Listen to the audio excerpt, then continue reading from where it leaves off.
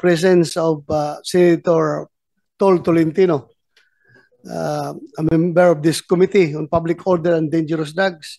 Thank you, Your Honor, for joining us. With that, the Chair declares the presence of a quorum. Thank you for attending to this hearing. Today, we are going to discuss number one, Senate Resolution number 913, which seeks to investigate in aid of legislation the disappearance of beauty queen Catherine Camilon, filed by Senator Rafi Tulfo. Kumsek, si Senator Tulfo, pupunta ba? Okay.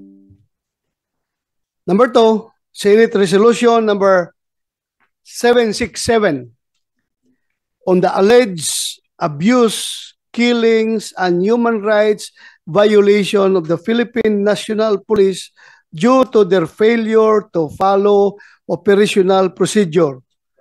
Again, also filed by Senator Rafi Tolfo. At this point, may I request the Committee Secretary, Lawrence Ascierto, to acknowledge the presence of our guests and resource persons present in today's hearing. Thank you very much, sir. We would like to acknowledge the following guest for uh, Senate Resolu Proposed Resolution 913 from the Philippine National Police. We have Kumsek, Major... Kumsek, excuse me. I, I, I would like to correct my earlier statement. Senator uh, Francis Tolentino is the vice, Vice chair chairman. of uh, this committee. He's not only a member, he is my vice chairman. So uh, we are Batman and Robin here in the, this committee. Uh, continue, Comsec. Thank you, sir. From the Philippine National Police, we have uh, Major General Romeo Karamat Jr. We have Police Colonel Per Paul Carpio. We have Police Colonel Samson Belmonte. We have Police Colonel Jacinto Malinaw.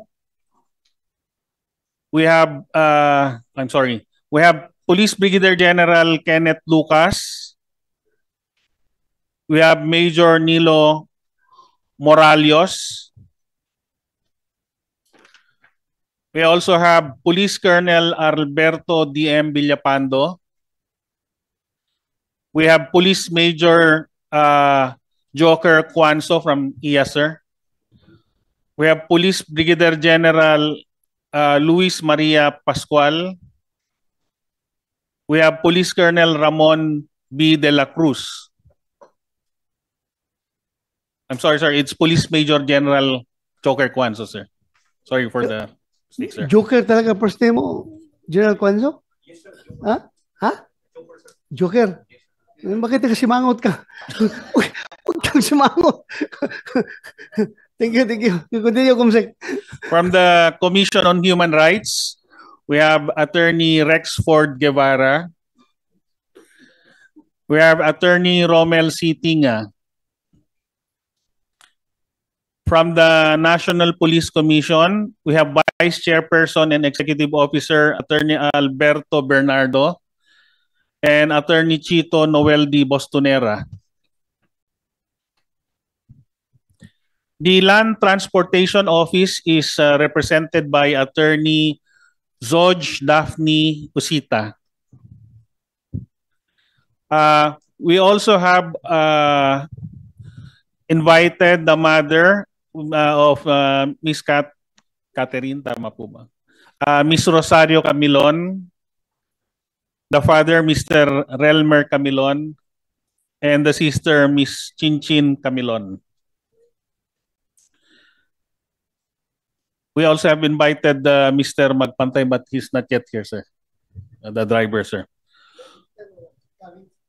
Uh, pinaano ko na sa ano, sir. Sana coming, sir. Hopefully. Wala, wala pang response, sir. And with the, we also have uh, proposed Senate Resolution uh, number 767. Uh, our guests from the Philippine National Police are the following. Uh, Police Brigadier General uh, Pascual, mentioned already. Uh, Police Colonel De La Cruz.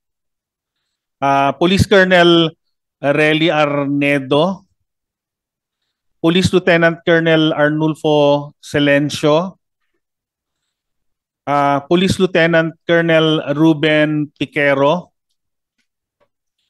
and again, uh, Police Major General Cuanzo. M- mga ano yun sila? Yung nasa likod? Invited guest din, sir. Hindi lang po magkasya sa ano, sir. Ah, okay. okay. Dito pala. Mayroon mang upo dito? Ah, wala pa, sir. Ano? Pwede siguro pa po dito. Ah. Sir, hindi daw makita kasi sa camera. Ah, okay, okay, okay. Kaya, hindi ko nilagay doon, sir. Yes, sir. Uh, with the Land Transportation Office, we have the same guest, sir, Attorney Usita. And with the CHR, sir, we have, uh, again, uh, same guest, sir, Attorney Guevara and Attorney Tinga for this particular uh, resolution. And the victims, owner, sir, are as follows. Mr. Rodelio Vicente, Mr. Julius Vicente, uh, Mr. John Ace Ompad, Mr. Napoleon Ompad, and the mother, Miss Sheena Ompad. Ah, ah sorry, the sister. Nakalagay rito. That's all, sir, for the moment, sir. Ay, Thank sir, you, Sir, sorry. For the record, sir, we have also invited the Department of Justice. We have an email from them that the assigned prosecutor, Rogelio Radok, just received his uh, uh, designation to be appointed as a representative of DOJ, but he wrote to us that uh, for regrets, sir, because he had prior commitment before the letter arrived in his office, sir. Then, we, as regards uh, Police Major Alan De Castro, sir, he sent us a letter indicating that his wife is eight months pregnant and is in pain. That's why he cannot attend this hearing, sir. Si, Si Major Alan De Castro, sir. ano ba, pag, pag, Yung wife daw niya, sir, he, he will take care of his wife daw, sir. Excuse po, sir. hindi naman siya mga, nanganak eh. hindi naman siya manganak. Bakit hindi siya pwede po? Through his, le- through his lawyer, sir. Letter to him. Eh, sabihin mo lang siya. Anyway, uh, sigurado ako, uh, Senator Tolpo will move for the issuance of uh, subpoena. Kaya, ano pala no? Major, Uh, Major, Police Major Alan De Castro, sir. Major Alan De Castro. Yes, sir. Sige, if you are uh, listening right now, Major De Castro, alam ko nagmumonitor ka. Uh, you should come here. Hindi yan rason na buntis yung asawa mo. Mm, ako noon, tatlong anak ko pinanganak. Nawala ako sa giliran ng tagiliran ng asawa ko. Andun ako sa bundok nag-operate laban sa NPA. Eh, tatlong anak ko pinanganak na hindi ako talaga nakasama sa asawa ko sa pagpanganak. Yun pa, buntis pa. Hindi pa naman nanganak eh. Yes, sir. Ganun, very flimsy kwan, alibay. Sir, and lastly, we just received this moment, sir. It was hand over to me Ah. that Mr. Jeffrey Magpantay, sir, uh, ang sabi niya rito, sir, hindi daw maganda yung pakaramdam niya. Tapos yung kanyang Ah, Sige, whatever alibis they want, card. they want to Yes, sir. uh, hintayin nila yung subpoena Yes, sir. and later, pag isnabin pa rin nila yung subpoena, hintayin nila yung warrant of arrest. No, dalawang, um, magiging dalawa yung warrant nila. Warrant nila doon sa krimen na ginawa nila at warrant coming from Senado. Yes, sir. Yes, sir. Ha? You inform them accordingly, ha? Yes, sir. We will be informing Ah. them, sir, as per your instruction, sir. Sige, Thank, you, sir. Thank you. Salamat, Kumsek. Service, honor, and justice. These are the three words that can be found in the Philippine National Police seal and badge. Nakatahi sa uniforme at nakaukit sa lahat ng tsapa. Tatlong salita na sumasalamin sa sinumpaang tungkulin ng isang pulis. Ito ang nagsisilbing paalala sa kapulisan na ang bawat isa sa kanila ay may pananagutan sa bayan. Nakalulungkot na sa tuwing may ilang mga pulis na nakalilimot ng tatlong salita na aking nabanggit, ang imahe ng buong institu- institusyon ang nababahiran. Noong araw po kapag may mga batang nawala sa isang pasyalan, agad silang maghahanap ng pulis dahil ito ang bili ng kanilang mga magulang. Sa paglipas po ng panahon, ang pulis na pinagkakatiwalaan ng ating mga magulang ay naging panakot na sa makukulit na mga bata. Makailang beses na po nating narinig ang mga katagang, sige ka, kukunin ka ng pulis.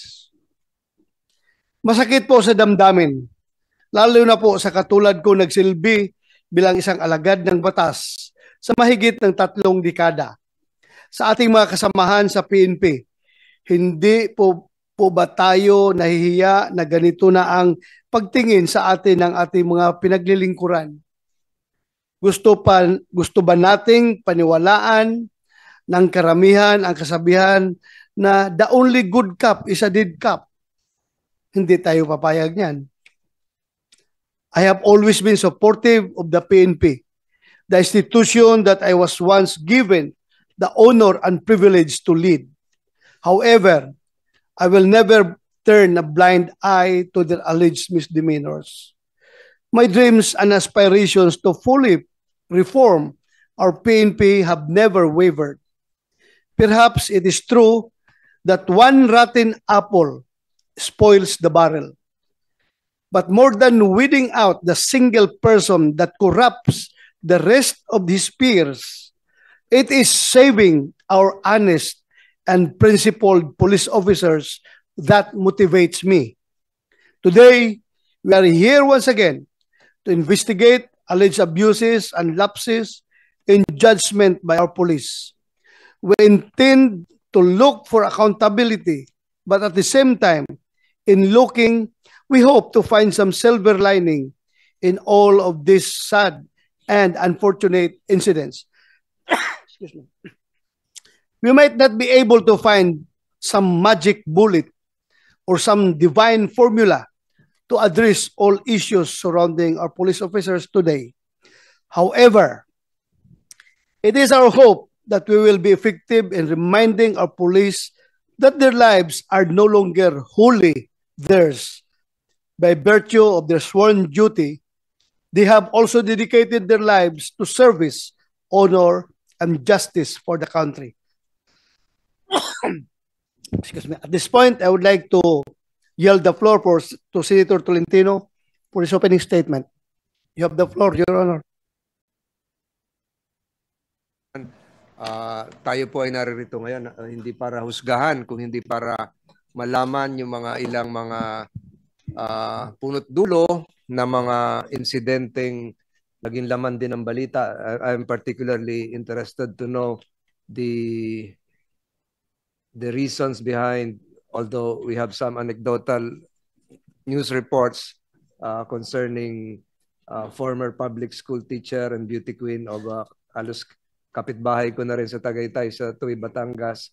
Uh, alam natin yung pinagdaanan ng mga magulang niya as well as the the incidents that transpired in Pandi, Bulacan and uh, Rizal, uh, Rodriguez Rizal, which is also close to my heart because I have I have um, I was the one responsible for making that place a a lone congressional district as as well as changing the name again of uh, Rodriguez to Montalban, Rizal. So we, perhaps, uh, Your Honor, Mr. Chairman, uh, the the end game of this inquiry is not to cast aspersion on the part of the good image of the Philippine National Police, but really to determine whether these are really isolated incidents in, in terms of the two uh, incidents I mentioned in Pandi and, in, and Rodriguez Rizal. And if there is a need to further strengthen through legislation the Internal Affairs Service of the Philippine National Police. Pero dito po sa kaso ng Kamilyon, palagay ko po, dapat malaman natin kung ano talaga ang ang ang naging bahagi ng kapulisan dito although natanggal na sa serbisyo si Major De Castro. At ano pa ho ang dapat itulong ng ng kagawaran ng uh, Justisya ng Department of Justice? Kailangan bang ilipat pa uli? Ah, ilipat na sa central office yung hearing kasi parang ang prosecutor ay gustong ah, ilipat na sa Calabarzon Regional Prosecution Service.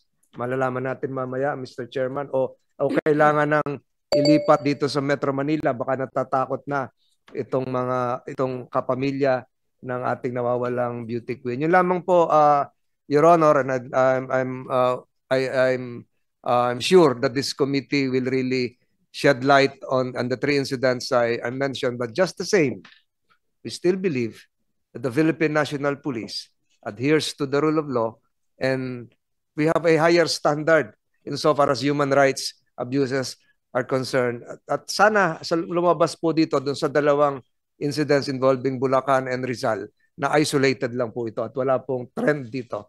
Yun lamang po Mr. Chairman at maraming salamat sa pagkakataon binigay niyo sa akin makapag, makapagsalita. Ganda umaga po. Thank you, Your Honor. Again, I would like to, andito naman kayo mga pulis, I would like to stress the point that uh, yung iba takot humarap sa committee na ito uh, being the chairman of this committee, I can give you the assurance that walang pwedeng maglalapas tangan sa inyong constitutional and uh, statutory rights habang kayo nandito nag, na, uh, hinihir sa committee na ito. Uh, being the chairman, siguruhin ko yan na hindi kayo malalapas tangan yung inyong karapatan. Ah, yung constitutional rights ay inherent yan sa bawat isa sa atin. So, sabihan nyo yung ibang kasama natin na takot tumarap. Huwag kayong mag-atubili. Andito ako as the chairman. Ah, ah, alam naman nyo, ah, hindi kayo dapat, ah, kung wala kayong tinatago, umarap kayo. Pero kung may tinatago kayo, tago na lang kayo ng tago. Ha? Magtago na lang kayo. Dahil wala man talaga. You cannot hide uh, from the, you cannot evade the long arm of the law. Uh, police tayo eh. Uh, alam natin yan. So, uh, as we proceed with this investigation in aid of legislation, may I request our COMSEC to administer the oath of our uh, of all our resource persons. Thank you, sir.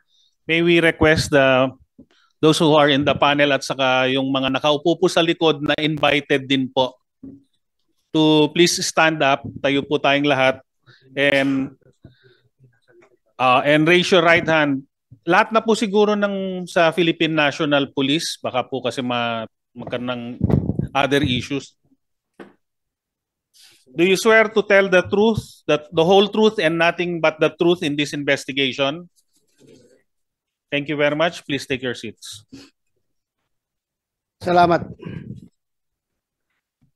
Let us uh, begin with the presentation of the PNP on the incidents mission mentioned in the Senate resolution, followed by other invited resource person. So for the first case, the Catherine Camilon case, under proposed resolution number 913. PNP, uh, meron kayong prepared na presentation?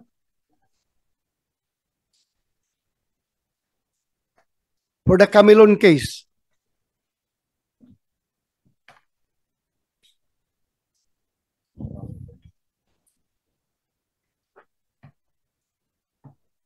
Sino? Sino magpe-present sa inyo? Ikaw. Ikaw ang uh, kuhan ngayon? Regional Chief ng 4A. Yes, sir. Bakit na nakakalbo ka na ba? Bakit ka naka-skinhead? O style mo lang talaga yan? Ah, Taga, Davao, sir. Taga Davao, good, sir. meron pa, may meron pa. Itim-itim pa yung buhok mo. Eh, sinishave mo na. Sige, sige. Go ahead, Jack. I would like to acknowledge the arrival of Senator uh, Rafi Tulfo. Thank Uh, you, Thank you, Mr. Your Chair. Honor. You want, you want to deliver your opening statement? Ah, Before uh, uh, Colonel Jack Malinaw will present the first case. Uh, Yes, You, you have the uh, floor, uh, Your Honor. Go ahead. Thank you very much, uh, Senator Bato de la Rosa, Mr. Chair. Um, and to our guests and resource persons, thank you for taking time to join us today in today's hearing. I filed the resolution that we're going to take up today because I value the importance of our police force. At alam niyo po na napaka-importante po sa ating mga taong bayan, lalo na sa ating mga maliliit na kababayan ng ating kapulisan. Para po sa mga mahihirap, walang kapangyarihan at walang impluensya, inaasahan po nila na kapag may panganib, may banta sa kanilang seguridad, o kung may krimen, makakatakbo sila sa ating kapulisan. At marami po tayong mga mararangal na miyembro ng PNP na siya namang nasa isip lang ay ang magsilbi sa publiko. Unfortunately, there are still quite a number who ruin this reputation of the PNP. And nakakaawa ang mga matitinong pulis dahil nahalo po sila sa mga scalawags na ito.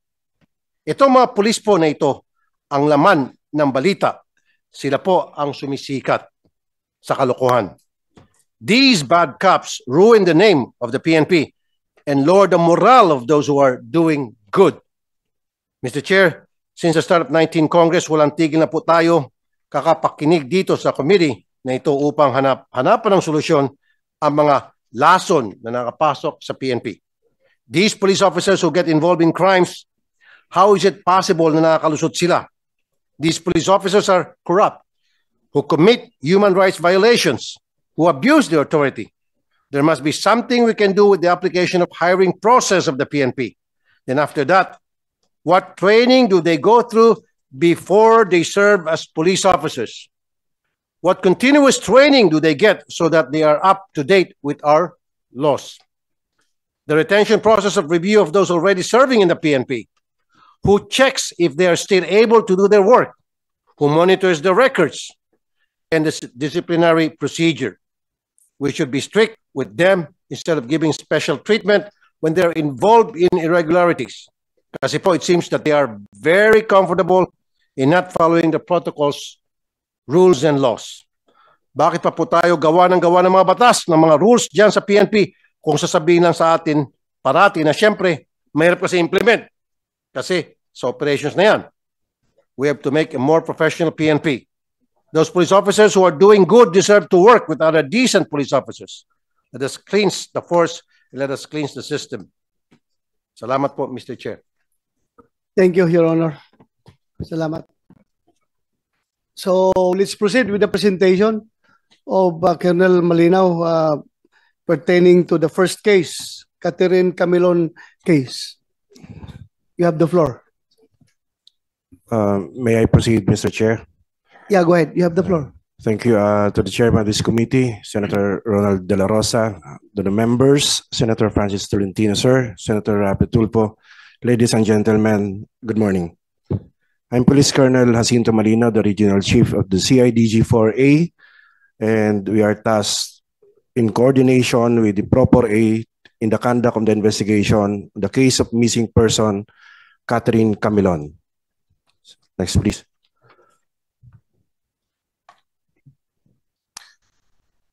Allow me to take you back, sir, to the date, time, and place of occurrence. The incident happened, or he was based on statement uh, given to us. Catherine last left their house at around 6 p.m. of October 12, 2023 in Barangay Rilo, Rilio Tui, Batangas on board her driven metallic gray Nissan Juke with plate number NEI 2990. Next slide. As to the profile of the missing person, Catherine Manguera Camilon, shown are the personal details of the victim, uh, one of which he, he was crowned as the grand winner of Binibining Batangas Quarantine in Batangas City in 2020. And at the same time, she was also a freelance writer at Balisong Channel, an online broadcast based in Batangas province. As to the profile of the suspects, Police Major Alan De Castro, who is already dismissed from the service, also a resident of Barangay Tuyon-Tuyon in Tui, Batangas, uh, isang locality lang po sila, and he's a former deputy of the Provincial Drug Enforcement Unit of Batangas Police Provincial Office. Next. Another Sorry po, so- suspect, Sorry, Drug Enforcement Unit. The Drug Enforcement Thank Unit. you. Proceed po, sorry. Yes, sir. The second suspect is uh, Mr. Jeffrey Magpantay alias Jepoy. Uh, he is the known driver, personal driver of uh, Alan Magpantay.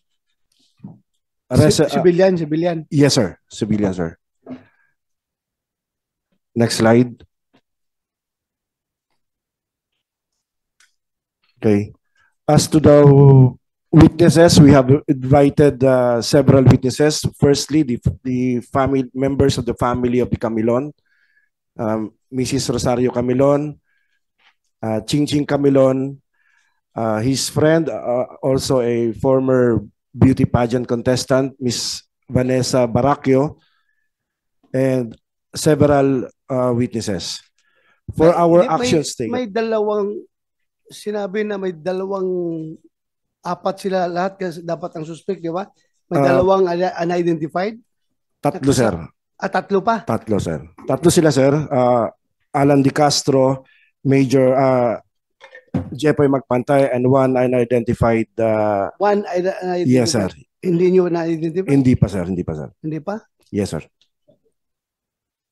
Hindi nyo. Sir, for our actions taken, next slide.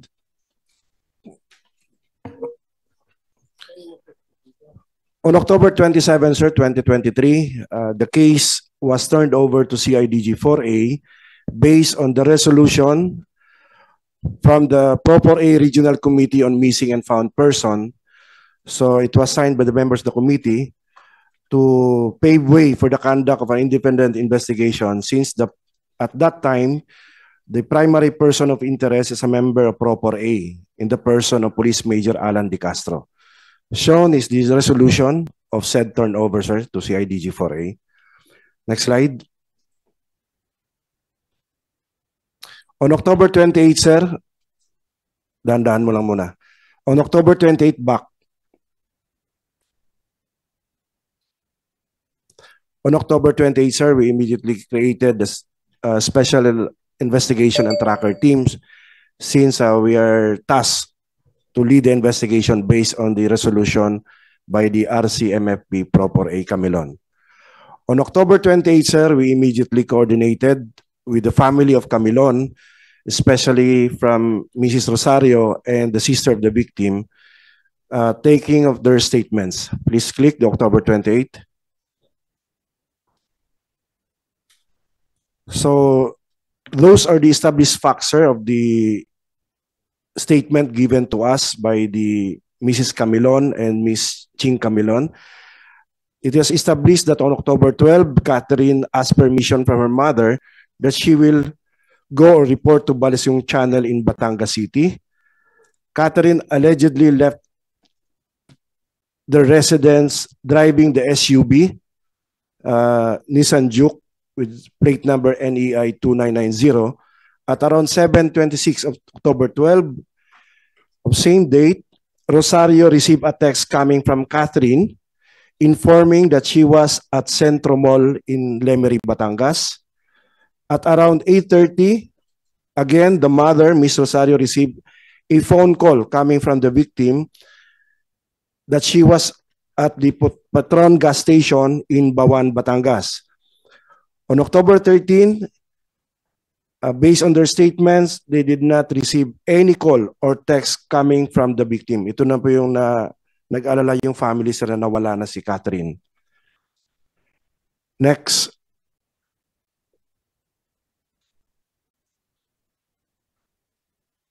On October 29, we started our backtracking with the assistance of the Regional Anti-Cybercrime Unit 4A Please click the October 29.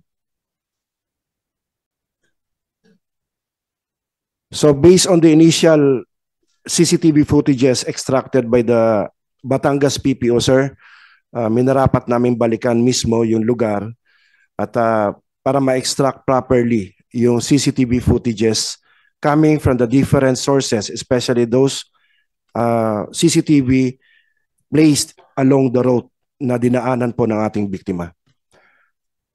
Back.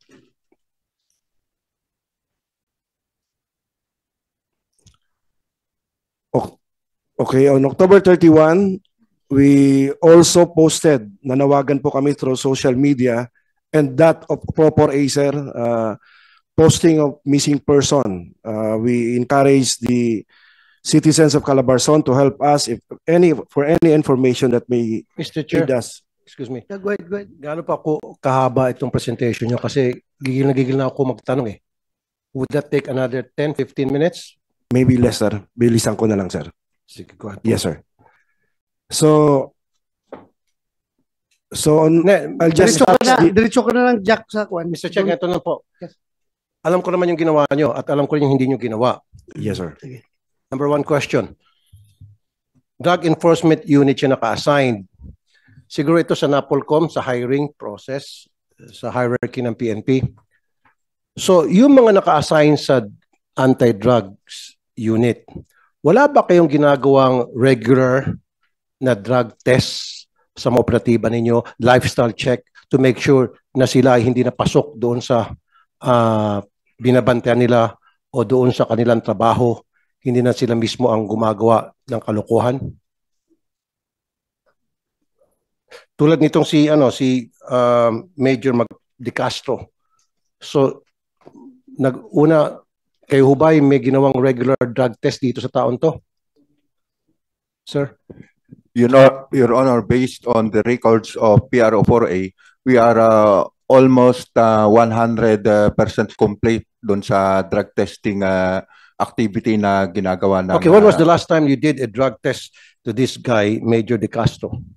uh, On record. If you will allow me, Your Honor, I will submit the uh, uh, record uh, regarding Yeah, the kasi, drug sir, testing okay. of uh, Prior to the commission of the crime, when was the last time na he undergo a drug test?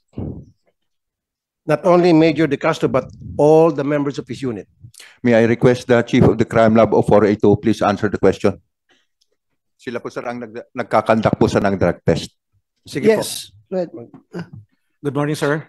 Sir, direct to the point. Sir, the the last uh, drug test for uh, Police Major De Castro was January 11 of 2023 from Batangas. January 11, Okay, 2023. Yes, sir. And prior to that, Uh, that was the uh, for the year 2023, sir. so you do this annually yes, sir.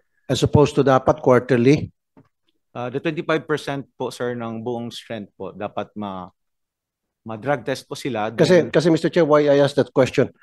Uh, maraming beses na sa aking programa, even the times yung T3, Wanted sa radyo, na kung saan yung mga pulis mismo, meron ko mga video, nag-hit ng shabu. Nababalitaan natin yan. Karamihan yung sa mga drug enforcement. In fact, as high as Colonel, huling-huli sa video, nag nagsashabu. So dapat, meron tayong hindi lang yearly, dapat quarterly and properly supervised. Baka naman yung ihi na binibigay niya, baka tinitimbrahan, oy, bukas magda-drug test ka natural, hindi magda-drugs ng tao. Kasi alam na, he knows better. Hindi siya magda-drugs. Dapat random. At dapat hindi taga-unit ninyo ang gagawa. Dapat from outside. Independent. And then binabantay niya pag-ihi niya. Nasusunod ba yung ganung procedure, Colonel? Yes, sir. Uh, for the information of everyone, meron pong procedures ang forensic group, yung crime laboratory dati, to conduct drug testing annually. So tama sir yung sabi ni RD, 100% po ang aming drug testing. As a matter of fact, sir, our regional director, uh, Police Brigadier General Kenneth Lucas, also conducted uh, Oh, nandun na po ako, sir, annually. Ang suggestion ko, dapat yes, sir.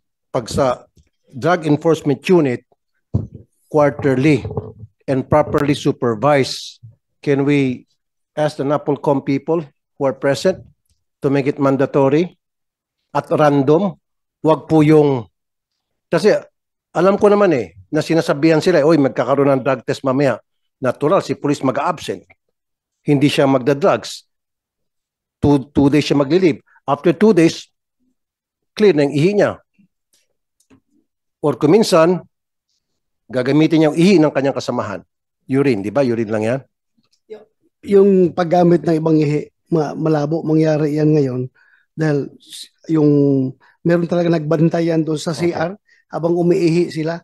Okay. Di binabantayan talaga yun ng And, and, and may I suggest, uh, Mr. Chair, Kasi yung sa shabu, huwag ka lang gumamit ng ilang araw, burado na yung, clean na yung ihi mo. Why don't we use hair follicle test? Can we do that? Kasi pag hair follicle, alam ko, Mr. Chair, buwan eh, months, matitration. Ano bang pinaka-technology na alam nyo sa crime lab na mas mas mabigat pa kaysa i mas accurate kaysa i Sir, currently, uh, we are doing the drug testing using the urine because of the mass number of personnel that to be conducted. But uh, we will uh, further uh, look for that. So what's uh, available? Available sa crime lab aside sa i anong available test ninyo for uh, for a while, drug test? Oh. for a while, sir. Uh, Ah. May I talk with the Si- chemist? Mga hari-hari nyo sa crime lab dyan. Chair, Yes. hindi nyo narinig yung hair follicle test? Ignorante po kayo doon sa technology na yan? Hair Sir- follicle test? Uh, Sir, Have you heard of it, sir, sir? I, uh, may I ask my uh, Oh, chemist come here? on. Forensic po kayo, sir. Hindi nyo alam. Have you heard of hair follicle test? Yes, sir, we have, sir. Okay. Kaya nga, kung narinig nyo yan, ah, wala ba kayong ganong technology sa PNP na hair follicle ang ititest nyo, especially sa mga operatibo natin na nag-handle ng mga sensitive ah, positions, tulad nitong Drug Enforcement Unit? Sinong taga hire from hire sa'yo sa crime lab na may alam about uh, hair follicle test? Available ba yan na technology sa crime lab natin? No? No, sir, actually. But no. Pero you're aware of that uh, particular technology? yes, sir, I'm just looking for uh, our chemist just to explain how the hair strands are used for uh, drug testing, sir. Okay, sige, We Mr. have, Chair, uh, nahirapan sila. Police Sige. Major Rosales, our chemist. Saan, Okay. saan siya? Pa- pakibilis. Meron kayong ganong technology po? Kung wala, it's about time siguro uh, the PNP should acquire that kind of technology. Sa ngayon, ang pagkakalam ko, Mr. Chair, pinapadala ata sa abroad kasi we don't have that technology yet. Ang pagkakaalam ko po. Pero why don't we acquire that kind of technology? Bigyan natin sa NBI, bigyan natin sa PNP, bigyan natin sa PDEA para makatulong sa ating uh, mga taga-law enforcement, di ba? Sa proseso ng pag-identify ng mga gumagamit ng drugs. Kasi alam ko hair follicle test, goes back up to three or even six months. Alam mo yan? If I may present uh, Major, Police Major Rosales, our chemist of uh, Forensic Group, sir. RFU for A. Good morning, Your Honor. I'm Police Major Joanne Rosales, forensic chemist presently assigned at Rizal Provincial Forensic Unit in Taytay, Rizal. Um, at present, Your Honor, um, hindi pa po ginagawa sa PNP Forensic uh, Group ang hair follicle examination, but our good director, uh, very uh, gusto po niya na masimulan na magawa ang examination ng drug test using hair follicles. In fact po, uh, meron na pong, uh, pinaformulate na po yung procedure na pwede nating sundan para uh, unti-unti pong masimulan na magkaroon ng hair follicle examination. Pa, pa, meron kayong available technology dyan? Um, sa ngayon po, uh, procedure po yung inaayos and yung si- sistema kung paano po siya gagawin. Pero eventually po, uh, meron naman pong mga ma- machine na pwedeng gamitin para po sa test na yun. So, Okay. so, so, so, Mr. Chair, we have that technology. Okay. Are you sure about that? Yes, sir. Very sure. Yes, sir. So kung meron tayong ganun technology, thank you very much. Dapat pati NBI magkaroon, PDEA. So that's one way na to determine kung yung ating mga operatiba ay matitino pa rin, especially mga naka-assign sa Drug Enforcement Unit. We should do this, kung nandito yung PNP, nandito sa yung uh, NAPOLCOM, this should be a requirement. Dapat ito hindi annually, random, and then quarterly. Okay na tayo dyan. Number two, ito pong, Mr. Chair, itong Major De Castro, para sa akin, sobrang pagka-guilty ng taong ito. Because nung ah, makakuha ng DNA doon sa sakyan na na-recover sa victim, nung sasakyan na ah, supposedly yun yung sinak sinakay, sinakyan ng victim, may blood na sa DNA test, yun talagang blood ng victim doon sa loob ng sakyan. And then the PNP were trying to convince Major De Castro magpa-DNA test kasi meron tatlong hair strands ata doon, several hair strands. And tinurn down niya. Now, ni-request ko sa PNP noon, ewan ko sino ba na-interview ko sa CIDG noon, CIDG was doing a good job, Mr. Chair. And the CIDG requested doon sa kamag-anak. Kasi siyempre, di pwedeng pilitin yung police, yung suspect.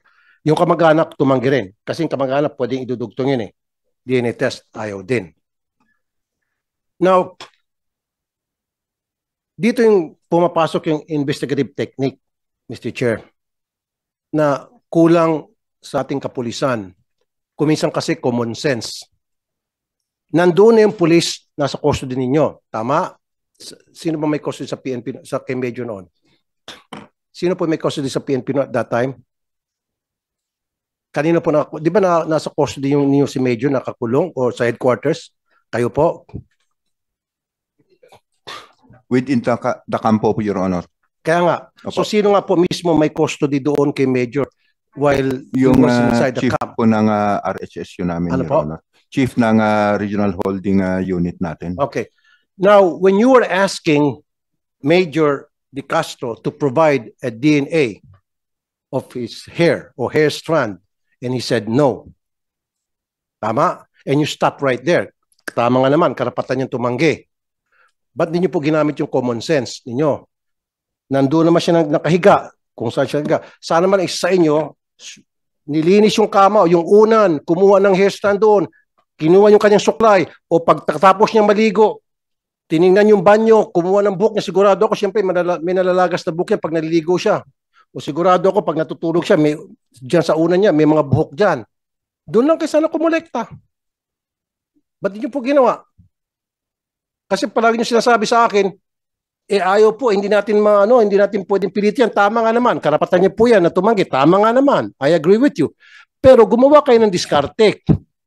Matagal niyo nang sinabi sa, sinasabi sa publiko na we were able to uh, uh, secure evidences, pieces of evidence like hair hair follicles, hair strands sa kotse and you're trying to match that hair strands. Sabi nyo. And then you, sabi nyo sa akin, nung interview ko sa radyo, ni-request nyo kay Major na mag-provide ng sample. Ayaw ni Major. So, nag-antay ka ng ilang araw, baka magbagong isip. Am I right? While waiting for those three, four, five days, sana dumiskarte kayo. Yan ang sinasabi ko. Saan siya natutulog, siya sa nakahiga. Pagising sa umaga, pasimple, yung unan, kunan niyo ng buhok. Yung suklay niya, ano bang suklay ginagamit niya? Simple niyo, kunan niyo ng buhok doon. Sa banyo, pagkatapos niyang ligo, kukunan niyo ng buhok. Yun niyo po ginawa. Sir. If I may, Your Honor. In fact, naisip na po namin yan nung ah, andun siya sa office ko. Meron siyang ah, baso na pinag-inuman. Hmm. And uh, yun sana yung gagamitin namin. However, when I consulted my uh, uh, legal officer, uh, that uh, evidence might not be admissible in court. Will not be admissible in court because I, I know uh, that, Major General. I know pong that. uh, consent, I know that for a fact, of course. Pero at least, it will give you a guide na para kung saan nyo ifo-focus yung investigation nyo. Hindi na kayo mag, mag-isip-isip na baka si Juan, si Pedro, si Mario ang suspect. At least, pag ginawa nyo yun, tapos na, na, napatunayan na talagang siya pala ito, doon na kayo magpo-focus. Si Juan na talaga, wag, wag na kayo maghanap ng ibang suspect kasi ito si Juan based dito sa na, nakalap natin na ebidensya sa DNA. Di ba? And second, yung kape na ininuman niya, anong ebidensya po nakuha niyo sa sasakyan, di ba? Hair strand? Oh, hair strand, coffee. Meron pong ah, saliva dun sa baso po sir na pinag-inuman niya. So Pero, sir, gamitin yun. Di ba may nakuha kayong hair strands doon? Sinabi niyo sa akin, di ba? Ilang pieces ho na hair strands? Three, four? O di ba? So dapat, kung saan siya natutulog, doon sa kama niya, pagising niya, imposible walang, bu- walang hair strand doon, di ba? Senator, Anyway, gusto ni Senator Tolpo hair strand to hair strand. Pero pag DNA kasi, absolute yan eh. Oh. Kung DNA na makukuha sa hair strand at saka DNA na makukuha dito sa baso, magkaiba. the same, di, pareho lang yan. Kasi isa lang ang DNA ng tao eh. Kung anong DNA na makuha doon sa, sa buhok at DNA na makuha dito sa iniinuman niya, mag-match yan. Pareho lang yan. Walang Oh, problema oh, yan. Yeah, I understand Pero, pero yun, ang question nila, ang issue dyan is yung admissibility in court. Dahil yun nga, yung poisonous tree ang lalabas dyan, di ba? Yung poisonous tree doctrine na anything evidence na makukuha mo without the consent of the, the of the tao is uh, magiging poisonous yan. Yung fruit of the poisonous tree. Yeah, fruit of the poisonous tree. Oh. Pe- Pero yan nga, I agree with you, Mr. Chair, na hindi natin uh, pwedeng gamitin yung sa korte. I know that. Oh. Pero at least, mafo-focus nyo yung inyong investigation. Pero- Pag napatunayan base sa inyong pag-secure na walang court order halimbawa, at napatunayan yung ebidensya na ito nga pala talaga ang suspect natin, Pero then doon na kayo magfo-focus. Huwag na kayo mag-focus sa Yes, iba pa. Tama yun. Pero Your Honor, Senator Tulpo, yung mga pulis na ito, sigurado ako, without the, yung DNA, alam na nila yung focus nila kung saan sila nakapokus eh. Nakapokus na talaga sila doon sa mga primary suspects. Kahit na wala pang DNA results, alam na nila yan kung ang mga kwan nito, mga investigador ito na Chairman. But yeah, go ahead, go ahead, Senator, Chairman, uh, Senator uh, Tolentino. of uh, Senator Tulfo and uh, the Honorable Chair, just a point of order. Why don't we allow uh, Colonel Malinaw to complete the narrative? Yung last two minutes na fast forward mo. Nasaan ngayon si uh, Catherine Camilon? Nasaan si Major De Castro? Pangatlo, ano ng status ng kaso? Tapusin mo lang yan para for purposes of the records of this committee. Yung tatlo lang yan. Yes, sir. Bilisan na yan. Huwag mo nang step by step lahat Yes, sir. yung kanina. I'll just go directly to, please provide the committee a copy of your uh, presentation to complete the loop. Yes, sir. You. comply, sir. Please proceed. We'll go directly to the date of the filing of the case, sir. Ano si Catherine ngayon? Huwag mo nang yung timeline, huwag na yan. Yes, sir. Uh, the November 3 testimony of the two witnesses, sir, that was the last time the body of Catherine was seen being transferred from a Nissan, from a Nissan Juke into a red CRV. So hindi na siya nakikita pa hanggang Yes, sir. That was the from the testimony of the two Okay. witnesses. Nasaan na si Major De Castro? Major De Castro, sir, was uh, dismissed last I think, January 13, if I'm not Dismissed from the mistaken. service. Yes, sir. So He's at large now, sir. Civilian na siya at large. Yes, Anong sir. status na ng kaso? May na-file The case, sir, uh, is presently with the regional state prosecutor for A, based in San Pablo, after we filed a motion for in- inhibition for the Batangas Provincial Prosecutor's Office to inhibit from handling the case, sir. It was uh, approved, sir, by the Batangas Prosecutor's Office and transferred to the regional level of the DOJ RSP, sir. Ba- bakit, ba, sandali, Senator uh, Tol, ba- bakit uh, kayo nag-request na mag-inhibit yung prosecutor? Yes, sir. Uh, based on our consultation with the family, and because the counsel of Jeffrey Magpantay is a former prosecutor of Batangas Prosecutor's Ah, okay, Office okay. I get the and a point. retired judge at parating nandun, sir, sa Prosecutor's Okay, thank you. Office. Yes, sir. Thank you, sir. So missing, uh, with the permission of Senator, uh, uh, your chairman, uh, your honor, uh, missing si Catherine, yes, sir. At large si Major De Castro, Yes, sir. pending ang kaso. Yes, sir. Okay, uh, Mr. Chair, with the indulgence of Senator Yes, uh, go ahead. Senator Tulfo. I'm very familiar of this case, Mr. Chair, kasi lumapit sa akin yung relatives um, after the incident. Nung missing pa lang, tinutukan ko to. Now, i-continue ko po yung line of questioning ko. Nasa inyo yung custody nitong si Major as a primary suspect. Tama? Ang ginawa nyo, prinosis nyo yung kanyang dismissal proceedings. At nung ma-dismiss siya, natural, pakakawalan nyo siya. Ngayon, nagtatago na. Ang pinagtataka ko, mas inuna nyo na ma-dismiss siya kaysa naman magkalat pa kayo ng mga additional evidence while he was in custody of the PNP. Minadali nyo yung dismissal proceedings, samantalang ang dami ko na pong kaso, Mr. Chair, na pinailan ng dismissal yung isang pulis na gumawa ng kalokohan, inabot ng taon. Taon. Na-promote pa. Hindi ma-dismiss-dismiss.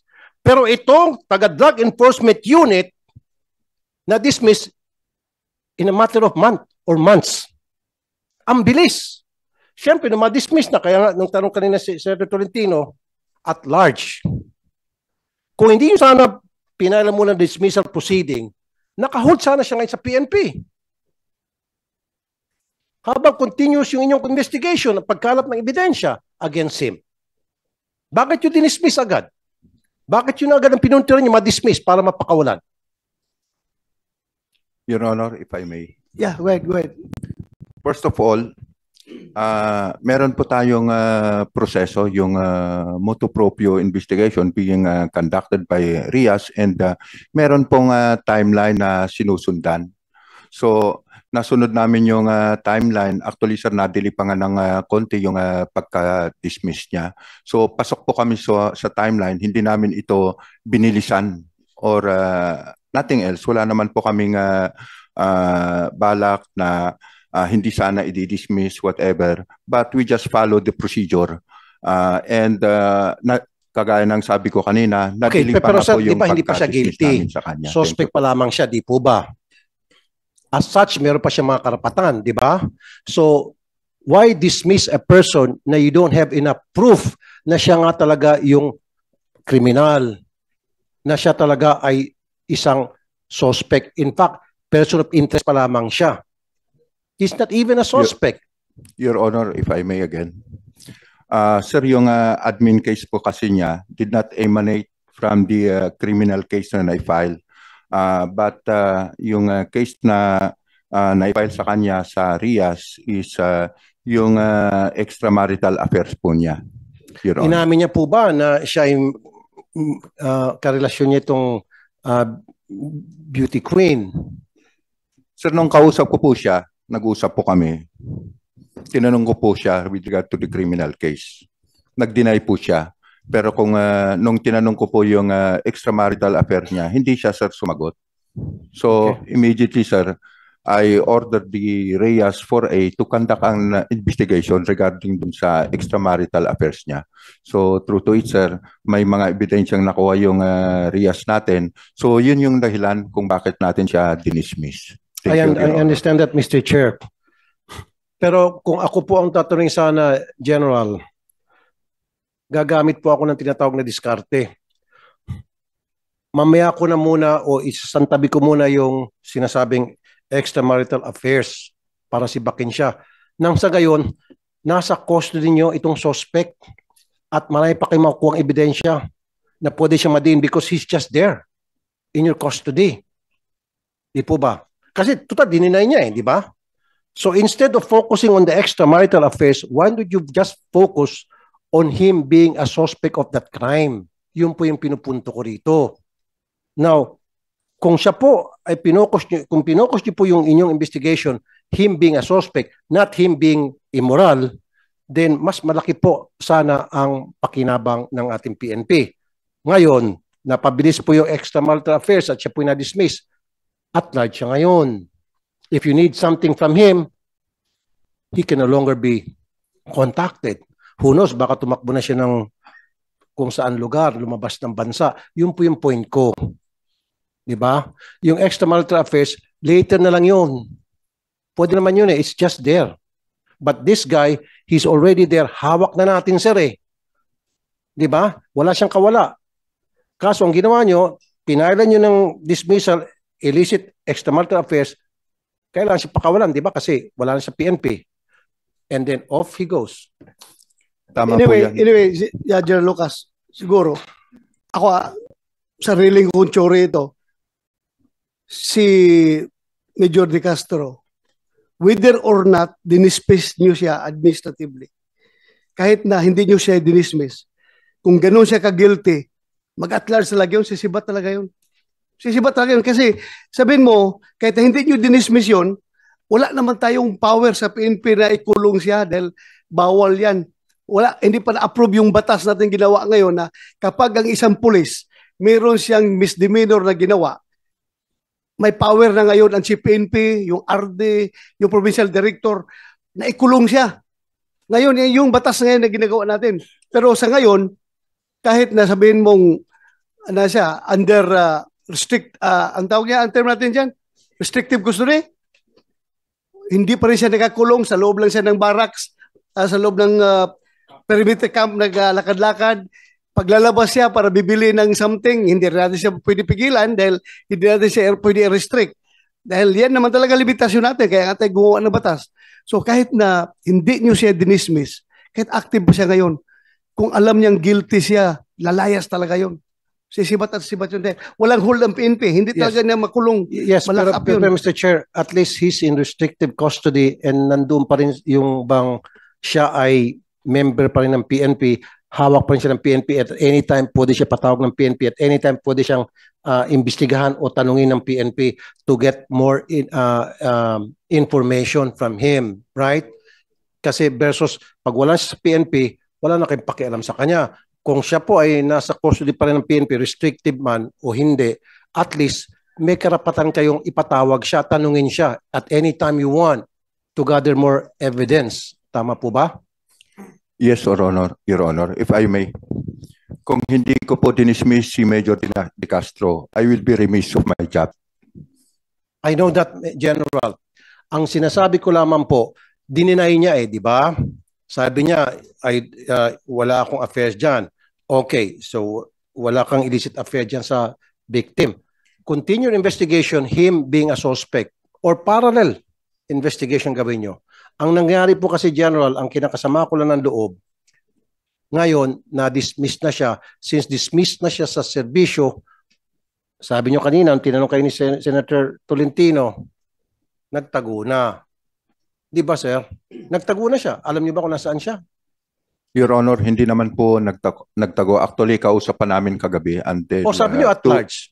2 a.m. At large po sa Technically, sir, he's not in our Okay, so he's not arrested. So alam niyo po So, na so, so as far as this committee is concerned, hindi pa siya at large.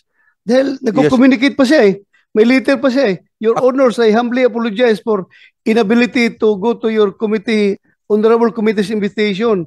Yes, signed, Police Major Alan De Castro. Meron pa siyang uh, representing uh, law office, Benitez Law, Ferdinand Benitez. So, kaya pa siya makontak to si Your, lawyer. Your Honor, actually, sa, actually kausap pa namin siya kagabi. And, so, andyan pa pala, uh, andyan pa. He was uh, about to uh, join the uh, proceeding.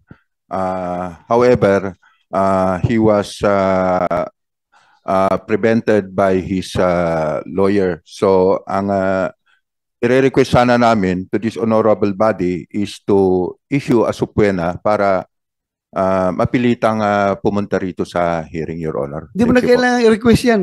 Nasa isip niya ni Senator Tulpo. Tumatik yan ngayon before this uh, hearing ends. Uh, K- kasi ang will Mr. move, Chair. I will make the motion. Thank you. Akala ko kasi Mr. Chair, nung sinabi niya at large, hindi na makita. Usually kasi ang pagkakaintindi ko, pag sinabing he's at large, the suspect is at large, nowhere can he be found. We don't know his uh, whereabouts. So nandiyan pa pala. Okay, so sa, kung nandiyan pa, di, very good. Okay? Now, ang tanong ko po, ano po yung ginagawa nyo ngayon sa PNP as far as investigation is concerned para madiin po siya. Kasi very clear na sa atin lahat dito ngayon na siya talaga ang suspect. Siya talaga ang primary suspect. At kasama itong kanyang driver. Sir, on the part of the CIDG, sir, we're still looking for witnesses. We have leads, no? Uh, as to possible whereabouts or saan dinala si Catherine, uh, it's just very hard to substantiate into evidence form those information provided to us because later on, sir, we'll be facing legal battle and there should be somebody or any evidence for that matter to link De Castro especially sa yung uh, info gap natin na as to the whereabout of the or the body of Miss Catherine Camilan. Anyway, hindi pa naman murder ang kinaso nyo, di ba? Serious illegal detention. Yes, sir. so it Kidnapping. does not require the body of the crime. yes, sir. Yes, oh, sir. so i-establish lang ninyo yung serious illegal detention. Okay na. yes, sir. Actually, sir, in compliance to the Department Order DOJ DC-20, we have a collaboration with the prosecutors before the filing. And that was agreed between CIDG, Pro4A, and the DOJ, sir, for the initial filing of kidnapping and serious illegal detention under Article 267 of RPC. Mr. Chair, uh, niyaya niyo ba yung driver niya na maging state witness? Did you offer that to the driver? Yes, sir. Uh, my when he voluntarily surrendered with Balayan PNP, uh, we immediately send our investigators, CIDG investigators to the station. Upon advice of the council, where he only provided our investigator as to his personal circumstances. But on matters relating to the case, he refused to answer, Mr. Chair. I know, he refused to answer. Of course, karapatan niya po yun. Ang tanong ko po, inoffer niyo ba sa kanya na, o sige, pag naging state witness ka, wala na kami sasampang kaso sa iyo o mas magaan yung kaso mo, hindi ka magsaserve ng long term, bumaliktad ka na lang, sabi mo sa amin totoo, protektahan ka namin. Did you offer that? Yes, yes, sir. Uh, Ano we offered him the benefit of the witness protection program provided Yes. by the government. What did he say? Uh, he declined, He declined. Okay. Mr. Chair. Mr. Chair, since nandito yung mga kamag-anak, may mga hinaing kasi sila, Mr. Chair. eh. So, I would like to hear the side of the relatives, yung kanilang hinaing, nung uh, from the start na nawawala yung kanilang relative up to the time nung eto na nga, um, na nakita na yung sasakyan, na may dugo at identified na sa kamag-anak ng blood. Sino pong gusto magsalita?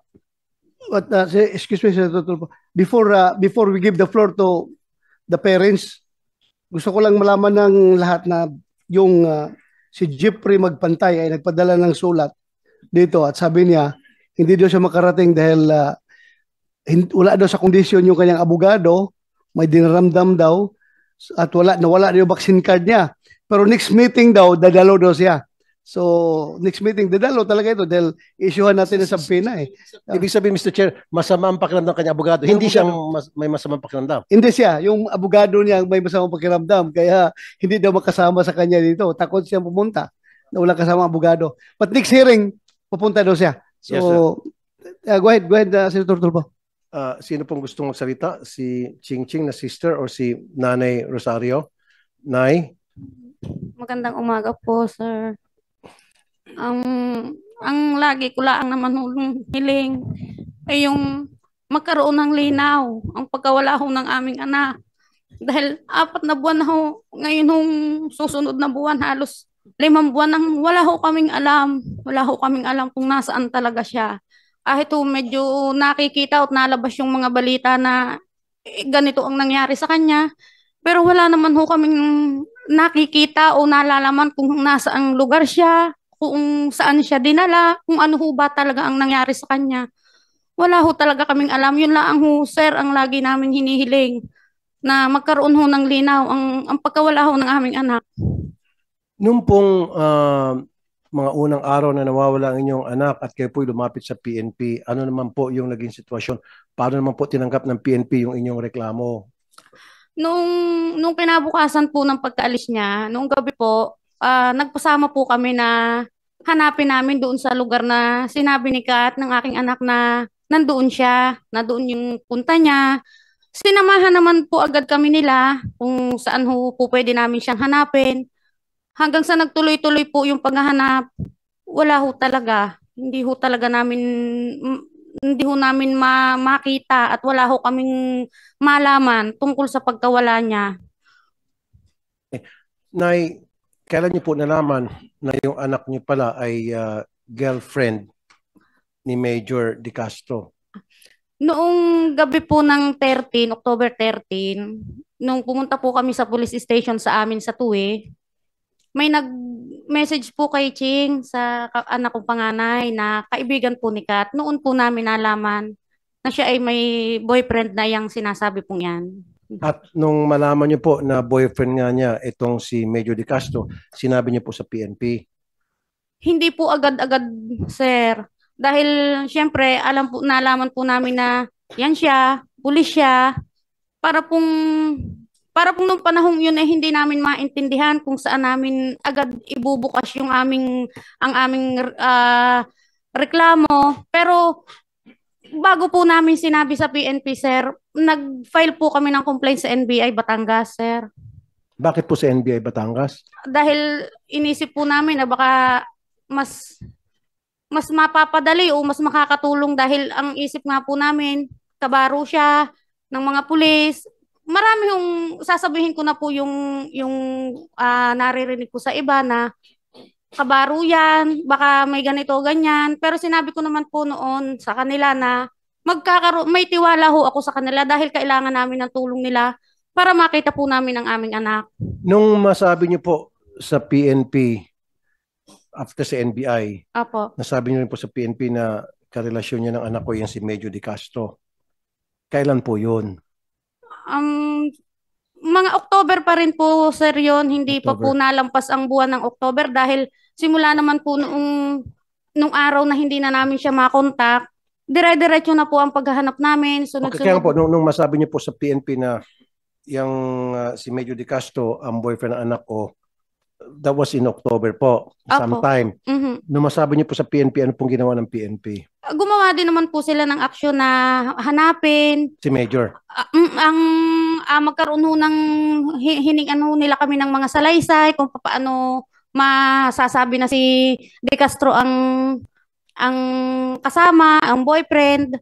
Ayun ho, para ho doon na ho nagsimula yung aming pagbibigay ng salaysay sa kanila na ipinaliwanag namin sa kanila na noong umalis po si Kat, ay si De Castro po ang kikitain niya. Ah, nasabi po sa inyo. Sinabi po sa amin ng kaibigan niya, sir. Sinabi Okay. po. Fr- so, yan po ba ay nasabi niyo sa NBI din? Apo. Okay, curious lang po ako. Ano po yung nangyari sa investigation ng NBI? Um, good morning po, sir. Ma'am. Bali, nag-file din po kami ng kaso sa NBI at nag-conduct din po sila ng investigation na ready naman po nilang ma- ma-open na rin po kung ano po yung nakala po nilang mga ah, i- evidence.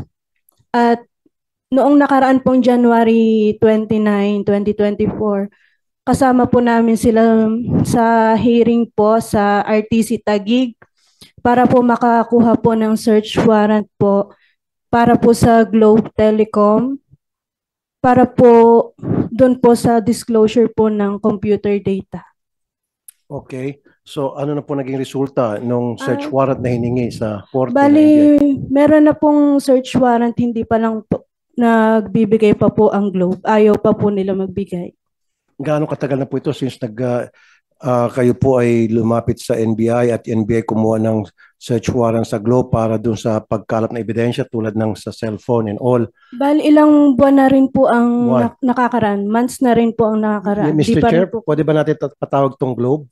Kasi ito yung problema din sa Globe, Mr. Chair. Eh. Napakabagal Yes, nila. uh, next hearing, uh, Your Honor. Uh, Comsec, take note, uh, Globe, uh, Globe ang uh, pinuntahan nyo, uh, Ching, Miss Ching Camilon. Um, bali, nagkuha po kami, nag-hearing po kami sa RTC Tagig para po makakuha po ng search warrant sa Globe. Nag-issue yung Globe. Nag, nag- nag-issue na po ng search warrant, hindi pa lang po, ayaw pa lang po magbigay ng Globe Yun para nga, po Mr. makadagdag po sa Yun nga, ebidensya. Mr. Chair, eh. Itong Globe, meron ng search warrant yung korte para doon sa telepono ni ah, Major. Ayaw pa rin ng Globe mag-comply. Well, uh, kung basehan natin yung previous case no, na imbestigahan natin dito sa committee, yung killing doon sa Vice Mayor ng Cagayan, uh, suspect natin yung Mayor mismo.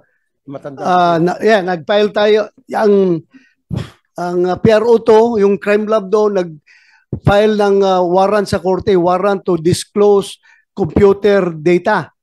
Ngayon, pumunta yung Globe dito kasama sa hearing natin. Ang sabi ng Globe, ang computer data na ma-release nila, yung hanggang limitado lang daw doon sa yung uh, call data records. Kung anong number kinunik, kinu- tinawagan or tinext. Pero yung content mismo ng text messages, wala daw silang storage noon. Hindi nila may release the wala storage. Pero ah, hindi ako naniniwala ha. Hindi ako So, so, so naniniwala. na may, maybe pwede natin na patawag din yung DICT, Mr. Chair. Yes, pwede, pwede. Ang DICT. DICT, yeah. Yeah. Busek, Department Inter- DICT plus uh, Information Globe. Technology. Ha?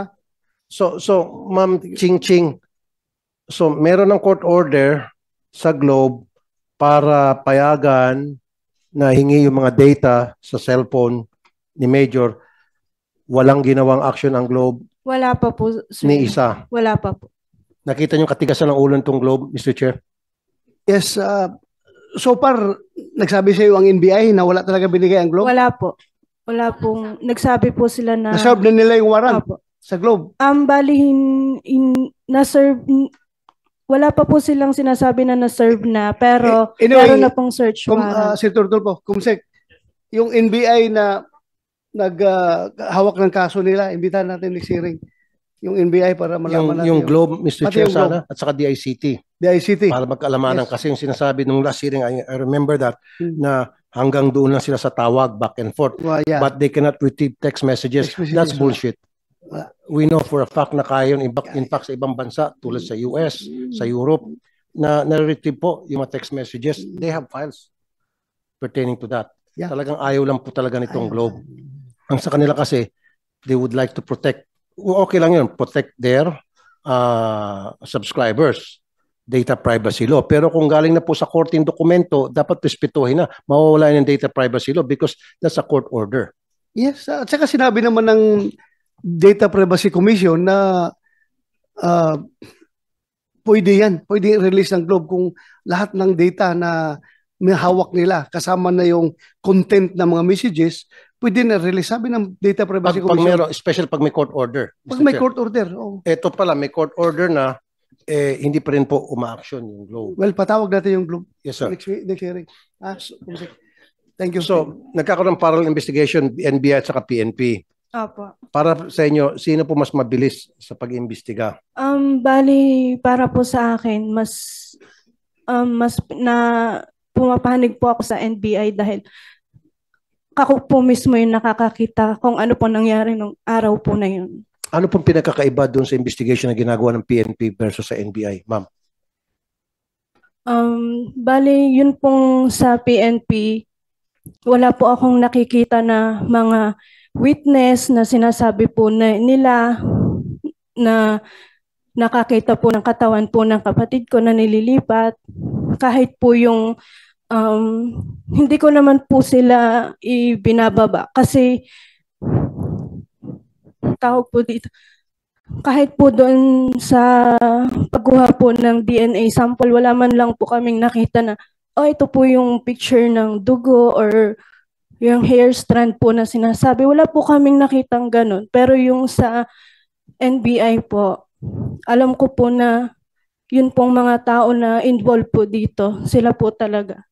Okay, so in other words, mas thorough, mas mabusis yung NBI Opo. pag-imbestiga kaysa sa PNP. Mas satisfied kayo. Opo.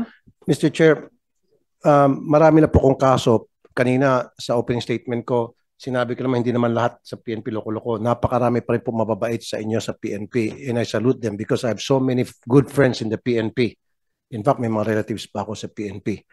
However, yung bang may bulok na itlog doon, yung kabulukan ng itlog na yan, nahawaan po yung mga malilinis sa PNP. I have so many instances, in fact, meron pa pong kernel na involved sa crime. Pag pulis kasi ang involved, nagiging baby-baby ng investigation. Yung po napapansin ko sa Napolcom, siguro, this is, you would agree with me, pag PNP po, kapwa PNP ang involved sa crime or suspect sa isang krimen, ang tagal ng proseso. And I experienced that so many times, Mr. Chair. Sobrang lenient sila imbestigahan yung kabaro nila. Pero kung yan ay hindi nila kabaro, kung yan ay tricycle driver, jeepney driver, aba, nakakulong na. May kasama pang kulata. Pero pag pulis, naku, sobrang baby. Inaamo-amo pa. Lahat ng karapatan ibibigay. Of course, give him his rights. Pero naman, do your best to do your job. Just like what Ma'am Ching Ching said. Sa NBI, very thorough investigation. Pero sa inyo, binibaby-baby nyo. Kaya nga I suggest, uh, dito sa ano, sa Napolcom, at you, Mr. Chair, being dating Chief PNP, pwede ba natin gawing requirement sa hiring sa lahat ng gusto maging pulis o pagkapasok niya pagkapasok sa PNP na kolektahan ng DNA sample ang bawat recruit at ilagay sa database? Kasama na yan sa ating ginawang uh, DNA uh, uh, DNA forensic uh, law. Kasama yan. Ngayon Lahat. pa lang. Oh, lahat kasama. Very so, good. Kasi lahat kung- ng pulis dapat kung- mayroong database ang uh, ang uh, DNA uh, center ng PNP. So, So kung yan po ay nangyari pa sana noon, ah, sa pool na to. sa pool na, sa pool na. Sa pool na. Ngayon lang, wala pa eh. Ah, tumatakbo. Sana yung ano ng parliamentary status ng batas na yun? Jo. For interpolation na. Ah, tulungan natin na mabilis. I will support, Mr. Chair. Eh, thank you. Thank you, Support. Your Honor. Okay, in fact, co-author daw pala ako dyan, Mr. Chair. Co-author ako dyan. Yes. Ah, tulungan kita sa interpellation Yes, thank you. pertaining to that. Thank you, thank you. para yan po yung maging ganap na batas. Now, um, Ma'am Ching Ching, nagsampa na ng kaso ang NBI at nagsampa ng kasong PNP. Opo. PNP, may sarili kayong kasong isinampa. Yes, sir. The kidnapping and serious illegal detention against De Castro. and-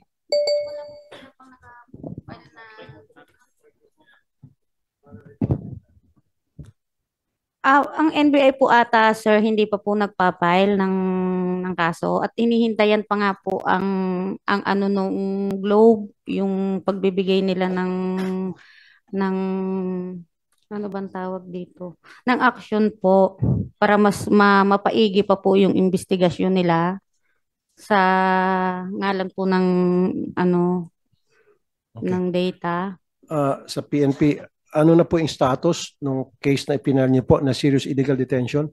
Sir, we're still awaiting for the resolution, sir. Kasi the case was elevated to the regional level of the regional state prosecutor after the after the inhibition of the Batangas prosecutor's officer. Pina-inhibit niyo po yung prosecutor? And, The- and what was the reason again, sir, why you requested for inhibition of the uh, prosecutor?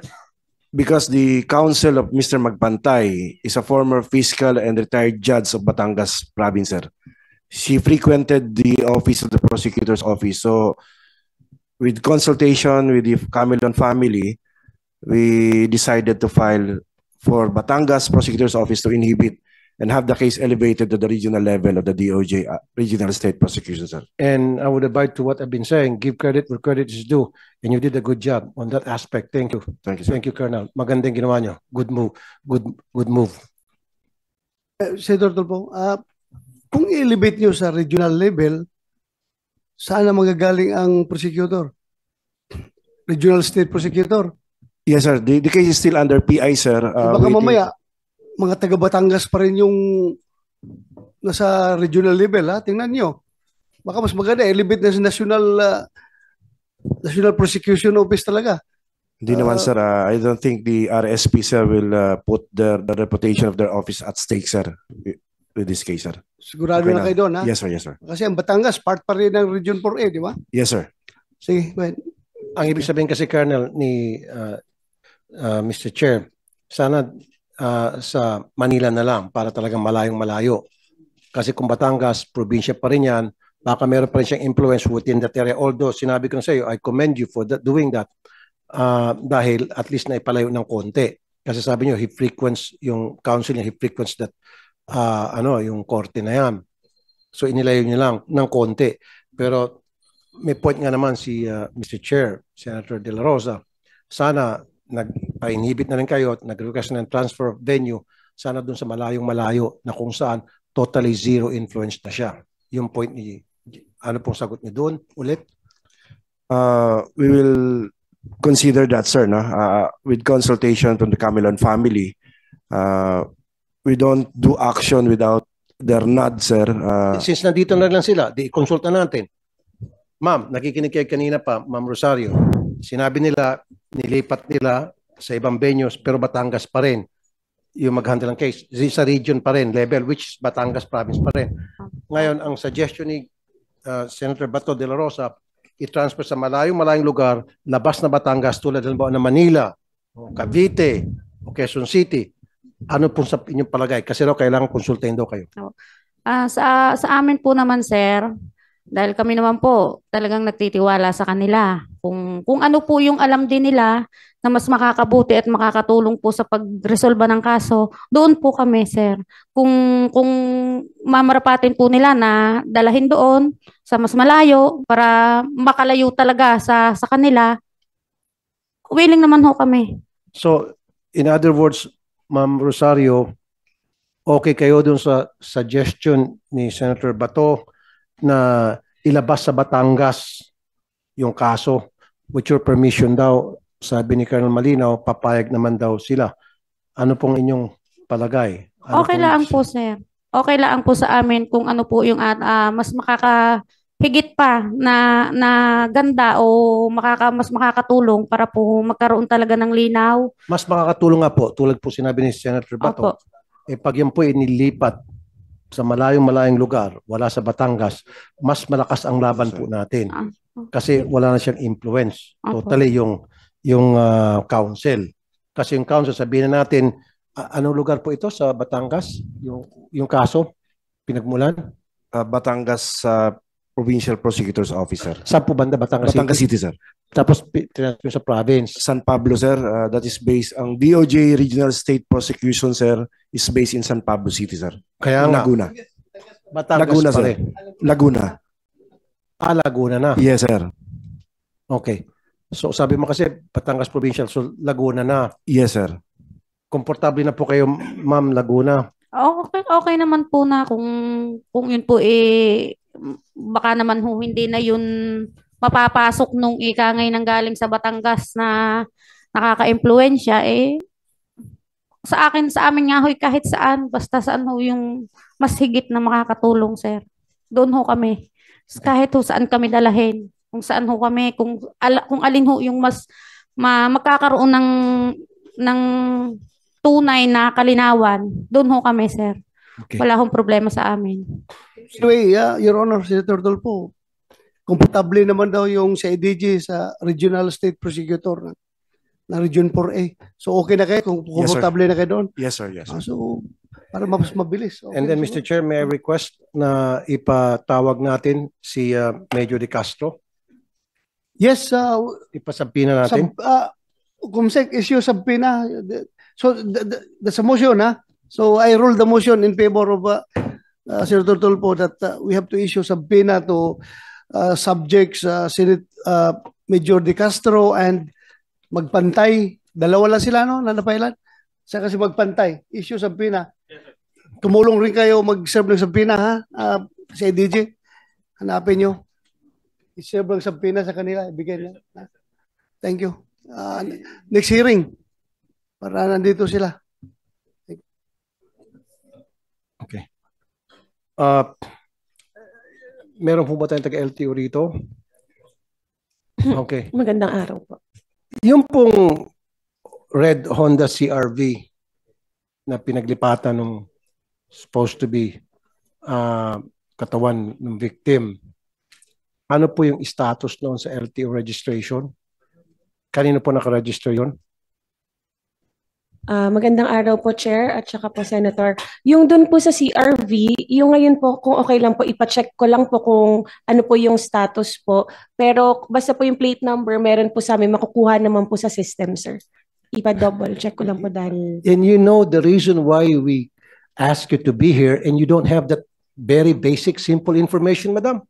Ah, sir, ah, apologies po for that po. ah, because ah, meron po kaming certain unit po in charge po for that. Pero makukuha ko po ngayon po, sir. Pero ma'am, Apo. alam mo naman na ito yung pinag-uusapan natin. Yes, sir. Apo. sana before you came here, you have that basic information, kanino nakaregister yan, anong status niya ngayon sa LTO. Kasi Mr. Chair, itong Honda CRV, yung plate number nito, correct me if I'm wrong, nakaregister pa rin doon sa old owner.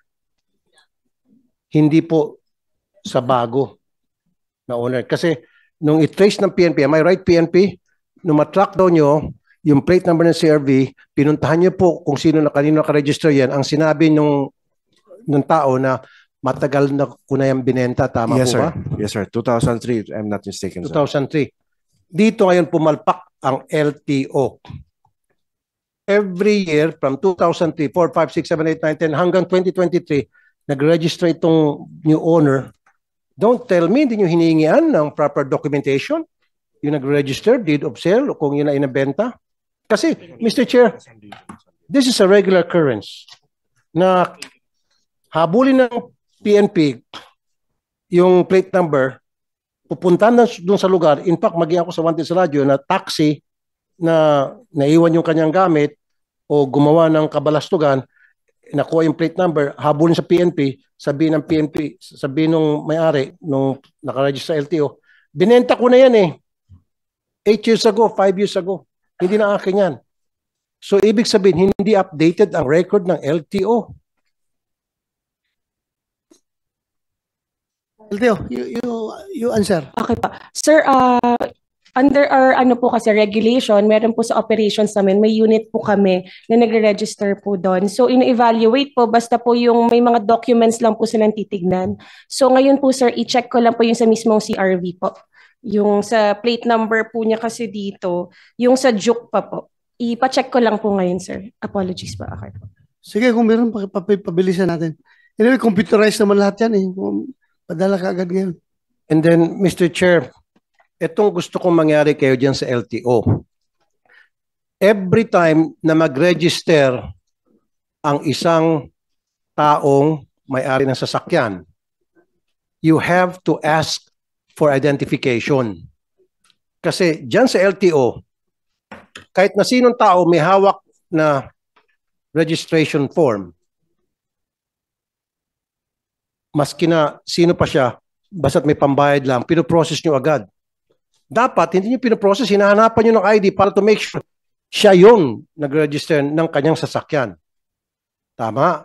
Hindi yung kahit na yung picture, pinapayagan nyo. Dito kasi pumapasok yung picture, Mr. Chair. Dapat, yung mismo may ng sasakyan, siya mag-register at meron siyang daladalang ID to prove na siya nga yung may-ari pa rin. In this case, dito sa kaso na pinag-usapan natin ngayon, kung ginawa nyo lang sana ganong klaseng proseso, updated sana. Uh, with, with, with your respect, Senator Tulpo, NP, yung sinabi nung may-ari nung sasakyan na matagal ko nang bininta yan many years ago, hindi kayo humingi ng proof na bininta talaga niya kung deed of sale, kanino niya bininta. Kung may deed of sale, mapalop na sa kanya pa rin pala yung sakyan na yan. Dinaya lang siya. Sir, after establishing the last registered owner, the Red CRV, and we have identified the the last registered owner na taga Las Piñas, pinuntahan po natin ang investigador and I will correct my previous statement, sir. Uh, nabenta niya po ito after posting sa Facebook last 2013. And he gave his voluntary statement na hindi niya lang mapakita yung deed of sale, open deed of sale na uh, ma- nang maibenta niya ang CRV. And at the same time, sir, uh, dugtungan ko na rin, he volunteered himself to be examined by our chemist, sir, for the extraction of DNA. Kasi meron ng, as we have mentioned, sir, meron three male strands, hair strands, anong lalaki nakuha doon. And it turned out negative during the conduct examination by the forensic. So very cooperative po siya. Yes, sir. Very cooperative. Yes, sir. Ito nga, Mr. Chair, eh, not, hindi lang sa kasong ito. Maraming beses na, Mr. Chair, na yung sasakyan, years and years ago pa na ibenta, at may bago na may-ari, pagdating sa investigation ng PNP, malaman-laman na yan nga matagal na benta at hindi na matukoy kung sino yung present owner. Ito sinasabi ko sa LTO, dapat LTO attorney Usita make it a requirement from now on, right this very moment, even while we speak, kung nakikinig man taga LTO, lahat na magre-register ng mga sasakyan, kailangan sila mismo ang pumunta doon, yung mismong may-ari at dala-dala yung ID nila to make sure na sila ngayon. Kasi gano'n naman nangyari sa ibang bansa eh. You cannot ask anybody to register your car for you. You have to do it yourself. Alam mo, sa DMV, sa California, you have to go there by yourself. Pipila ka, papakita ka ng ID na ikaw talaga may-ari noon. Dito kasi, kahit na siguro si Muning pusa, kagat-kagat yung registration form, papayagan niya basta't may pambayad. Ginagawang katatawanan, pero ganun na nangyari sa sistema. Can we stop that? Na practice na kahit na sino pwede mag-register?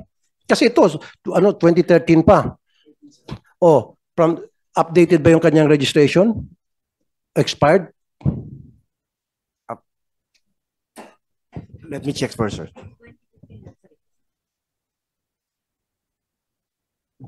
Sir, it was last registered 2015, Your Honor. Expired. Sa Batangas LTO po. Oh, so so dapat noong 2014 ni-renew 'yon. O dapat nandun na yung bagong owner. Di ba? So at least merong one year na dapat nagpresenta yung bagong owner. So ang point ko rito, from now on LTO, make it a point, lahat na mag-register ng mga sasakyan, it has to be the owner. Wag na yung mga fixer. Kasi sa ngayon, Mr. Chair, pwede ka mag-utos eh. Fixer, halika rito. Ito, 3,000, i-register mo itong sasakyan ko. Nang sa gayon, maiwasan natin ganitong klase mga sitwasyon. Is that right? Ah, Tapos yes siyempre yung owner magpapakita ng mga identification to prove na yes, I'm that owner of the car. Diba? At ito'y binenta sa akin, pakita ng deed of sale, etc. At meron tayo rin ganong klase mga sa customs patay kayo. Yung Bugatti, Mr. Chair, sabit ang LTO rito. Pero that's a different case. Diba? For now, Mr. Chair, yun lang muna siguro and if if you- if you don't mind with your indulgence, maybe we can proceed to the next case. Yes, uh, we're going to proceed. uh, but before that, hindi nyo kaya na-inquest yung kwan, yung si yung suspect? Regular filing lang ginawa nyo? Regular filing na, sir. Ilang days pala naka nag-transpire na bago More than a month, sir. ah, more than a month na? We filed the case on November 13. Nawala siya, sir, October 12. So regular filing na? Yes, sir. Okay, so for now, we are going to suspend the hearing about this case uh, pending the appearance of uh, the two main suspects uh, in the next hearing. And uh, meron tayong, may sinabi kayo dito, on November 13, Police Major Alan De Castro along with his driver and bodyguard, Jeffrey Ariola Magpantay, and two unidentified men were charged with kidnapping and illegal detention at Batangas uh, Provincial Prosecutor's Office. So meron two, may dadalawa pa pala? Yes, sir. Yes, sir. Aside from the the Castro and Magpantay, meron pong dalawang Dalawa? unidentified. Yes, sir. Jando. Yes, sir. O kasi sabi mo kayo na tatlo lang sila eh. So apat pala sila stand lahat. corrected, sir. Okay. Thank you. So from here, we'd like to thank you, uh, Ma'am uh, Rosario Camilon, Ching Ching Camilon, and uh, Salamat po. Father Elmer Camilon. Next hearing, imbitahan pa rin namin kayo ha. Opo, sir. Pag uh, maimbitahan, masampina namin yung Opo. mga suspect. Opo, sir. Ha? Salamat po. Thank you. We proceed to the next case, Senate Resolution number 767. This is the Rodelio Vicente case. Rodelio Vicente case sa PNP. Sino may hawak nito? Rodelio Vicente case. Bulacan. Sige, umupo ka dito para ma... Ikaw mag-present. May presentation ka? Okay, sige.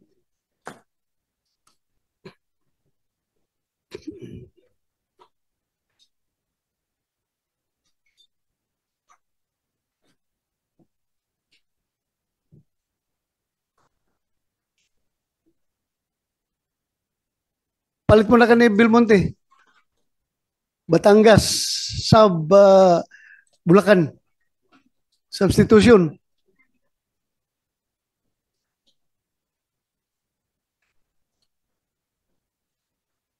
Palitan niyo yung pangalan. Kumsek, palitan niyo yung pangalan.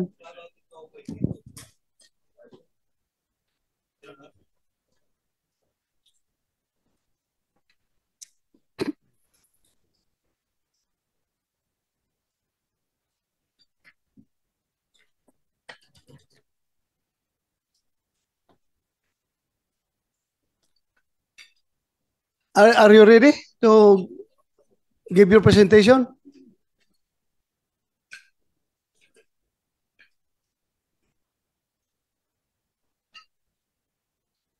Okay, you have the floor. Go ahead, uh, Colonel uh, Arnido, Bulacan, uh, Provincial Director. The, to the Chairman, Sir, uh, Senator Ronald De La Rosa, and the member, Senator uh, Pitulpo. Sa lahat po, magandang umaga. Uh, I am uh, Police Colonel uh, Rayleigh Arnedo, the Provincial Director of Bulacan. So I'm here to brief you on the case of uh, the uh, Rodelio uh, Vicente, sir. Please proceed. Sir, ah, nag-umpisa ito uh, doon sa warrant. Please uh, kindly click the facts of the case. Ito yun sir, yung umpisa ng ano ng case. Uh, the Pandi Police Station uh, may warrant sir na na-receive uh, multiple warrant for L, a certain uh, Konke. Then, uh, Ito pong pangalan nung nakalagay sa warrant? Elmar Conque, sir. Your Ano po? El- Elmar Conque. Onke. Yes, sir. The subject of the warrant of arrest, sir. Onke, okay. Yes, sir. Then, uh, accordingly, uh, my information that uh, that subject of the warrant ay nakatira, ah, nandun sa bahay ng Vicente family. So, as uh, yung warrant server, Sandali, sorry, sir. Ano pangalan po ulit ng ano? Yung, nakapang, yung subject nyo? Or- Elmar Con Conque. Elmar Conque. Your Honor. Konke. Okay. Ano Then to? yung- Arrest warrant po, hindi to search warrant. Am I right? Arrest warrant. sir. Arrest warrant. So, ngayon, hawak yung uh, warrant for Elmer Conke. May nagsabi sa inyo na asset ninyo or nakapagsabi sa inyo na si Elmer Conke ay nasa bahay ni Uh, Rodelio Vicente, sir. Rodelio Vicente. Okay, proceed, sir. Then, yun sir, ah, pumunta sila doon to validate the information at ah, doon na sir nagkaroon na ng To ah, validate. commotion. So, when you say to validate, paki-define po yung ba- to Ah, validate. va- validate sir, i-confirm yung presence of the subject of the warrant. Okay. Doon And how did you do the violation? Ah, the validation? Ah, siguro sir, ah, yung chief intel natin pumunta doon sa ano sir sa area at ah, accordingly nakamotor sila. Then ah, about sabi nila about to us a certain personnel ah, no, sir, person. huwag na tayo papasikot-sikot. Ako na lang, I'll fill in the Yes, sir, blanks. yes, sir. Pinasok yung bahay to validate. May video ako, sir. Huwag kayo magsinungaling. You're under oath, right? Under oath po ito. Pwede kita pakulong sa baba. Pag sinungaling ka, I have the video. Yeah. Pinasok yung bahay. Ah, You're under according oath, to the you're under oath, Colonel. Sir, ah, kung titignan kasi natin yung bahay sir, ah, nasa gilid eh. Kaya nga Ah, po. sige. Pero merong mga video na nakalagay nakapasok at may mga witnesses na to confirm na pinasok. Ito yung bonnet gang, remember? Yes, Your Honor. Nakabonet sila, eh, di ba? Yes, Your Honor. So, I'll fill in the blanks. Pinasok. Yun yung sabi ng mga witnesses. Yun yung, yung nakita sa video, pumasok sa loob. Yes, Your Honor. Okay, very good. Buti na lang kasi kung hindi, muntik-muntik ka na makulong sa baba, Colonel. Promise. Okay. So, pinasok. Pagdating po sa loob ng bahay, again, yung hawak niyo po, warrant of arrest for Elmer Conque. At wala kayong kasamang hawak na search warrant. Wala, Your Honor. Okay. Despite that, pumasok kayo sa loob ng bahay, nakabonet yung mga kasama mo, what happened then nung nasa loob kayo ng bahay? Ah, siguro, Your Honor, ah, tanungin natin yung ano kasi sila yung nandun sa area, yung personnel, ah, Sino yan? Pandi Police Station? Pandi Police Station. Your Honor. Sa saan sila? Kasama sila, sir. Your- Halika kayo dito. Para mupo kayo dyan. No? Ano kayo- nandito, sir, si Lieutenant ah, Bernardo, the Chief Intel ng Pandi, na yun yung Sige. nasugatan doon sa Upo kayo, upo kayo. um, Lieutenant commotion. Bernardo. Ah, sige, upo ka dyan. Sino pa kasama mo? Operasyon na yun? Warrant officer, dito. Upo ka. Patulungan yung PD nyo sumagot sa mga tanong dahil the PD is only relying on your report. So kayo ang nasa ground. So kayo ngayon sumagot kung anong nangyari doon. So, Yes, ah. ka- kasama ka ba sa operation? Uh, Mr. Chair, Your Honor, uh, actually, sir, we were advised by, our- by our counsel. Since the case is uh, pending under trial, and actually po kami po ang complainant laban sa kanila, nakapiyansa No, no, just sila. answer it, sir. Kasama ka ba? Y- Sir, I opt to invoke my right against self-incrimination. Pero nung in-interview kita sa Wanted sa radyo, napaamin kita na kasama kayo. Sir, uh, under trial na po yung sinampa namin kaso laban sa kanila. Ito nga masakit, Mr. Chair eh. Yung biktima, ang makukulong pa ng di oras. Sana ma. Kapal na mukha mo. Ang kapal na mukha mo. Biniktima nyo na nga, bibiktima nyo pa sa pamagitan, ipakukulong nyo. Sasampahan nyo ng kaso. Unang-una, illegal uh, illegal entry. Tapos pangalawa, Mr. Chair, kukwento ko na, nakabonet mga hinayupak na to.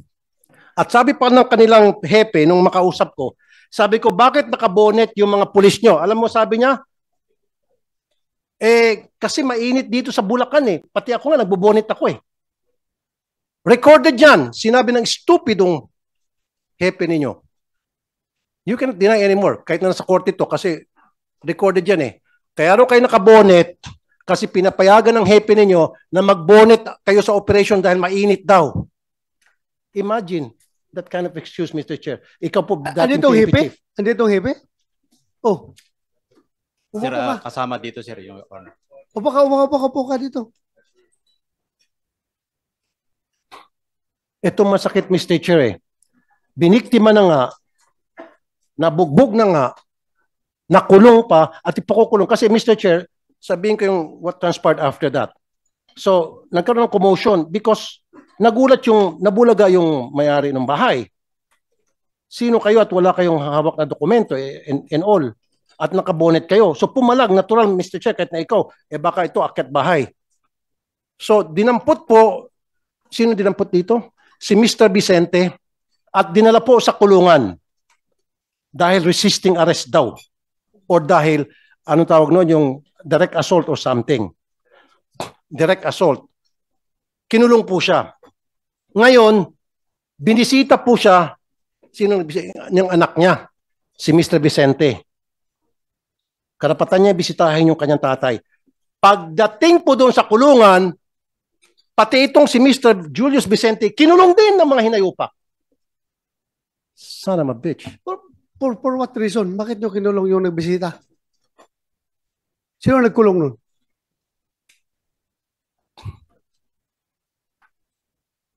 Sino nagkulong?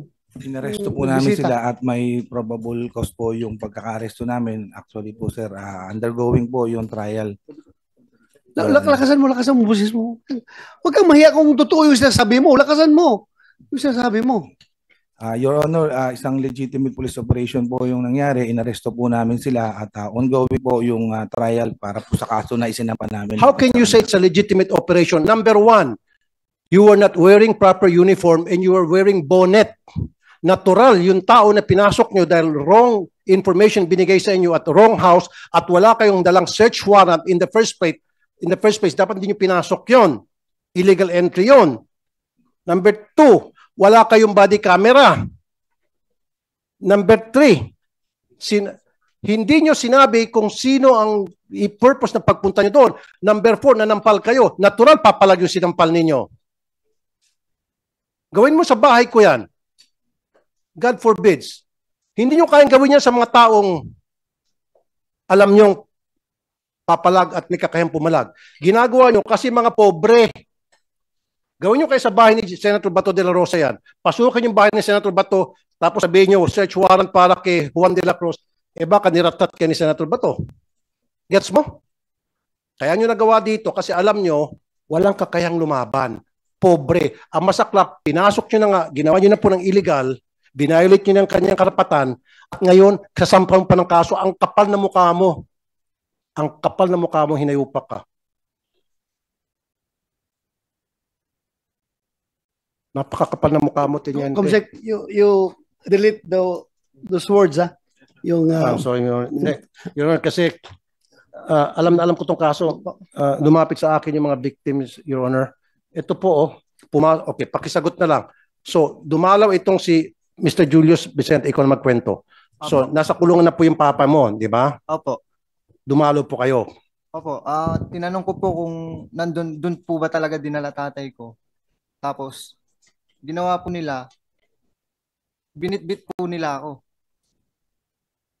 Anong rason? Bakit daw ka kayo Hindi ko nga binibit? po alam kung bakit. Ha? So nakakulong ka? Kinulong po nila ako. Nakailang araw ka sa kulungan? Isang linggo din po. Bakit ka nakalabas? Nag-bail po. Nag-bail ka? Opo. Or anong kaso? Direct assault po. Na, na, nakipagsuntukan ka sa mga pulis doon sa loob ng istasyon? Magagawa ko po ba yun? Ang lalaki ng mga katawan po niyan. Ba- bakit naman nakikasulta? Kaya nga, kaya Mr. Che, mapapamura ka eh. Pumunta lang itong pobre para hanapin yung kanyang tatay kung nandun nakakulong. Of course, pwede ba siya mag-direct assault? Istasyon ng pulis yun. And then, kinulong siya, kinasuhan ng direct assault. Sino nagkulong sa'yo?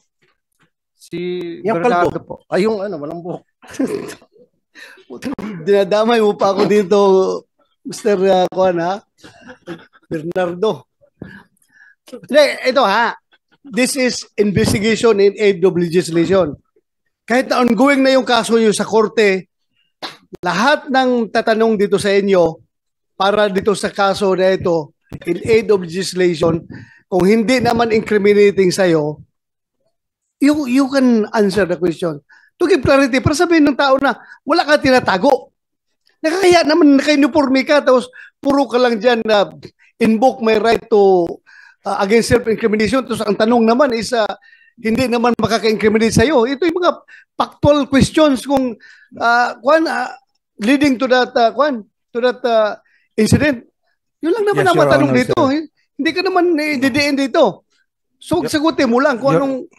Ah, Your Honor, allegation po nila yun, yung pagkaka-aresto po sa kanila sa site, yun po ang nasa affidavit at yun po ang tunay na nangyari. Hindi, ganito. Ah, Pidabit na naman ang Opo, uh, sir. basihan mo sa pidabit.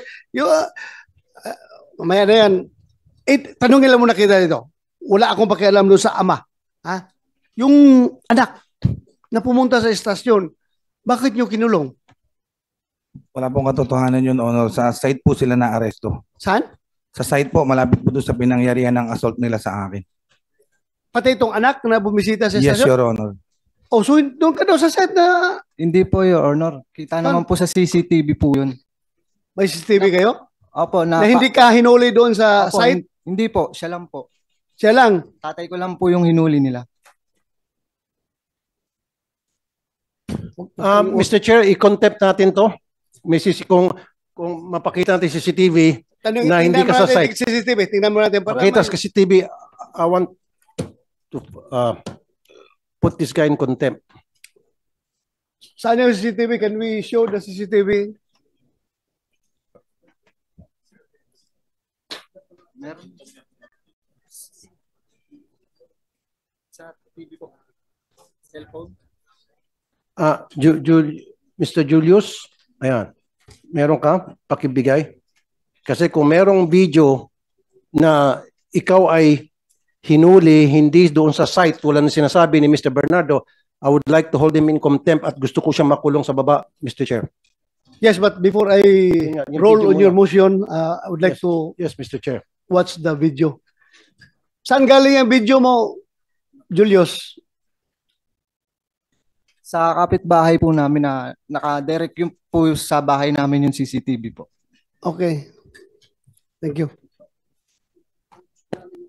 Sir Julius, yung video na ikaw ay hinuli hindi doon sa site kundi outside, away from the site. Hindi po. Bali po yung hawak ko pong video po na tatay ko lang po hinuli tas nandun po ako na papaalis pa lang para sundan po ang tatay ko. Okay. Nakatunayan pong hindi po ako doon hinuli sa mismong site site po. Okay, so sino- tingnan natin. Tingnan natin yung video. Kasi when you say site, Mr. Chair, doon sa bahay na kung saan sabi nila nakita nila yung may, may information sila nandun yung subject ng warrant. Yun yung site. So, tingnan natin po yung video. While we're checking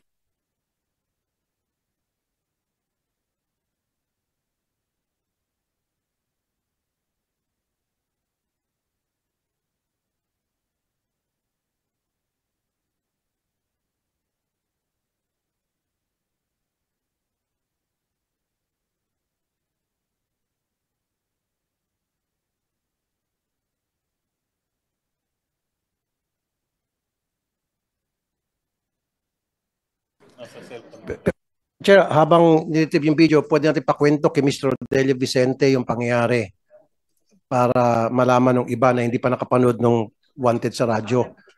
Pwede yung pakikwento, Sir Vicente, yung pangyayari. Ah, yes, Chairman. Ako nga pala si Rodelio Vicente. Nung araw pong yun, nung pumunta po sila ron, nanonood po ako ng TV, balita, hapon. Ngayon, may nadidinig po akong nag-uusap dito sa may kusina ko na si Bernardo kausap yung anak kong lalaki na nagluluto. Ngayon po, abang nagluluto yung anak ko, abat nag-uusap po sila, yung informer niya po pala, umaakit na sa may bintana. Bintana namin sa may gilid. Ngayon po, siguro hindi siya makapasok dahil akala niya, kortina lang, pala, sarado pala yung loob. Lumabas po siya, pumasok po siya sa loob. Hindi ko alam na siya yung pumasok sa taas namin. Ngayon, yung manugang ko po nasa taas, sinigawan siya, yung sinigawan yung informer niya. Kaya nagulat ako, ba't may, may sigaw sa taas? Nung bumaba yung informer, sabi ko, Hoy, bakit nandiyan ka sa loob? Sino ka ba ako? Paglabas ko po, tsaka lumabas to si Bernardo. Sabi ko, sir, bakit, sir? Hindi ko po pa alam na pulis sila. Sabi nila, mga pulis kami. Ba't nyo pinat pinatakas yung, yung nga po, yung hinahanap nila? Pero sir, nakasibilyan sila, no? Opo. At nakabonet. Opo, nakaganon po sila ng ano. Yes, sir. Nakasaklop po sila. Kaya lumabas po ako. Doon na, doon na po kami nagkaroon ng kuwanan, harangan, ng emosyon. Um, hinarang mo. Hinarang mo. Hindi po, kinakausap po sa labas. Wala pong, sila, sila po yung nangaharas talaga. Pero Gusto ma- yung, yung tinat- hinahanap nila na suspect nandun sa loob ng bahay mo? Wala po, hindi po namin kilala yun eh. Hindi nyo kilala? Hindi po namin kilala. Wala doon sa loob? Opo. Kami-kami lang po nung nandun, yung anak ko nga lang po, tsaka yung mga apo ko. Okay. Tsaka yung hinahanap po nila, hindi po namin kilala yun eh. Kahit mga kapitbahay ko nga namin, hindi, hindi ko kilala yun eh. Tapos po, So, da- ilan sila? Dalawa lang siya? Hindi Sila? po, bali tatlo po sila, tsaka dalawang informer. Yung informer sa civilian? Opo. Kilala mo yun? Hindi po, hindi ko po kilala yun eh. Pero namumukuhaan ko po. Yeah, thank you. Okay, pagkatapos po, so nagkaroon ng komosyon. Opo, nagkaroon una ng komosyon na dahil... Sino pong nauna na naging physical? Sila po, kasi gusto nilang pumasok uli sa loob eh. Hindi ko na nga po pinayagan dahil kalalabas lang po nila eh. Pumasok na sila. Opo, kausap niya na po yung anak ko eh. nila, gusto pumasok ulit. Opo. Bakit gusto pumasok ulit? Eh, galing na sila sa loob. Eh, pinatakbo ko raw po yung ano, yung hinahanap nila. Eh, wala naman, wala naman tatakbuhan sa loob, kundi sa terrace lang. Okay. Eh, nasa labas yung mga pulis niya. Kaya nung hinarang niyo po, anong ginawa? Inano niya po ako, tinutulak niya po ako hanggang sa na, nakaano po kami sa gilid na nakatutok yung CCTV. Doon po, doon niya po ako pinadapa na ano, ginano niya ako eh. Ginaganan kanya po? Opo, tapos yung manugang ko, hinarang siya, inaawat ako ng manugang ko, sinampal niya yung manugang ko, tsaka yung anak ko eh. Anak kong babaeng tomboy eh. Yung manugang niyo, Tapos Lala- pinaguntog ko kami. Pinaguntog? Naguntog kami niyan eh. Yung manugang ko. Manugang mo, pati ikaw, pinaguntog yung ulo. Ganun kami. Tapos nanampal pa ng, ng anak kong tomboy. Pagkatapos po, Talagang silaktan ho kami. Tapos nung napasok ako dito sa may gilid naman na, na hindi natapat ng ano, doon naman ako pinusasan. Pagkaposas sa anong ko- kasalanan daw po nung pinusasan kayo? Wala ho ba siyang binasa sa iyo ng Miranda rights na may karapatan Wala ka po, wala. Doon na lang Wala. po sa ano, sa munisipyo na lang po. Basta't pinusasan ka, walang Opo, sabi-sabi. Wala. Matapos kayo pusasan, ano pong sabi sa inyo? Dinala niya na ako sa may ano, munisipyo. Pagdating sa munisipyo, ano pong nangyari? Ano, hindi sinabi sa inyo kung bakit Wala ka din- pa po, wala pa po sila sinasabi. Basta sa basta sabi nila ano lang, yung kakasuhan na lang daw nila kami. Hindi sinabi sa inyo kung anong kaso, bakit ka nandun sa munisipyo? Presinto? Pero asol nga daw po eh, na paglaban sa kanila eh. Tinadyakan ko raw po sila eh. Tinadyakan Saka mo siya. naman yung katawan nila sa katawan namin mag-ama. Kung lalaban kami sa kanila o... At saka lalaban So, kami. kasama may- po si po- Corporal Joel Dicen. Opo, sila po. Sila tatlo po. At saka si Bernardo. So itong dalawang malalaking katawan. Opo, opo. Bali tatlo, tatlo po sila. Ganon din, puro malalaking katawan. So tapos kinasuhan ka ng direct assault. Direct assault. Okay. Ilang araw po kayo nakulong? Isang linggo rin po, mahigit. Mga isang linggo isang araw. Nagpiyansa kayo. If I remember, Mr. Chair, uh, pinalitan ko yung piyansa nila. Ako po, kasi yung nagpiyansa sila, gumasto sila. So yung pampiyansa nila, ako po yung nag-abono. Ah, ah, Mr. Rodelio, so pakikwento na po. So habang nakakulong, ah, yung tatay nyo, kayo po ay pumunta sa, saan yung anak? Anak-anak pa. So, sige, Mr. Rodelio, sir, nasa loob ka ng kulungan. Opo. Doon ka ba dinalaw ng iyong anak? Hindi po, nasa, nakaupo pa po ako. Sabay po kami pinasok eh. Saan po kayo nakaupo? Sa may desk po. Ito po yung pinaka-information. Dito lang po sa gilid. So pinuntahan ka ng anak mo? Opo. Pagkapasok po ng anak ko, binuhat po nila eh. Apat po yata silang bumuhat o tatlo. Sino-sino pinagbuhat sa'yo? Yung anak ko po binuhat nila eh. Sila yung bumuhat eh. So, doon sa istasyon, hindi na doon sa bahay Hindi po, ninyo? Hindi po. So pumunta yung anak mo doon para... Tingnan, tingnan ako kung saan ako dinala. So, umupo yung, nakaupo ka doon at nakaupo yung anak mo? Opo, hindi. Sa bench? Sa upo. Hindi po, pagpasok pa lang po kasi nila ng anak ko, binuhat na nila eh. Binanatan nila doon sa loob, may, may CCTV na may CCTV ho doon, obligado. Binanatan nila? Binanatan nila yung anak ko. Tingnan yung katawan ng anak ko. Siyempre, kayo man lumagay sa sa akin, magulang ako. Napakasakit nung babanatan mo yung anak ko. Andam, tatlo-tatlo kayo. So may CCTV sila? Tsak po yun, meron. Dahil ano po yun, Pero pag station po yun. i-request eh. natin yung CCTV, Mr. Chair, sigurado ako sira na yung CCTV. O hindi gumagana. For sure na yan. So ngayon, binitbit yung, ikaw, Julius, binitbit ka at binanatan ka raw? Opo. Ano ibig sabihin ng binanatan, sir? Ah, pinagsasampal po ako. Tapos tinadyakan po ako. Sampal, tadyak. Mahilig pala manampal mga tong lalaking to. Opo. Puro sampal kasi yung ate mo, sinampal niya tapos ikaw sampal. Opo. Siguro pag sampalan, ito yung magaling Mr. Chair. Dapat sampal king ang tawag dito kay Bernardo. O boy, boy sampal. Bagay sa kanya, sa mukha niya, boy sampal ang pwedeng ibansag dito. So ngayon, si- sinampal ka ni boy sampal. Opo.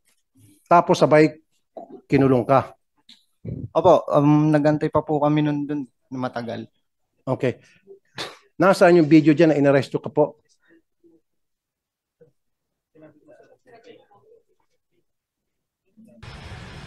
Okay.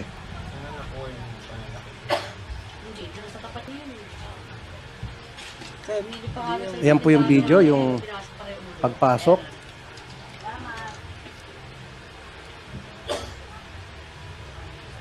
Okay, pasok. Akitin niya yan eh. May Malboro na yun. Ilan? Okay, ang haba naman. Okay lang yan. Ano to? Ayun, ayun na. Ayun na, Mr. Chair. Nakabonet, tatlo. Di ba sa labas ba? Yung na pinarel?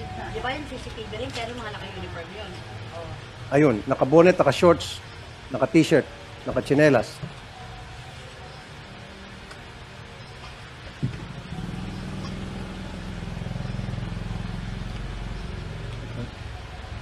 Habang pinapanood natin yung video, Mr. Chair, bakit kayo nag-bonnet? Ba't di ka nag-uniform? Kung kayo po ay uh, legit yung operation ninyo at uh, serving a warrant to a subject na you thought o ayon sa inyong asset ay nandun sa area, why not wear your uniform with uh, body cam at bakit nakabonet? Your Honor, uh, Sige, part, wait. part lang po ng accessories ng mga riders yun. Accessories? Plus, uh, fact po na uh, yung lugar po na yan, sir, ay uh, I've been uh, uh, compound commander there for uh, uh, almost two years. Talagang 50 meters away lang po dyan sa site na yan. Ay kilala po ako ng mga tao. So we have to devise. Pero ganun pa man po. Pero bakit kailangan mo- Nagpakilala po ako, sir, at naglabas pa po ako ng ID sa kanila. Actually, sir, di naman kami nakapasok dyan. Wait a minute. Wait a minute. You are going to serve a warrant? Sige, kasi sabi mo makikilala ka. At least man lang body cam for your protection and for the protection of those people na your, your subject na you're supposed to be serving the warrant. Two. And why wear a bonnet? Kasi di ba pag gumamit ka ng bonnet, pagkakamalian ka talaga magnanakaw. Kahit man lang sana yung nakasibilyan ka o naka, meron kayong kwintas tapos tsapa, pwede pa kahit naka-shorts ka, naka-t-shirt, basta't nakasabit yung tsapa, identified ka as police, operative. With that, para kang akyat bahay, para kang holdupper. Sabi ko nga, gawin mo kaya sa bahay ni Senator Bato yan. Baka naratat ka na. Ah, Your Honor, ah, sinikap ko po na magpakilala at ah, inilabas ko pa po yung ID ko. No, bakit ka nag-wear ng bonnet?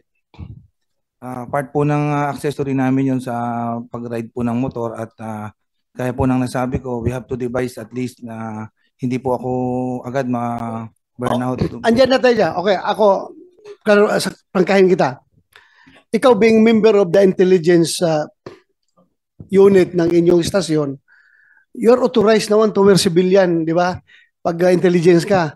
At yung operations ninyo, kung medyo alanganin ka na masunog ka kagad, okay lang yun, nakabunit ka. Pero ang hindi okay doon, yung pag-aresto ninyo, dapat may kasama ka na naka-uniform. Uniform personnel para magpakilala na police kami. This is a legit- legitimate operation. Hindi yung kayo-kayo lang nakabut para kayo matulisan doon. Your Honor. Eh, matagal ako sa intelligence sa unit. Ginagawa namin yan, nagbubunit kami para hindi masunog ang mukha, hindi makilala, nakasibilyan. Pero pag effect ng arrest, andyan na yung uniform personnel para makita nila na police talaga ito, police operation. Ba, may kasama kayo na uniforme Wala. Yes, sir. We, ac- actually, sir, mayroon po kaming kasamang uniform personnel few blocks away po doon sa possible, possible ah, site ng pag-aarestuan. Nandoon na sila. Yes, sir. Sumama. Yes, sir. Wala man ako nakita dyan sa, sa CCTV. Few, few blocks away po dyan. Actually, O kalsada few po blocks sir. away. So pag effect nyo ng arrest, hindi sila pumunta. Hindi na po nagkaroon kasi po ilang minuto lang po yung nangyari na yun. nagkaroon na po ng commotion. Mr. Chair, few blocks away is the police station. Ibig sabihin, nandun sa police station. Kaya nga. No, sir. Dyan po sa mismong residence 3. Sir, anong difference ng warrant of arrest sa search warrant? Define the difference. Sir, yung search warrant is yung person ang target po. The- Unlike po sa search warrant is uh, ang subject po is yung ah, ah, mga bagay. Sir. Mga bagay. So, di ba, para ikaw ay makapag-serve ng warrant of arrest sa isang tao na nasa loob ng bahay, kailangan mo din ng search warrant. Yes or no? No, sir. Actually, pwede po namin i-serve yung warrant of arrest. Ano man po ang location No, niya at nasaan man So, po so, siya, sir. sandali. Nasaan dito yung Napolcom? Napolcom, makinig kayo, sir. Ha? Sabi, pinadefine ko sa kanya ang difference ng search warrant sa warrant. Sabi niya, yung warrant is for a subject, a person. Yung search for a thing. Okay ako doon. Now, sabi ko, pag ikaw ay mag-serve ng warrant sa isang tao na nasa loob ng bahay, dapat ba kailangan mo ng search warrant? Sabi niya, no. Napolcom, ano po opinion nyo? Your Honor, uh, maraming po salamat. Kung hindi naman po uh, magse-search sa loob ng bahay at uh, hahanapin lang yung taong kinakaukulan na nakalagay naman doon sa warrant of arrest, uh, hindi na po. At uh, hindi na po kailangan ng search warrant? Uh, hindi na po kailangan pansamantala na wala naman pong uh, hanapin sa loob. Yung warrant of arrest lang po ng taong kinakaukulan. So, ibig sabihin, anybody can enter the house of anybody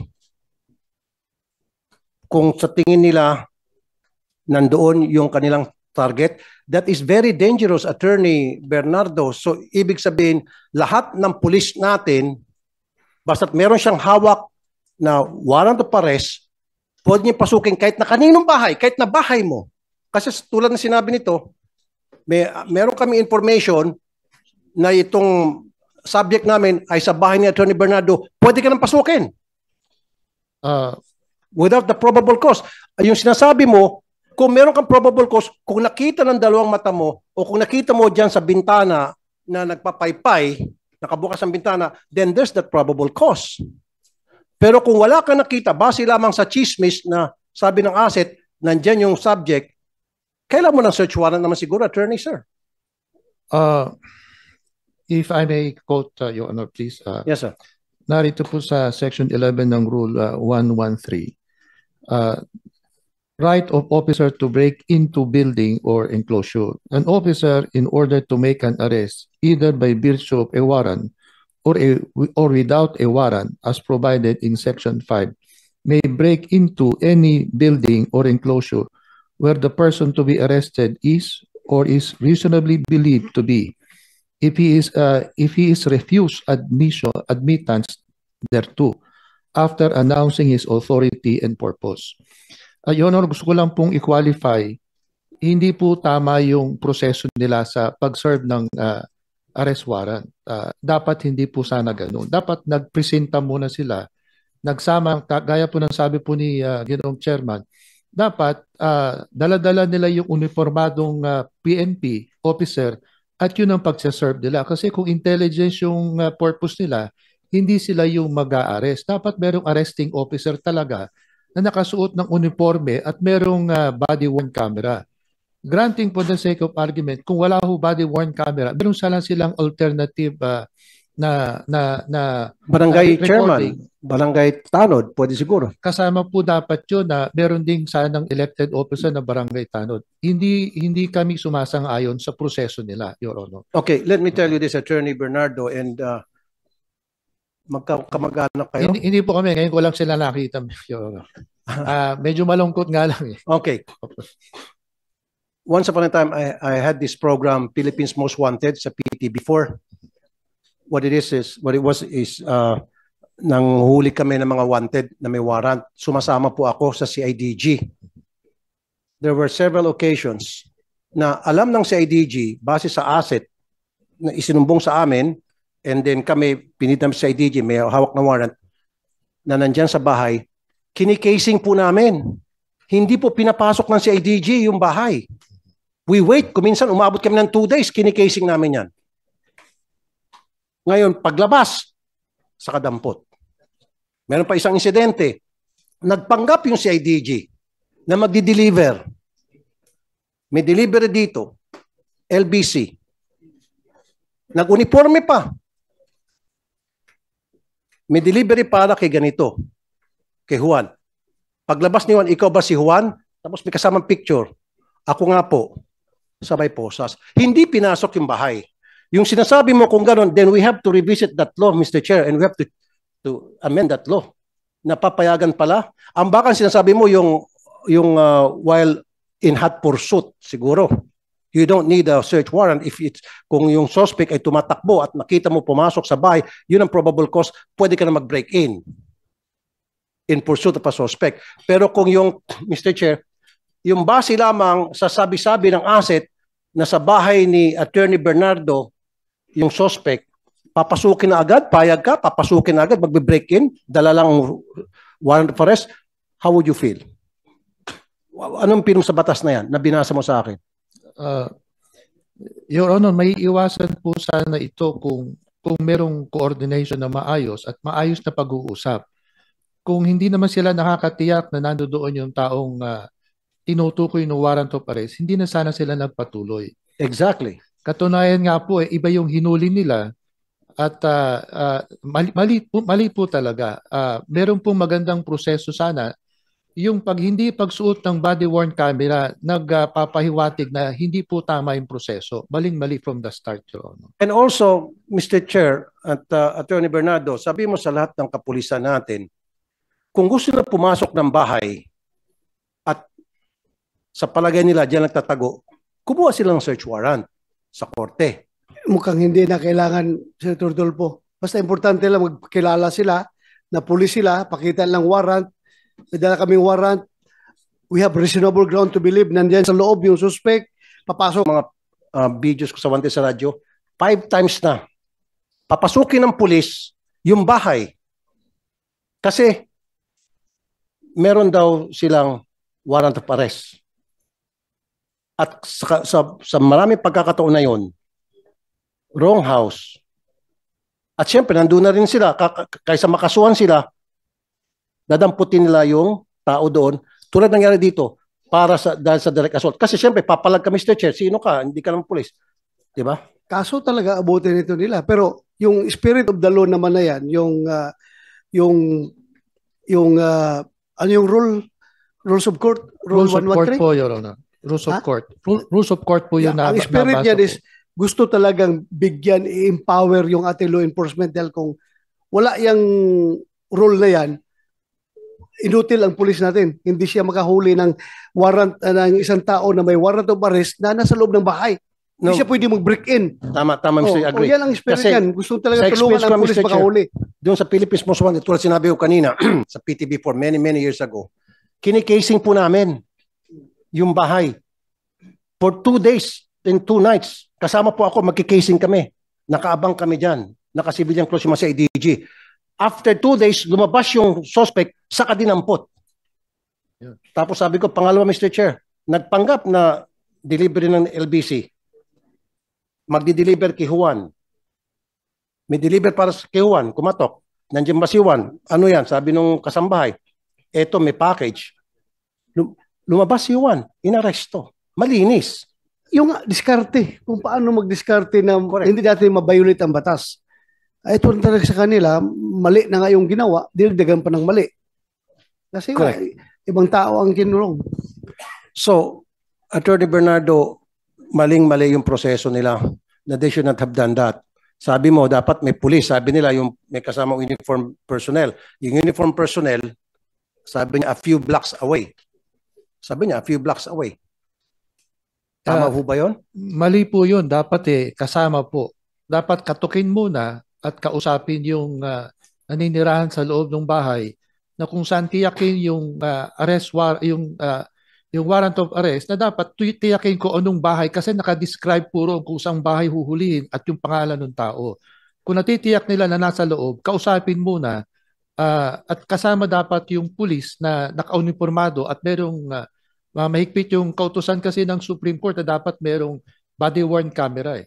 Kung tama po yung proseso, yun, maaari silang paniwalaan. Pero sa, sa una pa lang po, hindi tama eh. Yeah, uh, you're raising your hand. Yeah, ano gusto mo sabihin? Sir, uh, Your Honor, uh, considering the fact po na armed and dangerous yung hinahanap po namin, talagang hindi na po kami makakalapit dyan ng may uniform personnel at mayroon na po kaming history na natakasan po kami nun. And for the information, sir, yung pong target of uh, operation namin na yan ay nahuli na rin po. Diyan din po sa block po na yan, malapit po dyan. Nakakulong na po ngayon, sir. Y- yun nga, naintindihan kita, gusto mo talagang mahuli yung tao na subject of the warrant of arrest. But in doing so, you don't have to violate uh, protocols. You don't have to violate the law. Sinasabi sa ating rules of engagement, sa ating uh, police operational procedure, na dapat may kasama kayong, when you effect the arrest, dapat meron kayo kasamang yung unipermadong police na mag-aresto. Kayo kasi intelligence kayo. You, you should be limiting yourself sa function nyo as intelligence, to gather intelligence, information. Go, doon lang kayo. Pero pag aresto, dapat ang arresting officer, kuha na, yung naka-uniforme na. Eh, so what kung hindi nyo nahuli? Basta wala lang kayong kaso. Di ba? Oh, gustong-gusto nyo mahuli. Binayulit naman nyo yung batas. Binayulit nyo yung police operational procedure. So, mali yun. Intindihan ko kayo. As a pol, mga intel operative, gustong-gusto talaga nyo mahuli. Pero wag naman to the extent, at the expense of uh, violating the police operational procedure. Mali yun. Okay. Mr. Chair, two points lang. Ano. Ito ang binabasa ni kanina ni Napolcom uh, Commissioner. Sabi dito, a police officer in order to make an arrest with or without warrant may break into a building or enclosure where the person to be arrested is or is reasonably believed to be in. Believed. So dito na abuso itong reasonably believed to be. Hindi clearly defined. So pwedeng sabihin all the time ng kahit na sinong police na abusado na I have reason to believe that he is there. So therefore, pwede kong pasukin yan, yung bahay na yan, kahit na wala akong search warrant para arrestuhin si Poncio Pilato. Kasi itong reasonably believe eh. All he has to say is, we have reason to believe. Pasok na dito sa Criminal Procedure Rule number 113 Section 11 na abuso po, Mr. Chair. Yeah, abuso. na, naabuso yan. So, kung sila nag-abuso, mananagot sila. ang siste natin. ng abuso sila, mali yung procedure ng pagpasok nila tulad sabi ni Attorney Bernardo, ang nakulong pa yung biktima. Adding insult to injury, pati yung anak ng biktima na dadalaw lang, pati yung kinulong. And pangatlo, ang nakakainit ng ulo, kinakasuhan itong mag-ama. Sila na nga nagrabyado, sila pa ngayon na may posibilidad na makukulong. Y- yung nga, para klaro tayo, you stand by your word na doon yung hinuli yan sa area. Yes, Your Honor. So tingnan natin itong video ngayon. Kung, nag, kung magsinungaling ka, you are liable. Ha? Under oath ka. You play the video.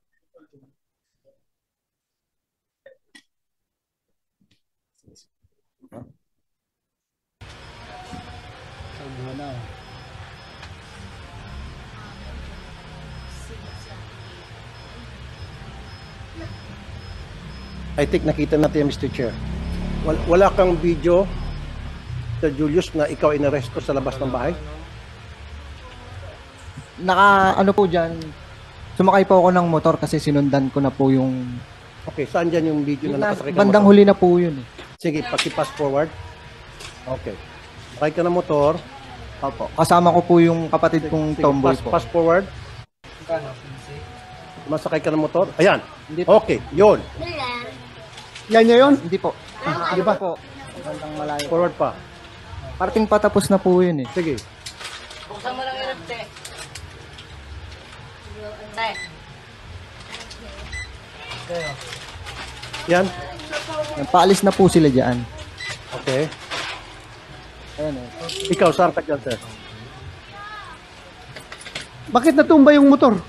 Ano po yun? Kasi kinu kinukuha ng tatay ko yung cellphone na hawak ni Sir Bernardo. Kasi nandun po yung talagang full video na habang Habang pumapasok sila. Habang Sandali, sino yan nagmumotor? Sino yan? Sino yan sa inyo? Si Sir Bernardo po. Bernardo, ah, bakit ka natumba doon yung motor mo? Sir, inassault kaya po nila ako, sir. Kaya po namin sila inaresto, sir. eh. Pangalawang tumba ko na po yan, sir. Hindi naman po nakikita dyan sa video yung umpisa na nangyari at kompletong nangyari, sir. Mr. Pangalawang punta mo na yan? Sir, pangalawang beses na po ako natumba dyan eh. Bakit ka tumba? Yung una nga po yun, sir, yung inassault po nila ako dahil pinipigilan po nila akong makapasok. Actually, wala naman po nakapasok, sir. So yung yung tumba na yun, ano yun? Pangalawang beses na po yan, sir. Kaya nga, ano inassault. tumba yun? Bakit ka natumba? Tinulak po nila ako, sir eh. Tinulak ka? Yes, sir. Sino nagtulak? Sir? Sino nagtulak sa'yo? Yung pong mag-ama, sir. I- I-play mo nga yung video na yan.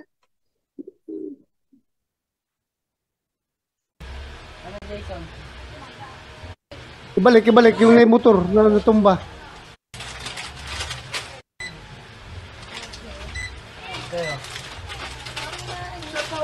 Ikaw yan. Ano? Oh, oh, oh. Sino yun? Sino yung nagtulak sa'yo? Buksan mo rep. Yan po, sir, yung anak po nila, sir. Anak Sila- ni? Ikaw?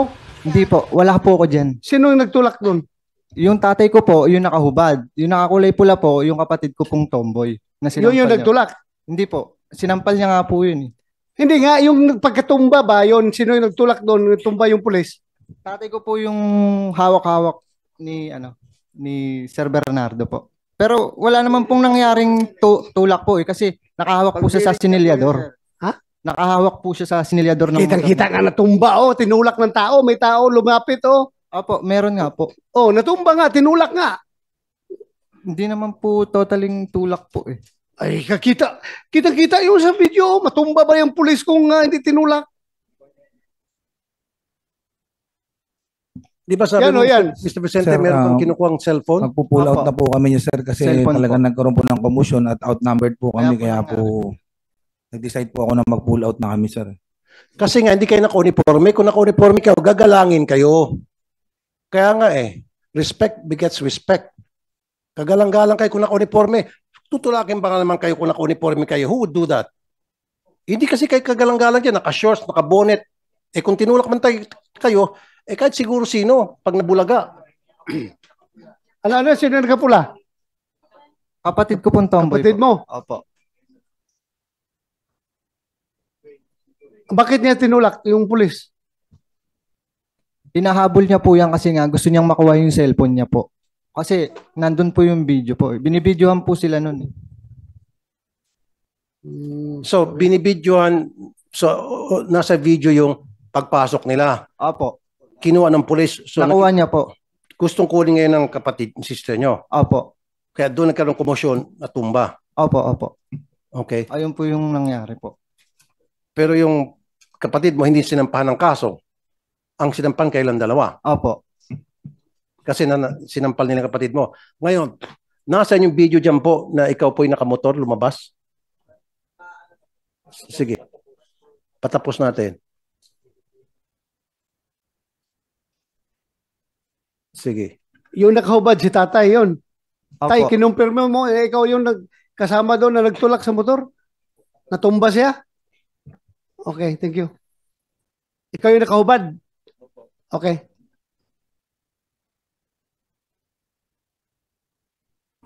Tay, para makasiguro, inaamin mo tinulak mo yung pulis?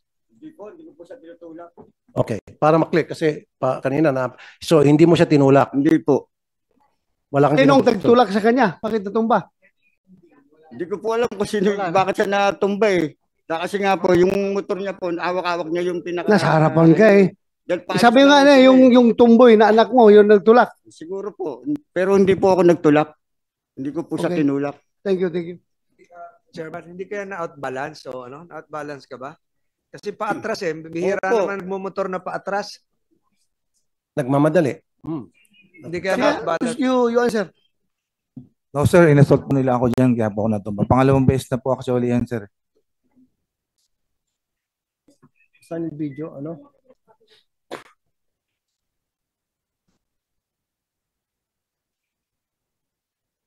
Kasi nga po, going back to sa sinabi ni Attorney Bernardo ng Napolcom, mali kasi yung procedure ninyo. Kung, kung sinunod yung procedure, hindi sana nagkaganon, hindi sana nagkaroon tulakan. Tama ba, Attorney Bernardo? Yes, Your Honor. Tsaka yung yung sinasabing Your Honor na ah, reasonable belief eh yun po yung presentasyon nila sa husgado na nakakatiyak sila base doon sa testigo na kung isa-serve yung warrant of arrest, nandoon yung taong kinaukulan. Ah, iba po yung time lag nung nag-apply ng ng ah, warrant of arrest tsaka yung execution, implementation ng warrant of arrest, iba pa po yun. Kaya dapat eh i-substantiate nila nung araw na nagse-serve sila ng warrant of arrest, ano yung kanilang pinagbabasihan na naniniwala sila na nasa loob ng tahanan yun. Kaya sana patunayan nila kung, yun. kung ako rin na, attorney, yung ako operative, meron akong asset na nagsasabi, positive sir, andyan sa loob, nakita ko. So for me, that's enough reasonable ground to believe na andyan sa loob. Dahil talagang positive yung aking uh, asset eh. For me, for me ha, ako ha, kung ako ang uh, operative, eh, I have enough reasonable ground to believe na andyan sa loob. Kaya pasukin ko ito dahil sabi ng asset ko, sigurado ka, nakita mo, nakita ko siya nasa loob. So, yun ang reasonability ko. Yun po, ah, totoo po yun. ah, kung sa paniwala nila ay nando doon, pero mapapatunayan po yan pagkatapos na mangyari. Tsaka yung proseso. Kasi kung nakaka... Hindi nga mapatunayan dahil negative nga eh. Kaya Wala nga nga- doon sa loob. Kaya nga po eh. Oo. Kung, kung so kung nagkamali kayo, nap- napakadali lang naman. Wala doon ang hinahanap nyo. Pasensya na tang ha, wala dito yung hinahanap namin. Ah, alis na kami. Bakit pinagbibit-bit pa ninyo yung mga, yung tatay, tapos nagbisita doon, kinulong pa ninyo? Bakit ganoon naman? Mr. Chair? Yes. uh, yung reasonably believe na naabuso to. Kasi maraming insidente na halimbawa si Juan galit kay Pedro. May alitan sila, kapitbahay niya. Papapasukin niya sa mga pulis. Kukuha lang dyan ng kung sa, kahit kaninong warrant. Warrant ni Pedro. Papasukin yung bahay ni Juan kasi galit yung asset doon sa kanyang kapitbahay. Harasin. At siyempre, naharas, papalag. Kasi nakasibilyan eh. Direct assault, kulong. Ang daming ganun mga insidente, Mr. Chair. Kaya it's being abused. Abuso nga talaga. Dahil, ah, Reasonably, kasi sabihin nyo, we believe, we have reasons to believe na our suspect is inside that house. based on the statement of the asset.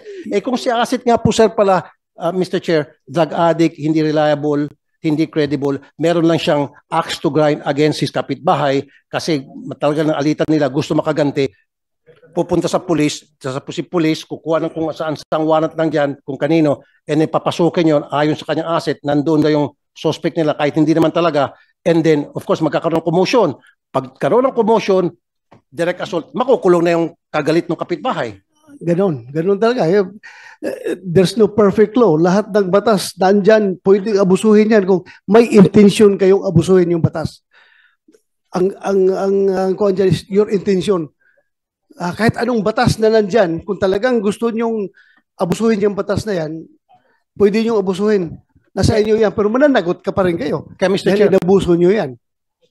Mr. Chair, Yes, siguro sir. pwede natin Yes. palitan yung kanilang procedure. Pwede Kasi siguro. Ang dami Yeah. ng abuso, Mr. Chair. yeah, yeah. Ang dami ng That- abuso. that- that is the reason for this uh, hearing. This is in aid of legislation na makapag-produce tayo ng mga policy uh, uh, modification sa existing ngayon na policy na, na nandyan sa Kaya dapat, Mr. Chair, Gawin natin. It, it should be well defined. Anong ibig sabihin ng reasonably believed? Ano yung, dapat merong precise definition. Kasi kung reasonably believed, very vague, Mr. Chair, eh, pwedeng gamitin nga sa pang-abuso. At ako po, ang isang testigo na ito po'y nagagamit paulit-ulit na paulit-ulit. At ako po'y nagpapasalamat sa mga taga-CIDG many years ago, yung mga kasama ko, ngayon kalamihan sa kanila retired na, na sumunod sa patakaran. Hindi pumapasok ng bahay. Nagkikasing kami. Inaabangan namin nagpapanggap na delivery boy yung police na si IDG. Paglabas sa kanahuli. Yun yun eh. Tama ba Mr. Bernardo? Di ba dapat ganun kasi itong reason na believe na abuso sir eh. So do you, uh, do you agree na dapat ma-change ng PNP yung kanilang operational procedure pertaining to uh, breaking and entering uh, reasonably believe that the, the suspect, the subject of a warrant is inside the house? Ah, kailangan kasi, Your Honor, eh, eh, tama po yung proseso at the start eh. Ah, kung tiyak nila na nasa loob at sundin nila yung proseso, makukuha po nila yung tao eh. Kasi nga, papayagan sila makapasok kung tiyak nilang nasa loob. Kaya, kung hindi naman po tama yung proseso at katunayan, nag-negative nga po, talagang, talagang hindi po tama yung, yung pagkaka-execute ng warrant of arrest. Yes. Thank you, Atty.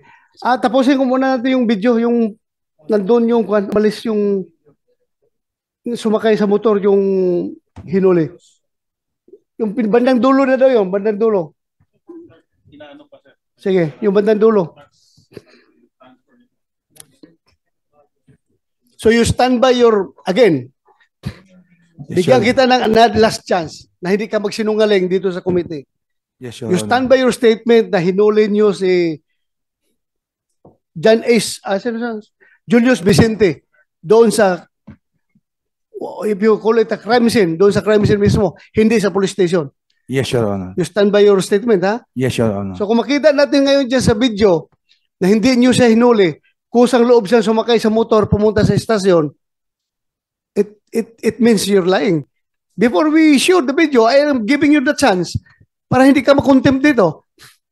Kasi kung ah, hindi mo bawiin yung word mo, makita natin ngayon dyan, you'll be contempt, ah, you'll be cited for contempt dito sa committee nito.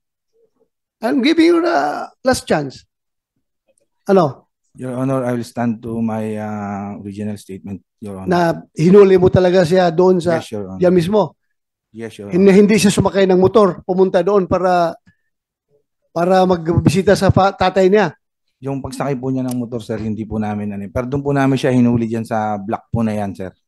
Ay, kung- yun yung nga, controverting evidence nga yun, pagsakay niya ng motor papunta sa estasyon. eh. Eh, Sunod-sunod naman yun, ng events na yun.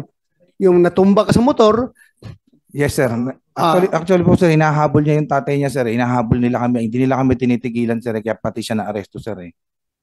so hinahabol, inaristo mo sa crime scene. Hindi doon sa estasyon. Yes, sir. Malapit lang po doon, sir. Ilang meters lang po doon sa site na yan, sir. Kaya site pa rin po, doon pa rin po sa block na yan siya nahuli, sir. eh. Yan pinag-usapan natin sa Okay. site eh. Ganito na lang po. Yan pa rin yung dati. Sige.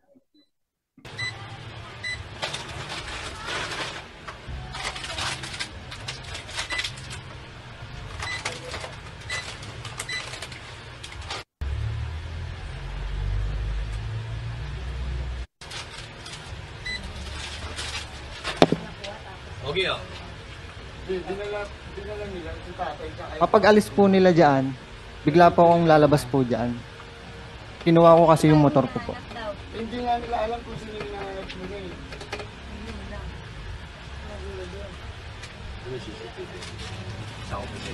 May warrant pa silang dala? Wala. Wala po. Kaya hindi sila makapasok, hindi namin Oo. sila pinapasok. Mga nakamotor lang yun. Eh bakit dinampot si tatay? Ayun nga inan namin, eh, ba't dinampo tapos tapos yung kapatid kong bunso, sinundan. Oo. Pati yun, ginano rin, na rin. Wala namang dahilan, pati pa pa. Alam mo sino pala dadamutin. Sa sumunod naman tayo, no? Sa sumunod sila, ano, Julius. Ngayon daw, pagdating daw ng pande, pinasok din daw. O magkano na yan? 177. 177? Malboro. Malboro, isa. Lupa. Tsaka isang Troy.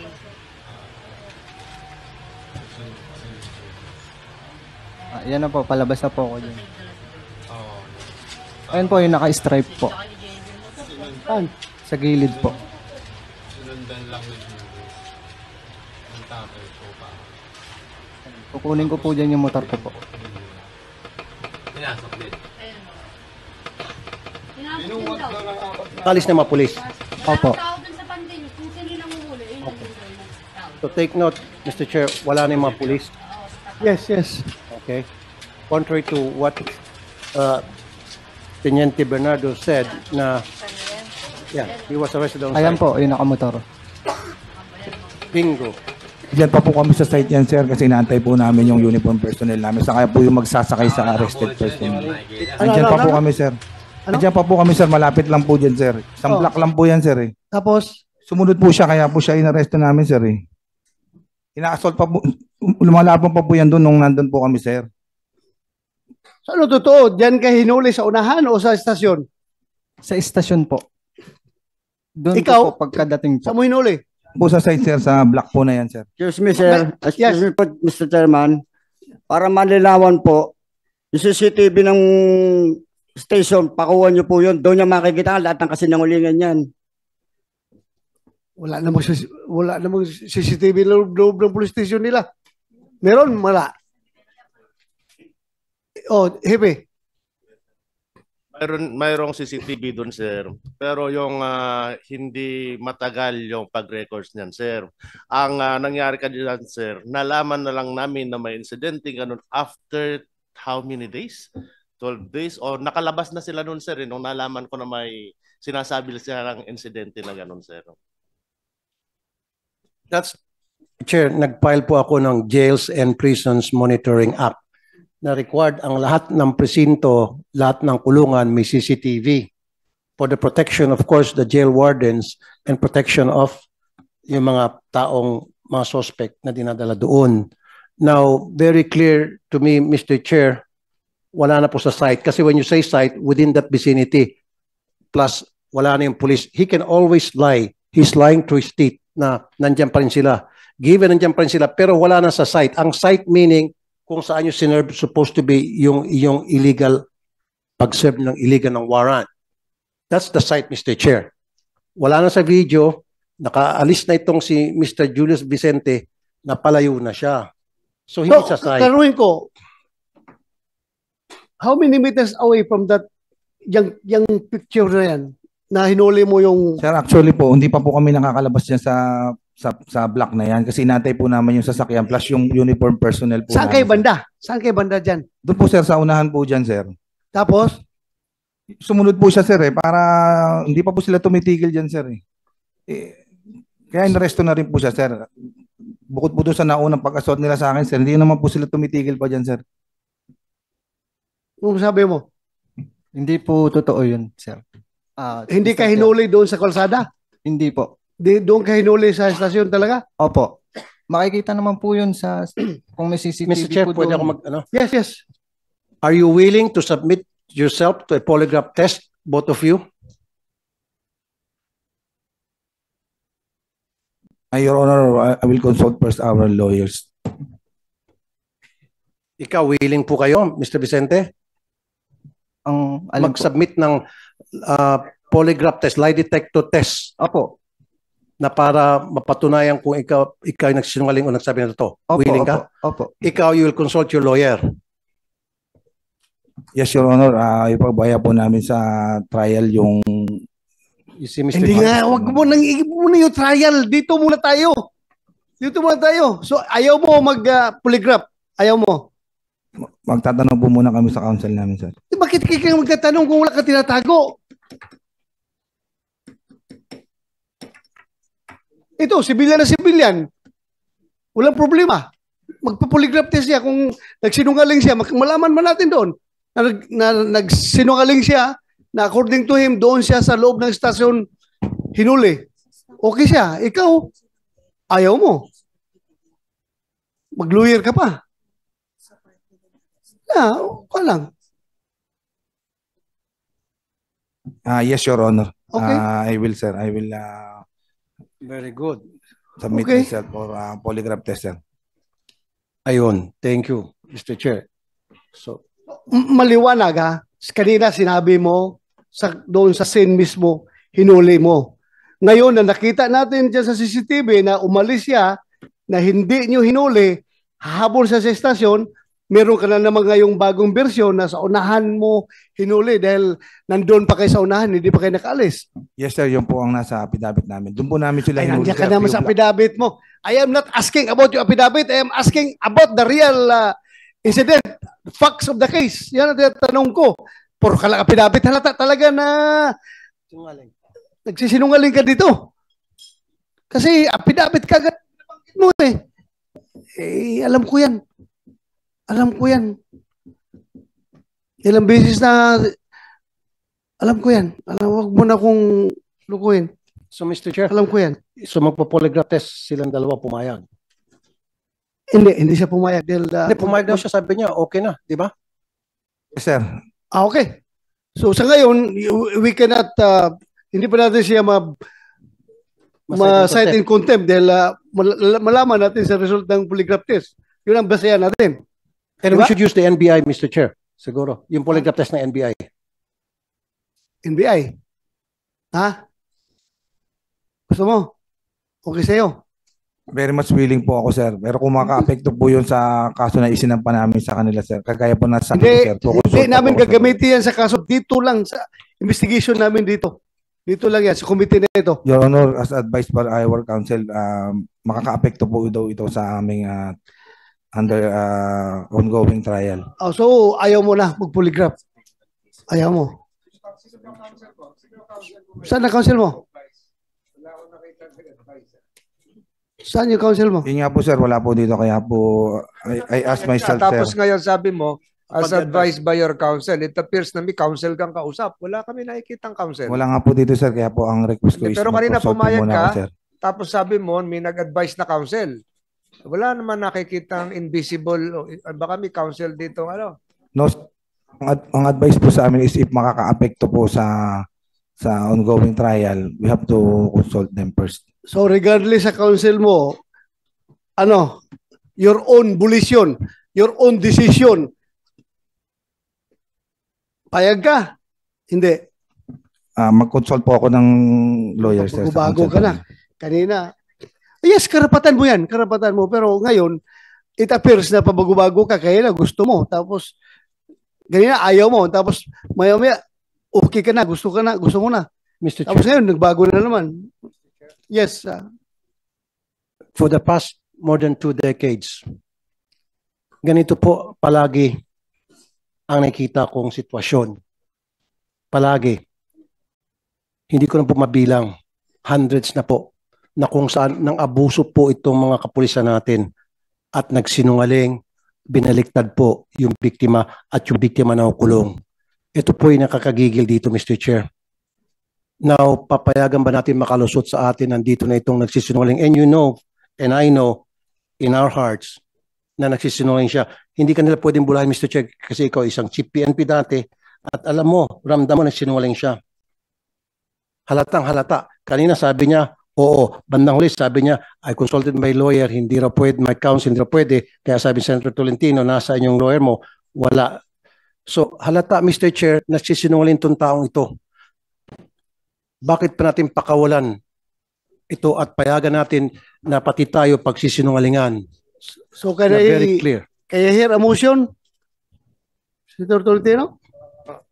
Your Your Honor, uh, I I would uh, heed the inclination of the Honorable Chairman, but complying with the Supreme Court decision and for the record, in Ong versus Senate of the Philippines, it, this is GR 257-401.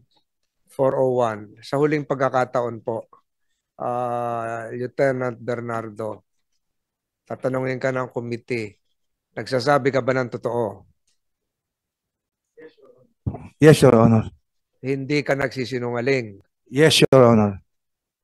At kung napipinto na ngayon ang pagpapataw sa iyo ng isang contempt order ng kumiting ito, pwede mo bang sabihin sa kumiting ito kung bakit hindi ka dapat ma-cite for contempt? Dahil nagsasabi po ako ng totoo, sir.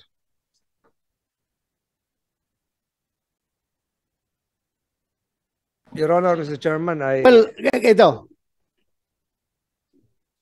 Eh, yung dalawa. Kasama kayo. Do you do you support his statement na hinuli niyo siya doon sa area? Yes, Your Honor. Kasama ka naghuli? Yes, Your Honor. Ikaw? Yes, Your Honor. Saan niyo hinuli? Yung- Tapos yung claim niya sa police station, hindi totoo yun. Hindi po, sir. So tatlo kayo makukontempt dito ha kung nagsinungaling yung tatlo. Madagdagan, imbes isa lang makontempt, kayong dalawa madagdag. Mr. Chair, yayain natin sila ng ano. Kayong dalawa, pa, willing din ba kayo magpa ano, lie detector test? Ikaw muna. Willing ka? Kung ano po yung ano po, sir, ng ano po, sir. Hindi, ikaw lang muna. Hayaan mo siya. Ikaw lang. Willing ka magpa-lie detector test. Kasi willing tong biktima nyo eh. Willing ka? Baka tumingin sa kanya. Ikaw, may sarili kang diskarte. Willing po, willing po, sir. Very good. Good. Yung pangalawa, si Corporal Dicen. Willing ka magpa-lie detector test? Magkukonsulta po muna ako sa abogado namin, Your Honor, para baka maka-apekto po sa isinampa namin din naman. Ito na lang siguro. Wala, wala, ito na lang, ito na lang. Okay, Oh, so, willing ka na. Ititest ka ngayon kung totoo yung sabi mo na sinusuportahan mo yung statement ni Bernardo na hinuli nyo sa area talaga. Ha? Okay. Sa site. Yun ang tatanong sa'yo, okay? Ha? Okay ka? Po, Your Honor. Very good. Yan ang pulis. May bayag. Eh, ito puro... Consult sa lawyer. Si, si, consult pa sa lawyer eh. Kasi magsasabi ka man kaya ng totoo. Ah, nagsasabi ka ng totoo na doon yung hinuli sa area. Okay. Doon sa site. Restri po, pabahay po. Ano po? Sa restri po, sa site po. Sa bahay. Pabahay po, restri. Yun nga. Sa loob sir, kayo galing, di ba? Yes, sir. Saan banda nyo hinuli siya? Doon lang po, sir, sa may bandang una-unahan pa po, sir. Hindi na covered sa CCTV? Hindi po, sir. Sa unahan? Opo, sir. Nagmotor siya? Nung hinuli nyo? Opo, sir. Dahil hinahabol na po yung tatay niya, sir. eh. Ha? Hinahabol niya po yung tatay niya, sir. Hinahabol niya? Gusto niyang bawiin? O ano ang gusto niyang gawin? Nanunulak po siya, sir. Eh. Ha? Gusto niya po, sir, kuha ni tatay niya, sir. Okay. Ba't, ba't kayo tumatawa, Mr. Vicente? Sir Julius? Na- natatawa lang po ako sa mga kasinungalingan po eh. Kayo po, Ma'am po, Maricel? sir, talagang nakakatawa po talaga, sir. As- Ay, pwede mo mag-out kayong dalawa daw. Kayo po kayo. Si, si ma'am lang po. Tapos na po kayo nag-vote. Do you swear to tell the truth, the whole truth, and nothing but the truth in this investigation, ma'am? Thank you. Please take your seat. So, Ma'am Maricel, magka, magkaano-ano kayo ni Julius? Ay, microphone, pag-ion. Bayaw ko po, tsaka po binan ko. Okay. Mag-isang bahay lang po kami. Sige, ano po yung nakita nyo? That time po talaga, sir, yung nangyari po yun, ng around 5.30. Hindi, tapos, tapos na po tayo doon. Awa. Yung, pag, ah, yung paghuli dito kay Wala, Julius. dito po talaga siya hinuli sa presinto, hindi sa bahay namin. Kasi at that time noon, pag huli ng biyanan ko na laki, sabi ng, ng biyanan ko babae, Julius, sundan mo yung tatay mo kung saan dinala, kung nasa presinto po ba. So maya-maya po, sinundan nga po na Julius, pero nakaalis na po sila, sir. Pagpunta po na ng presinto, tinatanong ko ng bayaw ko na kasama pa yung, ano, yung ka-live-in partner ng hipag kong tomboy, tsaka yung tomboy na sinampal po ni Sir Bernardo, Sir, nandiyan po ba tatay ko? Hindi ba nga nila sinasagot yung tanong ng bayaw ko, binit-bit na po nila tong bayaw ko, papasok sa loob na parang ginawa po nilang baboy. Tatlo po ang nagbitbit. Dalawa sa paa, isa sa ano po, dito po sa balikat. Doon po nila hinuli talaga, sir. Hindi po sa area ng resident. Ikaw, sugutin mo. Your Honor, ano po? Totoo yung sasabi niya? Ay. Ha? Po. Kasi yun ang magiging laman ng mga questioning sa polygraph test.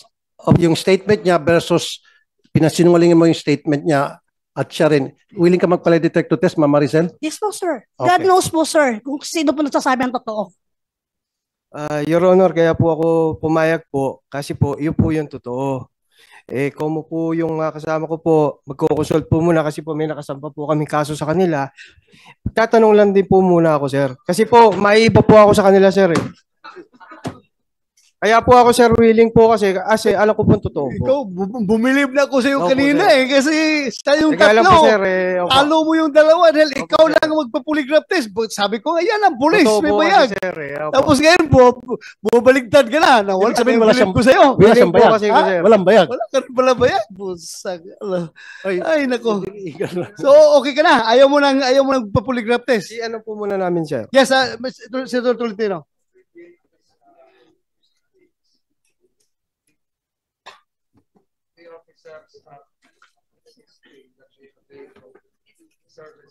Counsel or counsels, the, the committee perhaps can provide them with lawyers now. Ang daming abogado sa legal service.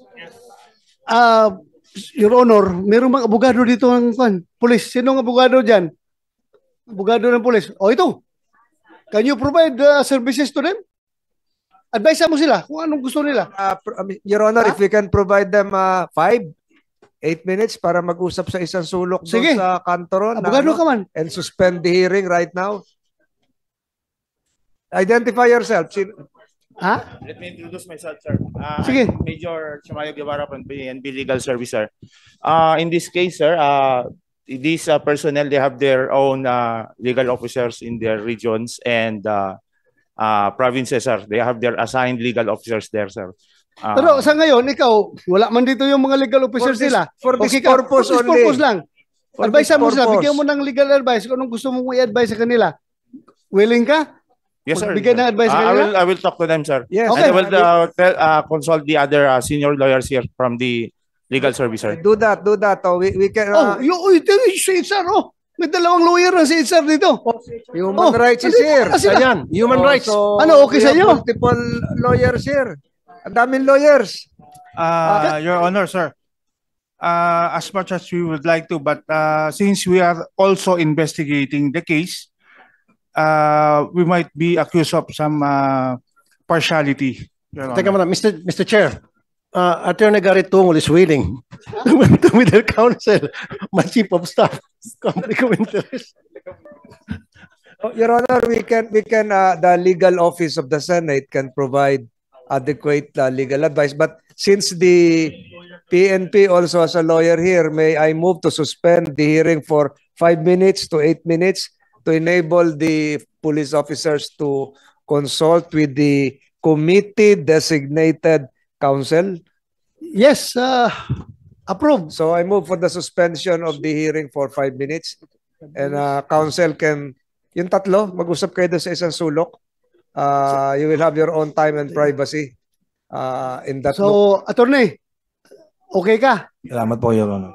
Okay, so the hearing is uh, suspended for five minutes to give way to your legal advice coming from your uh, legal officer. Uh, suspended.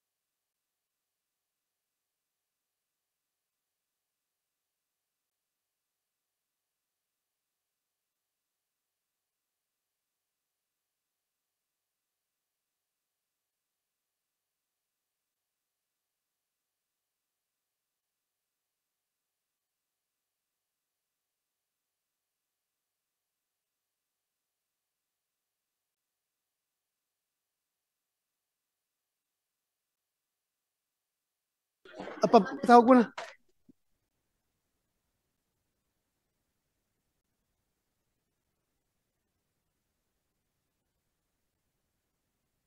Meron pa tayong isang ah, kaso ha. May isang case pa tayo kaya i-resolve muna natin itong ah, current case na on the table. Saan na yung tatlo?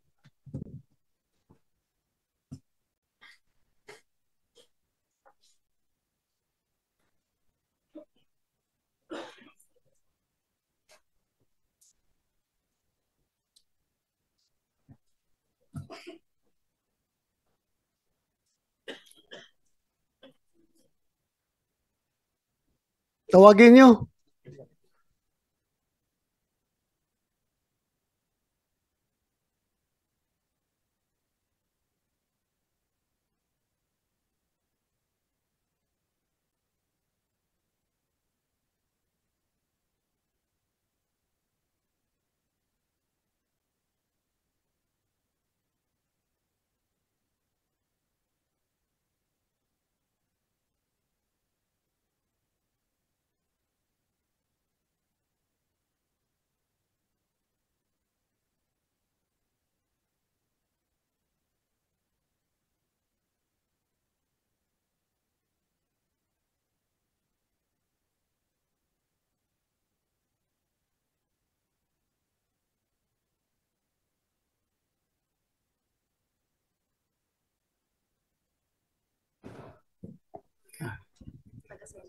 Ah.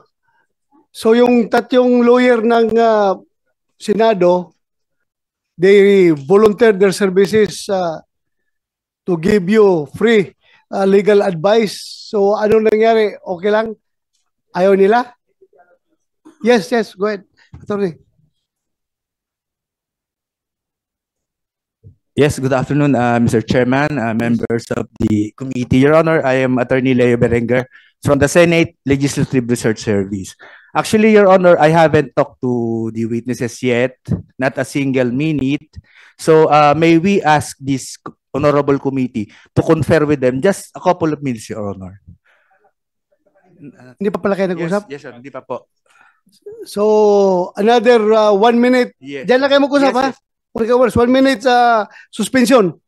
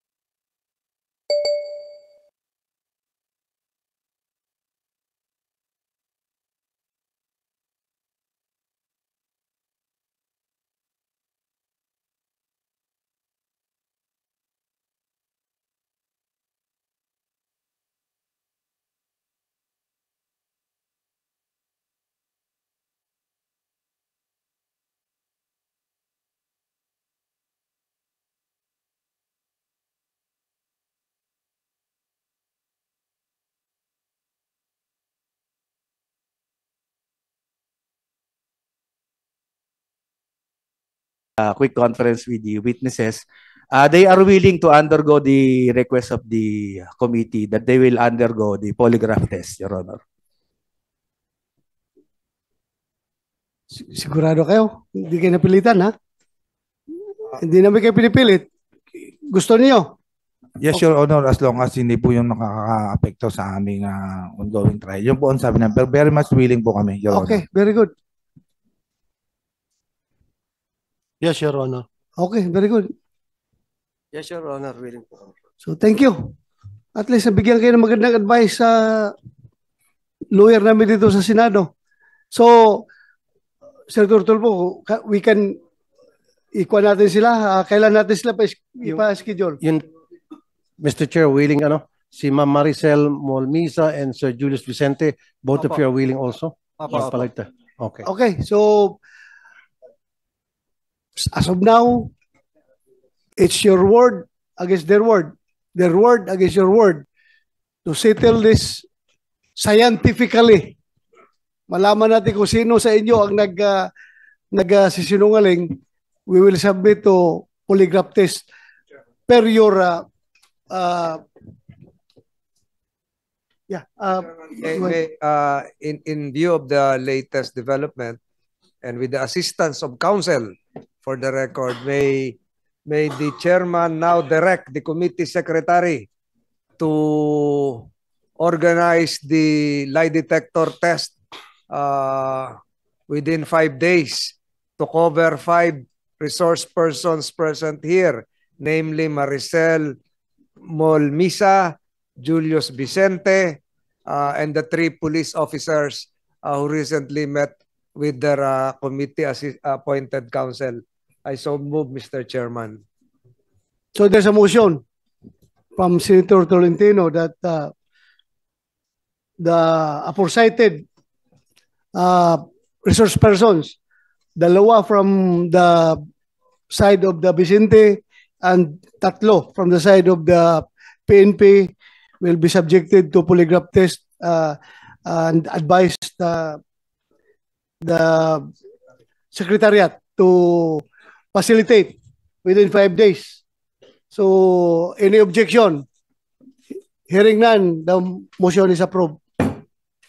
Secret, uh, Comsec, you do the appropriate action. Thank you.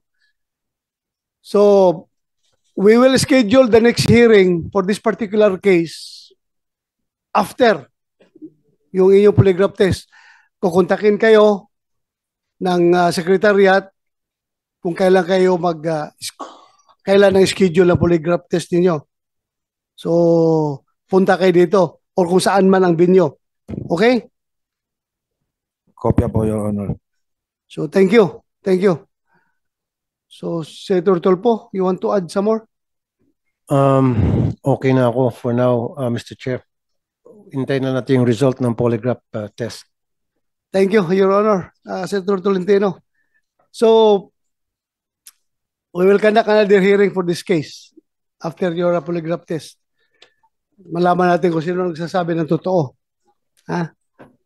So, from here, we proceed to the next case, the John Francis Umpad case. Sinong in charge dito? So, okay na kayo? Saan yung? Sakay ka doon sa sakyan niyo. Baka mamaya magmusyon si si Tolentino na i-contempt kayo. Bilisan niyo. Habang, habang wala pa nag-motion.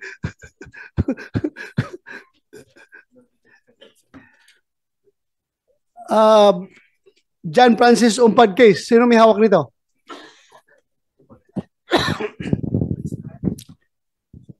Your Honor, under uh, PRO 4A po. PRO 4A. Yes, sir. So, sino magbibrief nito?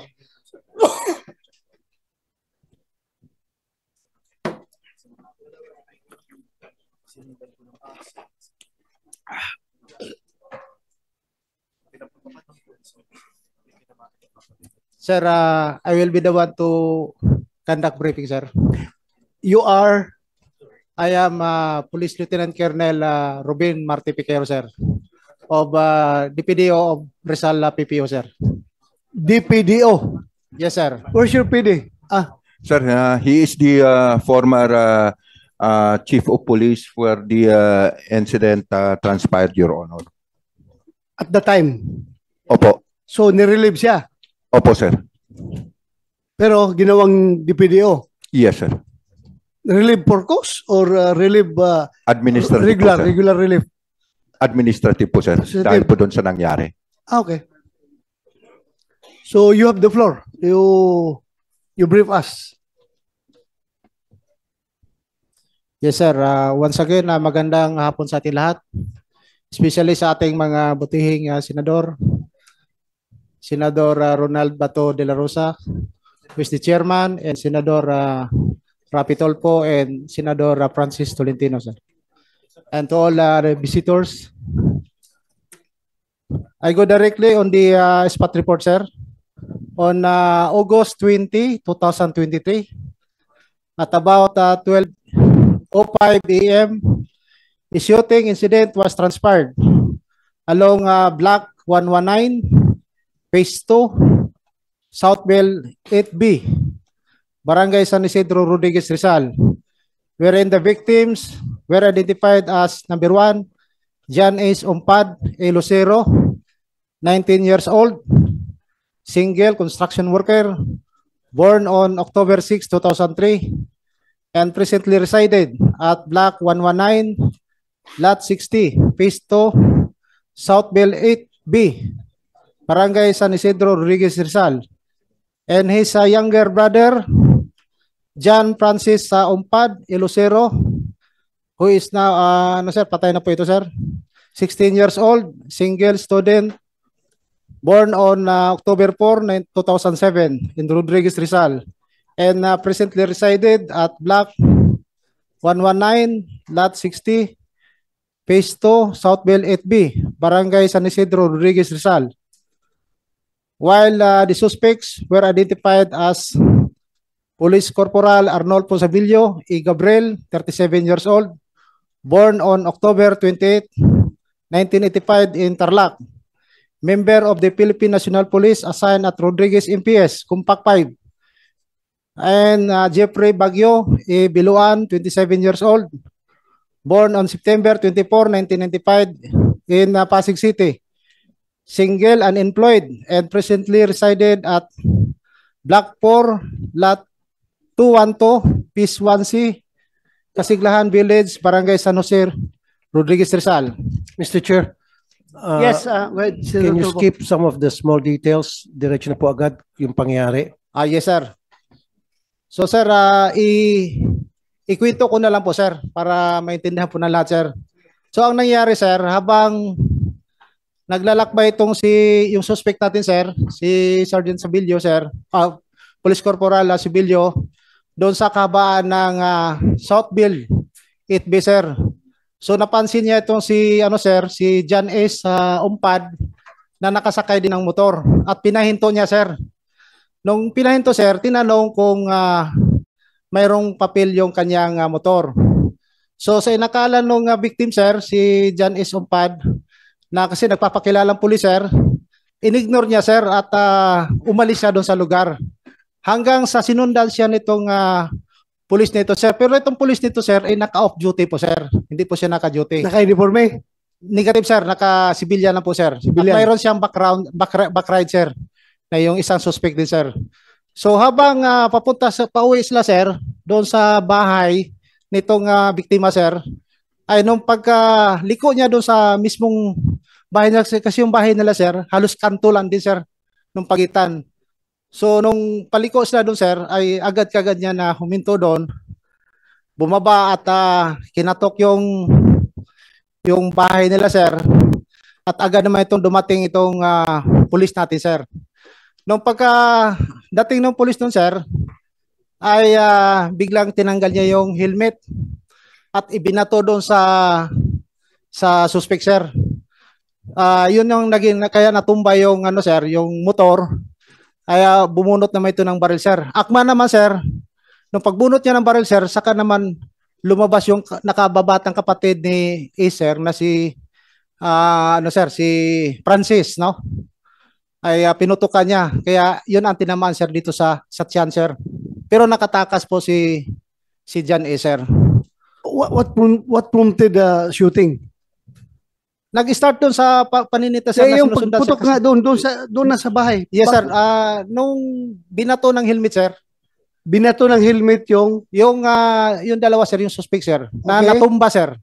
binato ng helmet. Yes sir. Pagbato, Eh nung pagbato sir, di natumba. tumba. Yes sir. No, kaya nung bumangon sir, may binunot na baril. Si, So, according dito kay ano sir, kay John A sir, Yung nagda-drive, sir, which is yung police po natin, sir. Bunot ng baril. Yes, sir. Tapos? pinutukan. So, instead na, kasi sir, nung kinatukan niya, sir, eh, agad naman na bumangon to yung kapatid niya. Siguro tulog kasi mga alas 12 na, sir, eh. Pasado na, sir, eh. Nung lumabas, saka nung pagputok niya, sir, ah, yun ang tinamaan yung kapatid. Yung nakababata niya kapatid, sir, na dito naman tinamaan sa may tiyan, sir. Patay. Dinala pa muna sa hospital, sir. Ah. Tapos ang ah, ano sir, ah, namatay din sa hospital, sir. So, nasaan ito ngayon si Sabilio? Sir, yung ating pong pulis, sir, ay ah, nakadetain po, sir, sa BGMP ng ah, Rodriguez, sir. Nakadetain? Opo, sir. For the case of?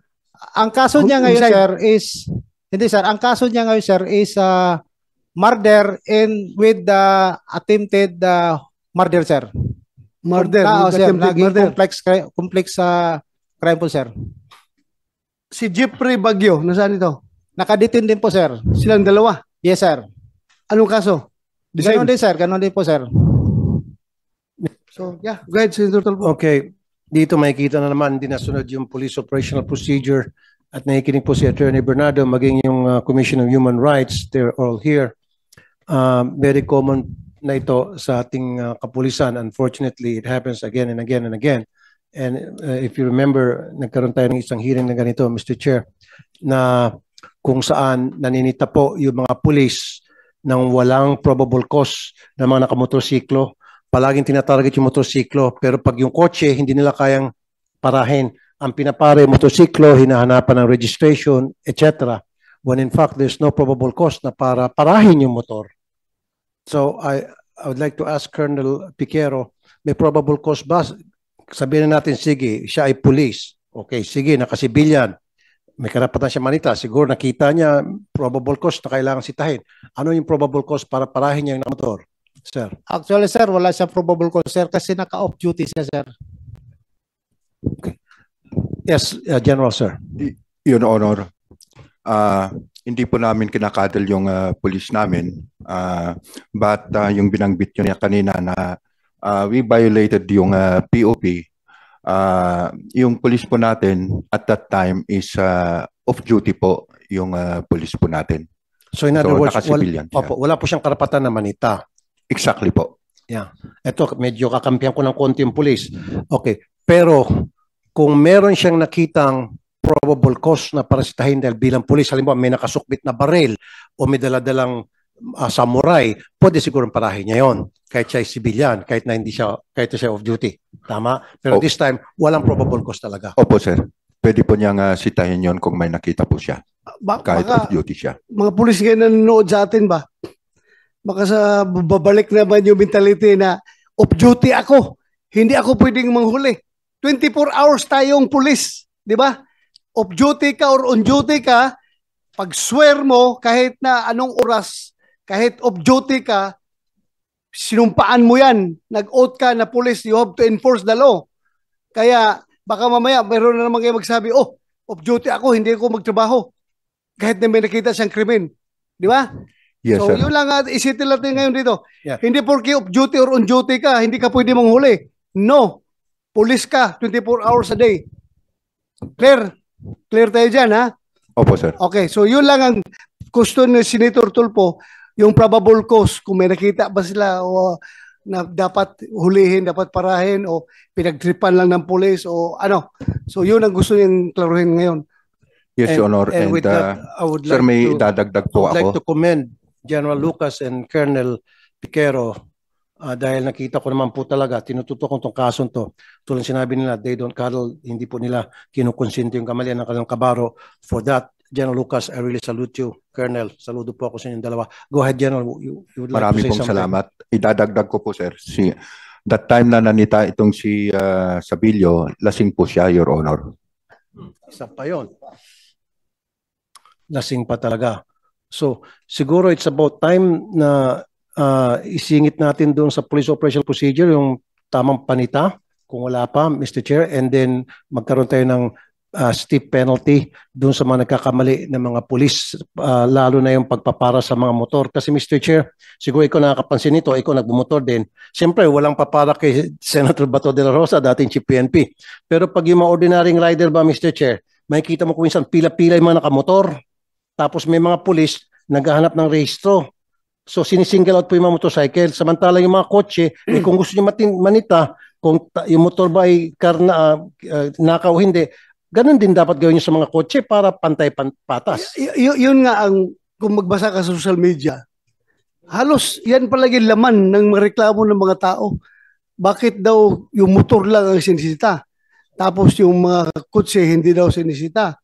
So, ako naman, a- a- ako lang, ang, ang explanation ko lang dyan, sa akin on my part, sabi ko, ah, random yung check nila, ah, random, pinipili lang nila kung sinong gusto lang uh, isita, hindi lang sisita lahat. Pero, sa'yo yan, kung ikaw ay pulis. Pero doon sa ordinaryong civilian, ang sama niyan, very discriminatory ang dating. Di ba? Kasi pareho lang naman kami pwede. Bakit ang four wheels ba hindi pwede mag-commit ng krimen? Baka mas marami pang ah, kontraband ang loob ng kotse na yan dahil kotse yun. Ako, motor lang ako. Bakit ako ang palagi sinisita? So yun ngayon ang hinaing ng mga kababayan natin na nagmumotor. Yeah, go ahead. Your Honor, uh, allow me to answer kung bakit karamihan ng sinisita natin po ay yung mga nakamotor. Based sa statistics, statistics po namin dito sa 4A, karamihan po ng uh, crimes are being perpetrated by uh, motorcycle uh, riding uh, person. So, yun po yung uh, tinututukan natin. Almost 80% po ng crimes. Pero Thank you po. ta- tulad sinabi po, General ni uh, Senator De La Rosa, uh, discriminatory pa rin. Dapat, kung gusto niyo mag-check ng uh, kontrabando o maybe this person is carrying a contraband, eh, mas lalo na sa kotse. Yan sinasabi ko noon pa eh. Di ba? Eh, yung kotse pwede pa magladyan ng M16, M203, di ba? Sa trunk. Eh, samantalang yung motor, hindi. So, dapat, para hindi discriminatory, lahat across the board para hindi po lumilitaw na tayo ay nagdi-discriminate. Napolcom, for the meantime, habang nagpapasa po ako ng bill pertaining to this, can you put a stop to uh, police officers uh, manning checkpoints na ang sinisita lang yung mga motor at yung mga kotse ginugo? Kung magninita sila, lahat dapat para pantay. Be- Before you answer, uh, Attorney Bernardo, I would like to acknowledge the presence of uh, Senator uh, Jingo Estrada. Pasalamat, pasalamat yung tatlo at nakaalis na bago dumating si Senator Jinggoy. Nanganganib yun sila kung dumating ito maaga. Thank you for coming, Your Honor. Thank you. Thank you. Uh, you have the floor, Senator uh, Attorney Bernardo. Ah, salamat Attorney po. Alberto ah, Bernardo ng uh, uh, Napolcom, sir. Thank you po, uh, uh, Yanong Senator.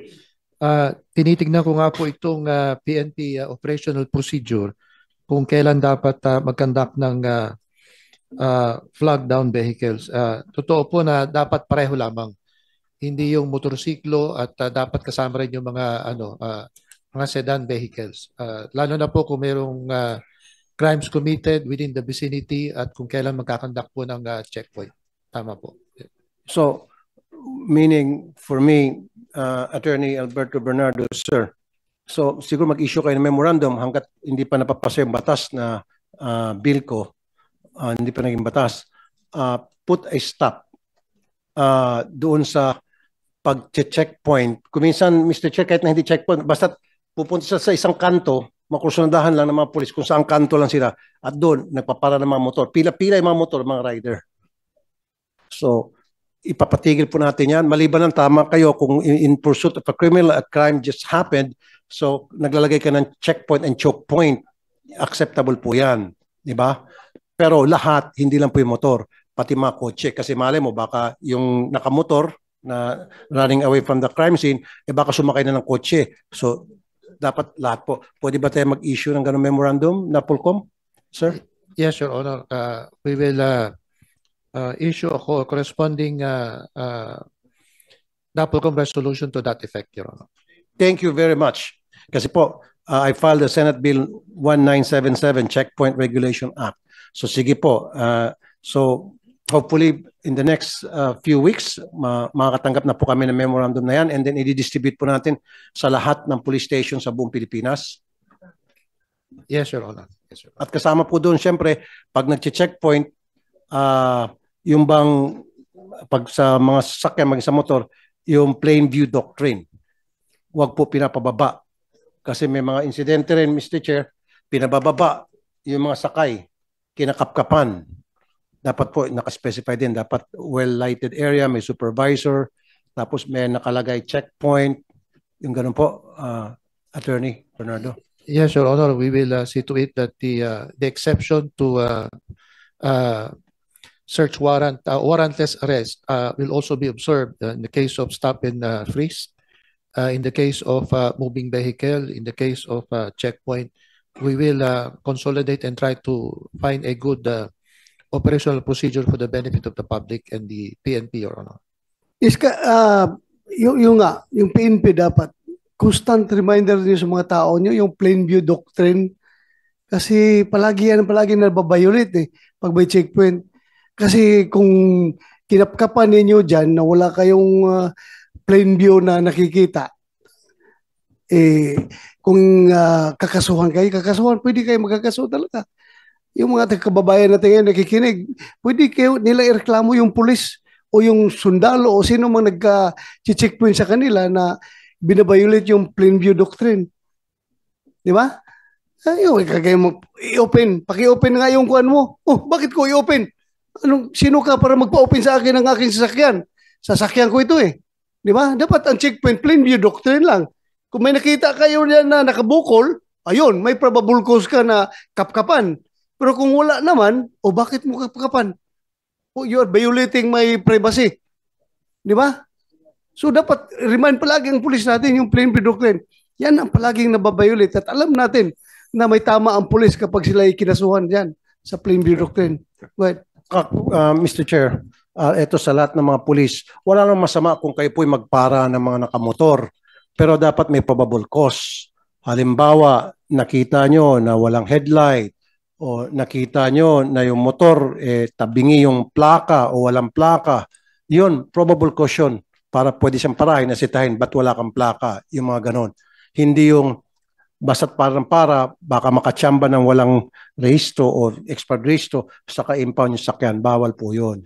So ngayon, rules of engagement, dito malinaw na hindi nasunod yung tinatawag na rules of engagement. Yung mga pulis natin, baril muna sa kapapaliwanag. Dapat, yung mga, kayong mga pulis, gagamitin nyo lang inyong baril kung nakita nyo na yung suspect o yung tao hinahabol ninyo ay armed and dangerous as well kung nakipagbarilan sa inyo. Pag tumatakbo na yung tao, huwag nyo nang habulin. Sa maraming insidente, tumatakbo na po yung suspect o yung tao hinahabol, pinagbabaril pa rin. Wala na, hindi na po nasunod yung rules of engagement. Yun siguro po, uh, Attorney Bernardo, magpasa rin po kayo ng uh, memorandum tungkol dyan uh, na strictly observe yung tinatawag na rules of engagement. Sir. Yes, Your Honor. Uh, we will update uh, re, uh, issuance of the NAPOLCOM and the uh, PNP operational procedure on the matter. Nasa, nasa operational procedure po yan, no, sir? Yes, Your Honor. Uh, Siguro, but just a reminder again, sir, na recently, palaging nangyari na ito, uh, nababiolate na itong rules of engagement, uh, paki-seminar every now and then, and yung mga tauhan nyo to remind them, parang something to that effect, sir. Yes, Your Honor. Nasa rules of uh, police operational procedures natin yan. I don't know what particular uh, uh, section, pero nakalagay talaga yan doon yung graduated use of force. Di ba? Yes, eh bakit mo babarilin yung tao na eh, tinapunan ka lang ng helmet? Babarilin mo na. Di ba? Uh, talagang eh, yung sinabi mo pa, lalasing. Ah, kaya wala sa tamang pag-isip, lasing yung tao. Lasing. Kaya dubli-dubli talagang kaso ng tao na yun. Okay. So, Mr. Chair, isa na lang. Now, sunod is yung Miranda Doctrine. Dapat memorize ng mga pulis nyo yun. Sampulan ko si Police Corporal J. Yim, paki, paki uh, bigkas nga po yung uh, Miranda Doctrine. Uh, uh, you have the right to remain silent. Anything you say might be used and can be used against you in a court of law. You have the right to, uh, to have uh, own counsel of your own choice. If you cannot afford, uh, we, the government will give you one uh, free uh, dapat ma-promote ito. Eh, magaling, investigator eh. Investigator. Kaya alam na alam niya yung uh, Miranda Doctrine. Kasi marami sa mga pulis natin, Mr. Chair, hindi hindi alam. Mabulol siya, diretso-diretso magaling. Hanga ako sa iyo, corporal. talagang ikaw ay ah, isang pulis na alam niya yung trabaho. Ah, si Senator Estrada ata, may gusto sabihin, Senator Jinggoy? Uh, Yes, Senator ah, Tulfo, with the Senator permission Jinggoy. of the chair. Uh, Mr. Chair, nasan si Corporal Sabilio? Ah, Your Honor, nakakulong po siya. Ah, nakakulong? Opo. Ah, bakit siya nakakulong? Because of this incident? Yes, Your Honor. Alright. Uh, si, si John Ace, ah? John Francis, uh, John Francis. Ay, yung John Ace. Umpad? Okay, natanong na siya. Pwede, pwede ba? Hindi pa mong natanong. I-describe sa amin yung kung ano yung pangyayari. Una po muna nun, kinuha ko po yung sahod ko dun sa katrabaho ko sa Eastwood. Tapos yung pauwi na po ako, banda sa may talipapa sa elementary. Doon ko na po napansin na Saan ito? Saan sinusundan ito? po Saan nila ito? ako. Sa may talipapa po muna nag-umpisa sa Saan San nga? Anong Isidro. bayan to? Ano? Barangay San Isidro po. Saan nga yan? San Isidro Rodriguez Rizal. Ah, Rodriguez, okay. Tapos yung pababa na po ako, sinisitsitan po nila ako, di ko po sila pinapansin. Sinisitsitan ka nila sa Bilyo? Opo. Nakamotor din po sila. May eh. kasama si Sabilio? Opo, civilian. Na, may bag po na itim. Yung, yung si Sabilio nakamotorsiklo? Opo. Naka-uniforme? Hindi po, Ah, hindi siya naka-uniforme? Opo. Oh. Tapos yung napantayan na po nila ako, tinanong po ako ng driver, sabi, Boy, taga saan ka? Sabi ko, taga dyan lang po ako sa tulay. Tapos sabi niya, Sino nagtanong sa'yo? Yung driver po na si Sabilio. Oh. Alam mong pulis siya, hindi, hindi pa? Hindi po. Hmm. Ang sabi niya po sa akin, pulis ako, asan yung papel mo? Hindi ko naman na po inisip na pulis sila eh, kasi mga nakainom po tapos nakasibilyan. Kaya pinatakbo po ng mabilis yung motor. Okay. Hinabol ka? Opo. Pagdating ko po sa bahay, pagbaba ko po ng motor, kumatok po ako sa pinto. Mabilis din po yung paghinto nila sa kanto namin eh. Yung napansin ko pong may binubunot na baril yung back ride, dun ko na po hinubad ng mabilis yung helmet ko para iamba ng pagbato. Na-identify ba kung sino yung, na, yung kasama ni Sabilio? Opo. Parehas, Na-identify? parehas na po sila nakakulong. Ah, okay. Pulis din, hindi? Civilian lang po. Hmm. Tapos yung pagbabad ko po ng helmet, napaabante po konti yung motor nila kasi nakasagabal po yung bag niya sa likod eh, di niya po mahugot agad. Kaya yung malapit na po ako sa kanila kasi lalapitan ko sila, pinaandar na po, doon ko po binato yung helmet, saka po sila tumumba. Yung pagdapli sa back, back ride. Tapos pag angat po ng ng driver, doon ko na po napansin na bumunot na po ng barrel saka ako pinagpapaputukan. Tumakbo na po ako. Pagdating ko po sa may harap ng bahay namin, sumigaw na po ako na wala nang lalabas, tatakbo na po ako. Tapos nagtago lang po ako sa halamanan ng kapitbahay namin. After two minutes po, bumalik ako sa bahay. Doon ko na po nalaman na may tama na po yung isa kong kapatid na si John Francis. Nine years old lang tong kapatid mo? 15. Ah, 15 years old lang? Apo. Okay. Tapos? Doon na po, tinakbo na po nila sa ospital. Kasama yung kuya ko. Okay. Uh, General Lucas, ano ba ibig sabihin ng oplansita? Meron ba talaga kayong oplansita? Opo, sir. Kasama, kasama po yan sa programang... ah, Anong ginagawa ni Sabilio dun sa site? Ah, yun, Honor. Ah, first of all, ah, sa insidente na yan, ah, si Sergeant ah, Sabilio acted on his personal capacity in the sense na he is off duty.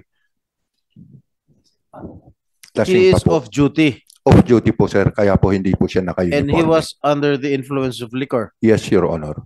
All right. So, Antimano, kinasuhan ninyo. Sino bumaril, uh, John Ace? Yung Sabilio? O yung civilian na sa likod? Yung si Sabilio po. Si Sabilio? Opo. Hmm. Opo, sir. Kinasuhan po namin. Did But, he ah, admit did he admit to the crime? Ito si Sabilio. Sino yung investigador? Inamin ba niya na pinutukan niya itong ah, ano? Si John May I- Ace pero tinamaan si John Your Honor, Francis? may I ask the investigator to answer the question? Your Honor, I'm uh, Police Staff Sergeant Kakachan, investigator case. Ah, Sino mas mataas sa inyo ni Cabillo sa rango in terms of rank? Sir. Mas mataas ka? Ikaw investigador? Sir. Hmm. So, uh, Corporal Sabilio, sir, uh, did not admit, sir. Uh, Ano, ano? of- Uh, Corporal Sabilio did not admit the crime, sir. Did not ad- did not admit Yes, sir. that he committed the crime. Yes, sir. Correct? Yes, sir. Or what charges did you file against him? Uh, we filed, sir, a homicide and then uh, attempted homicide, sir. Homicide. So what is the status of the case? Saan siya nakakulong? Sir, nasa BGMP po ng ah, Rizal, Your Honor. Mhm. Okay, i- i- explain to me what is this Oplancita? Senator Jinggoy, if I may, homicide ba o murder? Kinaso nyo? Sabi mo kayo na murder. Dito, Yes, sir. Ah, ang ipinail namin, sir, is ah, attempted homicide and ah, homicide, sir. However, sir, during the process of the ah, case, sir, doon sa prosecutor's officer, ginawa nilang ano, sir? Inelevate ng Inelevate nila doon sa In-upgrade, yes, sir. in-upgrade. Murder. Yes, sir. In-upgrade sa murder. Yes, sir. Okay. So hindi na homicide. Yes, sir. So the prosecutor's office upgraded it to to Sige, murder. Yes, sir. All right. Senator Jinggoy? So that is no bail. Yes, sir. Walang bail. Senator Jinggoy? Pwede, pwede, sila. Senator Yes, sir, Jinggoy, mabilis lang. Para hindi mabasura yung kaso basta-basta, anong ebidensya meron kayo? Kasi dinideny niya, eh. he didn't admit to the crime, right? Anong ebidensya meron kayo para siya ay madiin ninyo? Presenta niyo po sa korte. What are the pieces of evidence? Uh, uh, uh, magandang hapon, sir. Corporal Lim, sir. Yes, uh, sir, during the conduct of investigation, sir, uh, yung firearms po ni Corporal Sabilio na recover namin. Then naka-recover din po kami ng tatlong basyo which is nag-match po sa barrel ni Sabilio po. Anong gamit na baril? Uh, Taurus 9mm po. Taurus? Yes po. Nag-positive po yung So uh, nag-match yung shell dun sa Ye- baril. Yes, sir. Although sir nag ah, negative sila sa paraffin sir pero nag-match yung baril niya dun sa na-recover naming ebidensya dun sa scene. Kailan nyo pinaraffin test? Ah, during that time din sir, ah Bakit nag-negative kung siya bumaril? ah, di s- sir, i- Bakit nag-negative ang paraffin test kung siya talaga ang bumaril? Sir? Kasi, Crime Mr. Lab, Chair, akan, you answer Crime Lab. Forensic Group, sir. Yeah. Sir, Police uh, Colonel Pierre Paul Carpio of, of Forensic 4A. Sir, actually, sir, ang significant findings natin dito is yung matching at identification ng firearms. So, nag-positive naman, sir, yung firearms ni Sabilio, yung Taurus niya, sir, doon sa tatlong fired cartridge. Yang tanong nga, Ngayon, bakit, sir, bakit nag- nagpasit, doon naman nag-negative? sa gunpowder residue, Yeah. nag-negative siya, sir. Kaya lang, yun naman talaga, sir, ang ang uh, kwan ng gunpowder residue. Minsan, sir, talaga, may mga findings kaya siya negative, such as factor, sir, nung revolver versus yung uh, uh, 1911, mas maraming nagpapositive sa sa revolver. or after a few days na nangyari yung pagpaparaffin test? It is possible also, Hindi, sir. ang sabi kasi ni Police uh, Corporal, uh, on the spot, nag-paraffin test kayo, di ba? On that same day? Ah, yes, sir. Oh. on the spot. Okay. Sir, if I may, uh, we have also our chemist here that is uh, very much uh, capable of uh, answering the questions with regards Yung to... forensic chemist dyan, ang alam na alam Yes, mag-explain. sir. kung ano mga factors Your Honor, na... if I may, uh, Yeah. Police Major Rosales, sir. Eh, simple lang naman yung tanong ko. I am not a uh, scientist or uh, I am not a chemist. Uh, di ba usually, ang sabi ni Corporal Jmar, nag-negative siya sa paraffin test. At isinagawa yung paraffin test at on the same day. How many hours after the incident, after the crime? Isinagawa yung paraffin test. On that day, sir, eh, na Yes, I know on that day. Ano oras ba nangyari? ah, Yung krimen? madaling araw po, sir. Madaling araw. Ano oras nga madaling araw? Ah, past 12 na po. Past Yun, 12. O, kailan nyo isinagawa ang paraffin? Ah, hapon na po ata yun, sir. Hapon? Kinabukasan? Ah, hindi po on that day, sir. Bali, Ano oras ba nangyari? Alas, sabi mo madaling araw? Ah, sir, ah, 12:05 sir. In the Nag-start morning? yung insidente sir in the morning In sir. the morning. Okay, what time did you con- di, did you administer the paraffin test? Um, sir, I received the paraffin request at 12:40 in the morning of August 21, sir. So roughly more than 24 hours, sir. Oh, eh, wala na talaga. Mag-negative na talaga yan. You told me on the same day. Ano ba? Sinabi mo parehong araw. Eh, sabi ni, ni chemist after 24 hours. It's not, that is not the same day. Sinabi mo parehong araw. Ha, Jemar? Ah, yes, sir. Ah, ay, sorry sir, sa tagal na kasi ng, ano, sir, nang nangyari, sir. Ha? Sa tagal na po na nangyari, sir, ah, medyo hindi ko na po naalala, sir, yung date, sir. Pero I know, sir, na... Alam mo, pag nagsisinungan ka rito, ma, ikaw mauna rito makukulong. Ano ba talaga? Ah, 21, 21 na, sir. 21 na po. Ano 21? Ah, August 21 po, Your Honor. Kailan ba nangyari ito yung insidente? August? August 20 po, Your Honor. August 20? Yes, sir. You received, madam? At 12:40 in the morning of August 21, 2023, Your Honor. So August 20 nangyari ang krimen. So that is 24 hours in the morning. Yes, Your Honor. Usually, pag one day, ang kinundak ng paraffin test, mawawala na yung residue, Um, powder residue. The gunpowder residues can be detected up to 72 hours, Your Honor. 72 hours. Or three Oh. days, Your Honor. Alright. Ito, one day lang. Bakit, bakit na ang findings Ah, negative? yes, Your Honor. A negative result of the paraffin does not mean that the subject did not fire a gun because the uh, presence of gunpowder nitrates is affected by several factors, sir. Like the type of caliber used. Um, between po sa revolver and sa pistol, mas malaki po ang chance na mag-positive yung revolver dahil um, separate po yung mga parts niya. So yung leakage po ng gunpowder residue, mas malaki yung chance na ma-deposit sa kamay. Another factor po ay yung mga wind direction. Kung ang wind direction po ng time na yon ay away sa shooter, so hindi po talaga magde-deposit sa kamay niya. So kung papunta naman po sa shooter ang ang direction ng wind, most likely magpa-positive po siya. Another factor po is the direction of firing.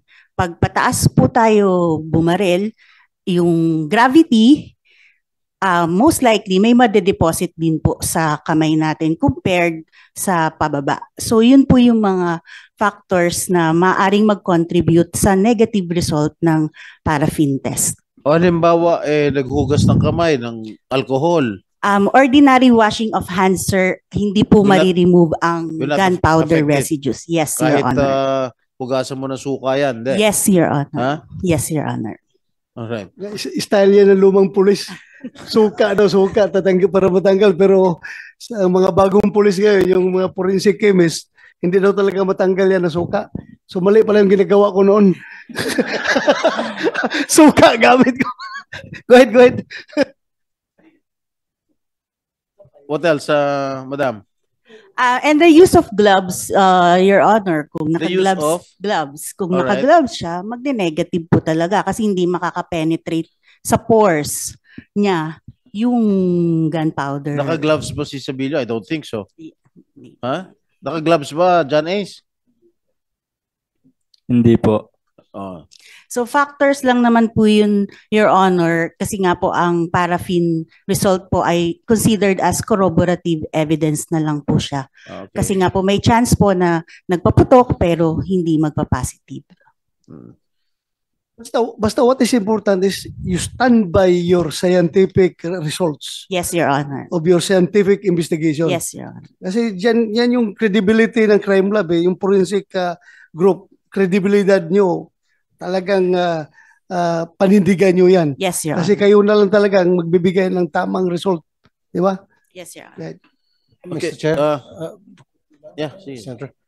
Ang kagandahan po dito sa kasong ito, naging swift yung aksyon ng ating PNP unlike dun sa mga ibang kasong na-handle natin, na-handle ko po sa programa ko. Dito very swift, agad-agad, within 24 hours, or 24-hour period na nakuha na agad ng paraffin test at uh, yung forensic and all hanggang sa nakakulong na ngayon yung mga suspect. Kaya nga I really commend yung uh, PNP uh, Region 4A. Job well done. Job well done, really, gentlemen. Your Honor, isa pa pong ah, napakagandang nangyari dito. Sa isa pa Yung- pang singit. Kasi hindi, hindi porket kabaro nila, binibaby nila. Unlike dun sa mga previous cases, ito kahit nakabaro nila, tinuluyan talaga. Thank you. Yung ah, biktima po, ah, yung namatay, pulis po natin ang nagtakbo sa ospital, Your Honor. Thank you. Ma, uh, Mr. Chair, may tanong ko lang general, no? Ang sabi niyo kanina, si Sabilio, si Sabilio off duty. Correct? At Yes, Your Honor. naka-civilian. Ano ba inamin niya? Pwede bang manghuli siya kahit off duty siya o naka-civilian siya? Bigla na lang siya maninita ng ah, ng isang inosenteng ah, nagmumotor lang? At, hina- at hinihinga ng ng papeles? Rehistro ba ng motorsiklo mo, John Ace? Apo. Ano ang ano bak what prompted him to ask for the registration certificate of the motorcycle of of John Ace? Your Honor, uh, please allow me to answer the first uh, question kung uh, pwede ba siya. First, kung hindi sana po siya lasing kahit off duty siya, pwede po siyang manghuli pa, pa basta merong probable cause na manghuli siya. Uh, yung uh, second po, yung uh, binanggit nyo is uh, at that time po kasi lasing po siya nung nangyari yung incidenting yan. So dahil siguro po sa kalasingan, kaya niya nagawa po yan, Your Honor. Wala ba kayong mga measures sa mga pulis na ah, kahit off duty na nakainom at pwedeng manghuli? Ganun ba 'yun? Uh, Your Honor, bawal po, bawal pong uh, mag-duty first. Bawal pong mag-duty pag uh, nakainom o lasing yung uh, Oh, ito, police. ito off duty. Pinapayagan ninyo na manghuli. Ito pong uh, off-duty, ang ginawa po natin dito is uh, hindi po natin uh, pinayagang uh, maglasing yung uh, police nila sa labas ng uh, bahay. And uh, ang ginawa po nating isa is inayos natin yung pag-duty ng uh, mga police in such a way na hindi masyadong mahaba yung pagpapahinga nila. Kasi nga kung uh, minsan yung mahabang pagpapahinga nila, yun yung uh, dahilan kung bakit sila nagiinom sa malayo in pag-uwi nila, lasing po sila, Your Honor. So aside from murder, ano pa yung kinaso? Wala na? Yun lang po sir, yung ah, attempted ah, murder sir. Attempted murder. Dahil dito kay John A. sir na binaril na hindi tinamaan. Kasi ang tuma yung bala sir tumama doon sa nakababata niya kapatid sir. eh. Yun ang namatay sir. Kaya complex crime po yung na-file sa kanila sir. Okay, after this incident, uh, General, what measures have uh, you under have you undertaken to uh, to prevent a similar incident from happening? Una nga po, ah, binigyan natin yung babala ng mga kapulisan natin ng ah, warning dun sa mga off-duty na police na instead na pupunta kung saan-saan is diretso na po sa kanilang ah, bahay and yung ah, pag off-duty po nila is ah, naging ah, maiksi na lang po.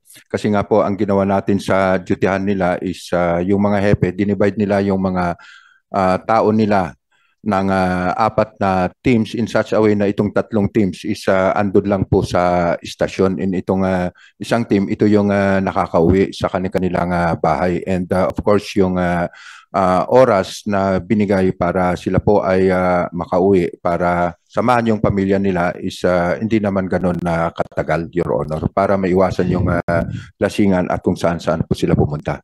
Ito pong pag pag nag-off duty ang police, hindi hindi ba uh, safekeeping yung mga baril nila sa presinto hindi? Dala-dala nila. Hindi po po, Your Honor. And ang uh, isa pong ginawa po natin is uh, binilisan po natin yung pag-dismiss dito sa police na ito para uh, makita ng mga kasama nilang police at hindi nila pamarisan, Your Honor. So he is not a responsible uh, gun user. Am I correct? Yes po, Will Your you Honor. agree with me? Yes, Your Honor. So kung ikaw ang tatanungin, dapat ma-dismiss na yung police na yan. Of course, Your Honor. Hmm. All right. Thank you, Mr. Chair. Thank you, Your Honor. Thank you, Senator Jinggoy. Na-dismiss na? Hindi pa. Hindi pa. Dismiss na po, Your Honor. Ah, dismiss na? He was dismissed from the service already? Opo. Okay. Oh, when? Uh, 23 po ng November, sir. Did you uh, investigate first before you before Yes, Your you Honor, came out the, with uh, decision? uh, yes, Your Honor, the uh, RIAS 4A uh, initiated the administrative uh, proceeding and I signed the dismissal of order noong uh, November 23, Your Honor. Did he turn over the firearms that he Ah, used? nasa Oh, nasa as yan, di ba? evidence po yung uh, nasa Ebidensya. crime lab po because uh, as Oh. evidence po yung uh, firearm, Your Honor. Ah, so na-dismiss na. Opo, Your Honor. Okay. Na-dismiss na tapos may kaso pa. Yes, Your Honor, Very nakakulong good. pa po. Okay, thank you for your fast action. Your prompt action rather. Thank you po. Thank you, Your Honor, Senator uh, Jingo Estrada. Ang diferensya ng attempted homicide saka frustrated homicide. Kung tinamaan si Umpad at nabuhay, frustrated. Ah, Frustrated murder. Your Honor, uh, can I uh, request the uh, invi- investigators on case to answer the question? Sige nga. Sige, investigador. Sir, based on investigation, sir, uh, we filed the homicide, sir, on doon, sir, sa deceased, sa victim, sir. While uh, attempted homicide, sir, dito, sir, sa hindi po, sir, tinamaan na biktima, sir. Kasi hindi tinamaan kaya Yes, sir. attempted. Yes, sir. Teka, But all the actions uh, necessary to commit the crime, nakaputok na ng baril. Pero hindi lang tinuaan. Uh, hindi hindi pala yung frustrated. Attempted lang yun. Yes, sir. bakit homicide lang? Bakit hindi Timano murder ang kinaso niyo? Uh, based on It took the provincial, uh, the prosecutor's office to upgrade the crime. Your Honor, uh, based on investigation, the following, sir, uh, qualifying circumstances are absent, sir. Like, for example, sir, the... What are the qualifying ab- uh, circumstances, circumstances that, that were absent? Sir, uh, uh, the following cir- circumstances are uh, pre-evident pre- premeditation, sir. The uh, treach- treachery are absent also, sir. Uh, that the uh, crime was uh, committed uh, due to spur of uh, the moment, sir. Ano section niya sa revised penal code? Article 248 of the Article? revised penal code, sir. Can I have the article 248? Nag-aral ka ba ng batas, ano? 249, sir, rather, sir. Nag-aral ka ng batas? Uh, no, sir. Ha? Uh, experience lang, sir, sa investigation, sir. Criminology. Yes, sir. Ah, Nag-graduate ka sa criminology? Yes, sir. Alright. Sandali lang, babasahin ko lang yung batas. 249, sir, rather, sir. The homicide, sir.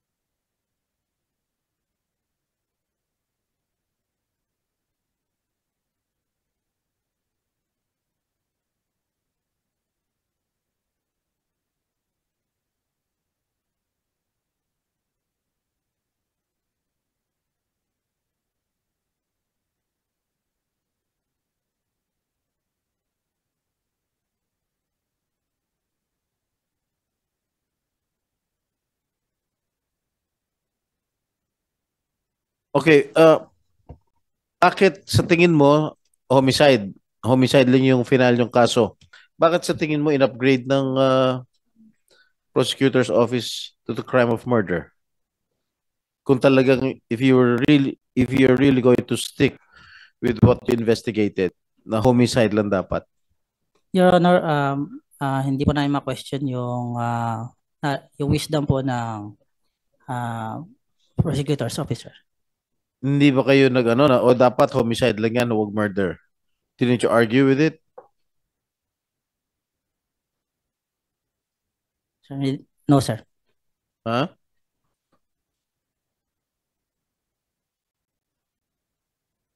Hindi na sila nag-argue dahil galit sila sa kasamahan nila eh. Lasing tapos na maril. Hindi kasi ang, Kaya, ang homicide may bail hindi yan na eh. nag-argue ha? Ang homicide, bailable yan eh. Bailable, oh. Ang murder, walang bail eh. So anyway, of course, uh, uh, mas uh, mas mag-agree ako rin sa uh, desisyon ng uh, prosecutor's office, the fiscal's office, na upgrade yung uh, yung kaso from homicide to murder. Dahil murder, eh, wala talagang uh, fiancé at mabubulok talaga sa kulungan niya. But anyway, at any rate, uh, uh, pwede naman siyang mag-exhaust ng kanyang mga legal remedies. But I am very happy to note that uh, this uh, policeman concerned has already been dismissed. And I admire you for your prompt action with uh, regard to this uh, case, this uh, murder case uh, against or, or parang mistaken identity to, diba? O hindi siguro mistaken identity yan. Kasi Hindi, mi, mi, mis, kwan, hindi rin misfire. Um, collateral damage. Mhm. Dahil ah, ang binabaril niya, ito. Tapos ang tinamaan yung kapatid na lumabas galing sa bahay. So, lasing nga. Hindi ka tinamaan ng target. Yung At- tinamaan yung ah, At sana naman pinapanalangin naman natin na this must also serve as a stern warning to all policemen concerned. Hindi lamang yung mga tiga Rizal, at sa buong Pilipinas, sa buong bansa natin na paglalabas kayo, kahit off-duty kayo, at meron, meron kayong dalang armas, eh huwag na sana kayong uminom. Kung dalhin nyo, ilagay nyo sa sa tiyan nyo yung alak, huwag nyo ilalagay sa utak. Dahil pag pag ah, lasing yung isang tao, hindi mo na malaman ng ang ah, utak niyan eh. Ah, lahat naman kayo umiinom. Pare barako naman kayo. Sana naman ang pakiusap lang namin sa inyo, pag off duty kayo, eh, doon na lang kayo sa bahay uminom. Huwag na kayo lumabas at ah, may dala-dala pa kayong mga armas. At syempre matatakot yung mga tao sa inyo eh. Eh mababa na nga ang rating ng ah, PNP. So paano niyo may babalik yung kumpiyansa ng taong bayan sa sa uh, organization ng Philippine National Police? Di ba? Yun lang isipin ninyo dahil alam mo, hindi ko nilalahat yung mga pulis. Pero there, meron din mga pulis na talagang mga loko eh.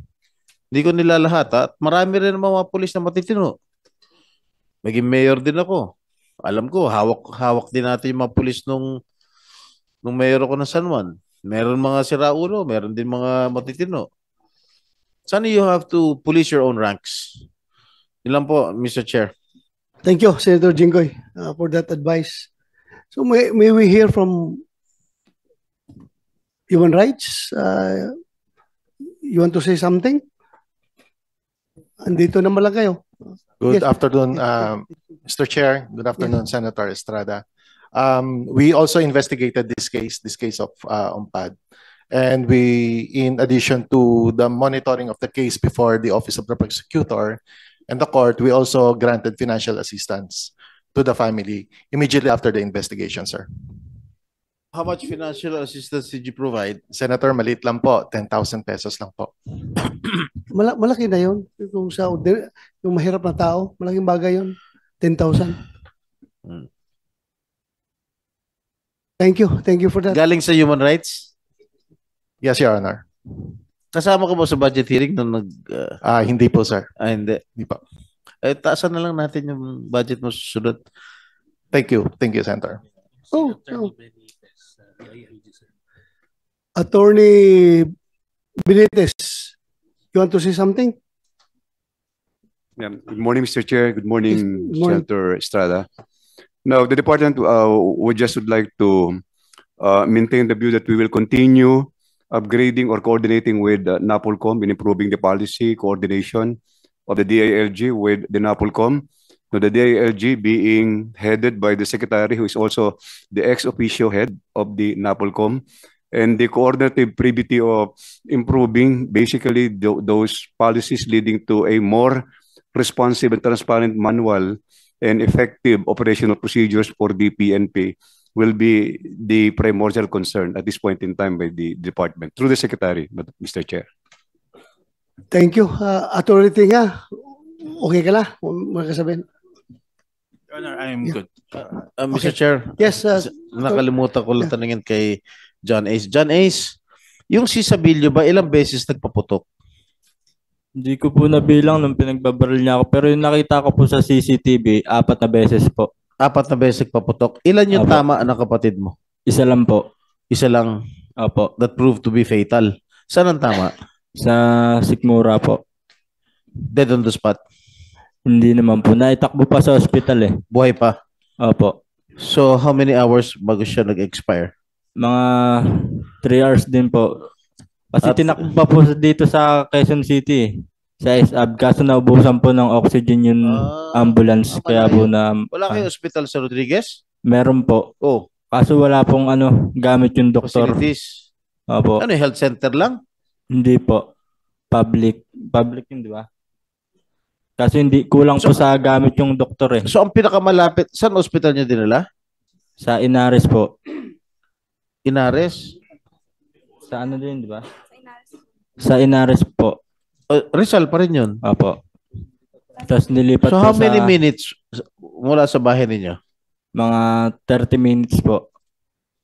Walang traffic dahil madaling araw. Opo. Pero hindi rin nakayanan, namatay ka agad. Dahil Tumagal sa tagal. Pa, tumagal pa po doon sa ano, sa Inares ng mahigit isang oras pa po nag-antay doon kasi hinold po eh. Isang oras pa kayo nag-antay sa Opo. ospital? Opo. Eh, yung pasyente, eh, Naghihingalo na matter po. of life and death. Ba- Ba't nagkaganon? Pinahold po ng hospital Kaya, kasi kaya nga ako nagtaka, kung isang bala lang, 9mm pa, dito sa tiyan tumama, kung walang major organ na tinamaan, no? Kung intestine lang, Opo. malaking chance yun mabuhay pa eh. Tsaka bata pa. Oo. Malakas pa, Na- malakas pa mag-survive yung bata. Na-autopsy? Hindi. Na-autopsy po. Saan ang tama? Sino, ah, sino makakasagot? That time, sir, ano, ah, medyo malapit lang ako sa tiyan. Malapit sa heart? Sa Sa atay? Saan? Sa tiyan po. Oo nga, sa tiyan. O, o- ano yung vital organ na tinamaan that proved to be fatal? Yung result. Ah, sir. Bak- baka Sir, baka Your Honor. baka mag-extend yung investigation natin from PNP to DOH na naman ha. Papunta tayo sa hospital ito, bakit namatay Sir, yung bata? Sir, Ah, uh, yes, Your Honor, uh, I'm Dr. Carpio. It was brought to the NBI. NBI? autopsy. Doktor ko kaya, doktor? Yes, sir. Ah, okay. Medical legal? Yes, sir. Abogado rin kayo, hindi? Hindi naman po, sir. Ah, hindi ka medical legal.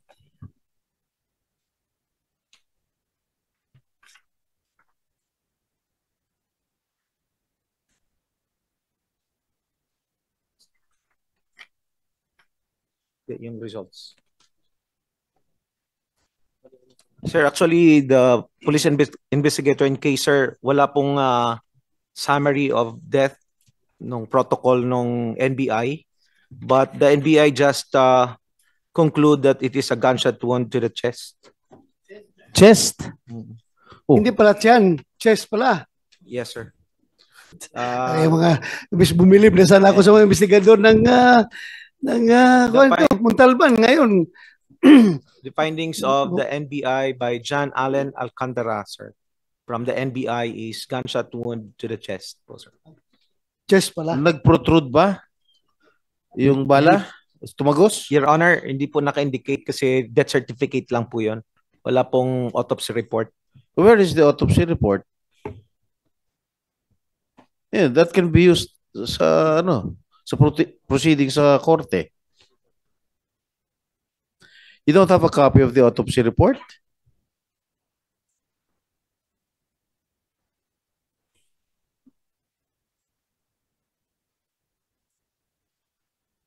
You're raising your hand, uh, si Naumpad or Nap- Napoleon Umpad? ano, tatay ba ito? Napoleon, ikaw ang tatay? Opo. Yeah, you, you have the floor. Sige, may gusto kong sabihin. Go ahead. Yung autopsy result po, naipasa na po doon sa RTC ng San Mateo sa one, branch 174. Okay, nabasa mo ba yung autopsy report, Napoleon? Nahirapan din ako umintindi sir, hindi naman wala naman akong mas- Okay. pinag-aralan. Okay, naintindihan namin. Hindi, explain mo, meron ba kayong copy ng autopsy report?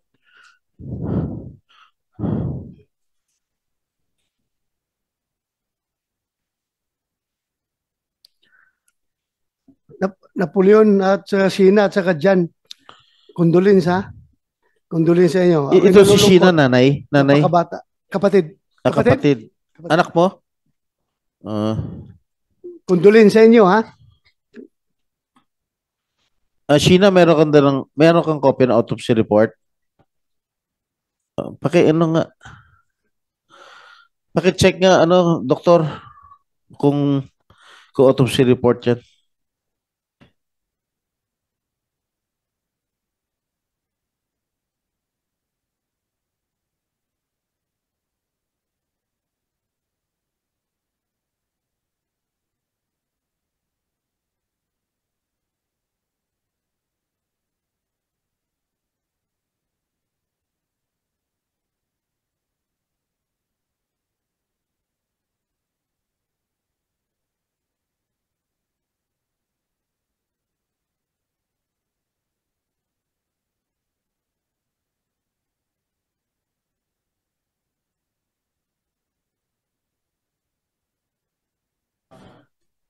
Ah, wala siyang dala.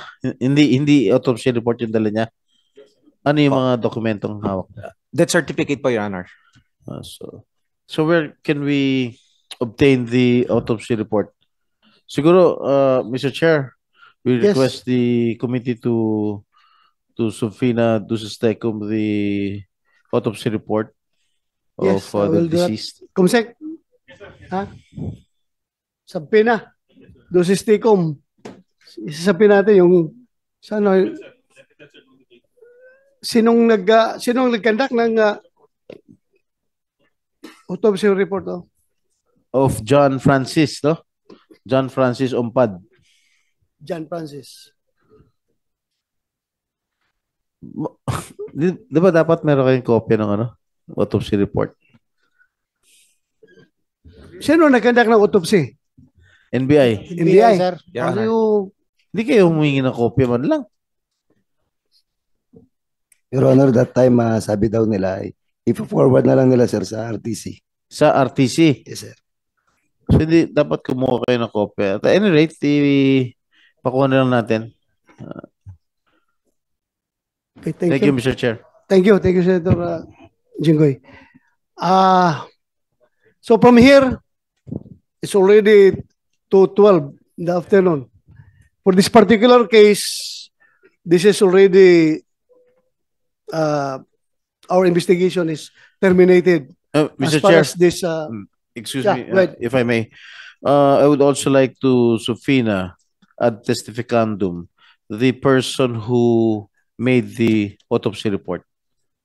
The findings of the Yeah, autopsy. uh, approve. autopsy. Uh, Kumsek, you heard the motion? Okay. Approve.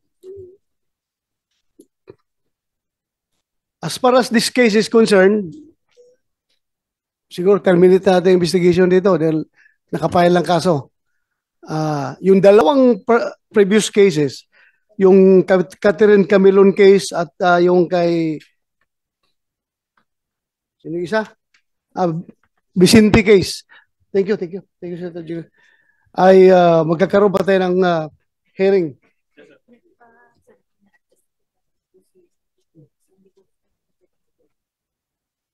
Ah, okay, okay.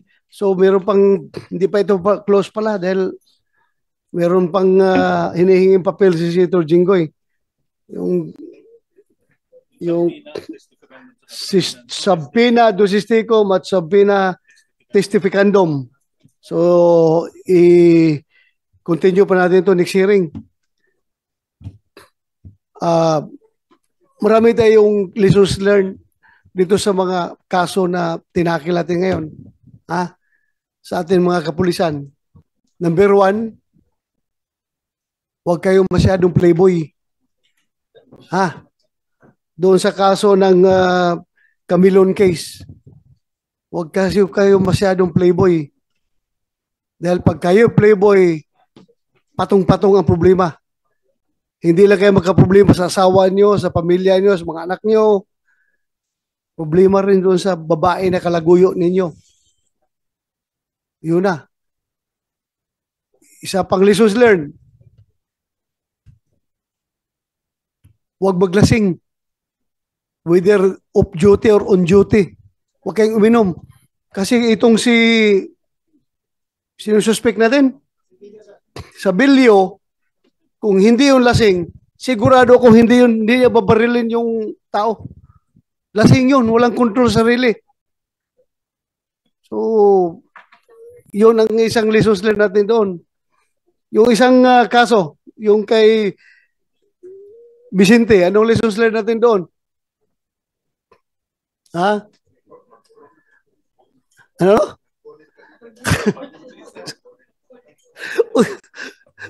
Di, ang lessons learned natin doon is uh, sundin yung police operational procedure. O kung sinunod nyo yun, wala problema ito. Wala problema. Kasi kung sinabi nila na inassault sila, nagkaso sila ng assault, kita naman natin talaga, natumba yung motor, talagang inak... Uh, uh, kuwan sila, nirisling sila nung mga kapatid. Di ba? So kung sinunod lang ang operational, police operational procedure, wala problema. Wala problema. So yun lang, ah, next hearing, papatuloy natin. Pumayag naman yung tatlo na magpa polygraph. Yung dalawa naman doon, magpo-polygraph. Tingnan natin yung result. Kung sino sa kanila nagsinungaling. Malaman natin yan. Ha? Kung lalabas na nagsinungaling yung mga nag-accuse, eh pwede natin i-contempt rin yun. Di ba? Hindi lang ang pulis. Hindi, ito namang committee na ito is patas ito. Hindi ito pulis lang ang DDN dito. Ah, patas tayo dito. Paglabas sa polygraph test ng dalawang parties, pag hindi nag-lie yung pulis, tapos nag-lie yung testigo, they can, they can be cited in contempt. Di ba? Eh, yun lang ang atin, fair tayo. Hindi porke pulis, gagawin tayong kawawa ang pulis. Dahil uh, uh, sumusildo kayo. Kayo'y uh, naka-uniforme. Yung palagi yung subject sa kwan. Hindi. Pa- patas tayo dito. Kung meron naman kayong uh, lahat naman tayo may karapatan. Hindi naman porke nagpulis tayo na wala na tayong karapatan na depensahan sa sarili natin. Di ba? So, so itong mga investigator sa uh, Rodriguez, uh, Montalban, Rizal, you continue upgrading your uh, investigative uh, skills. Ah, ma- magagaling ko, nakikita ko.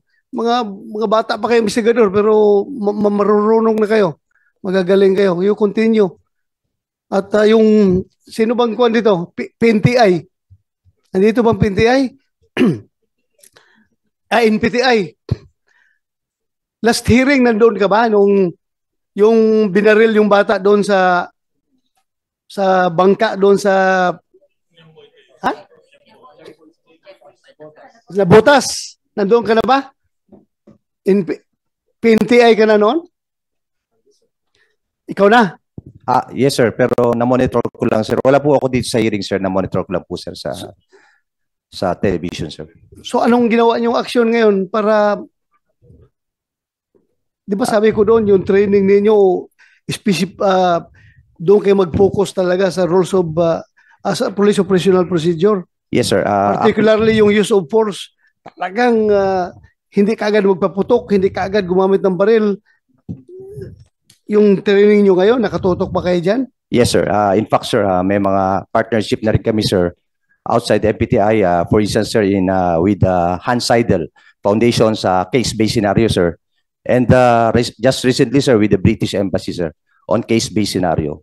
Para, sir, yung mga hindi nakasulat, uh, ma-expose yung ating, uh, kahit sa training, sir, ma-expose yung ating mga pulis sa mga certain scenario, sir. At alam nila mag-react, sir, based on the POP. Yung kuta ng SAP, dadaan pa rin sa inyo, di ba?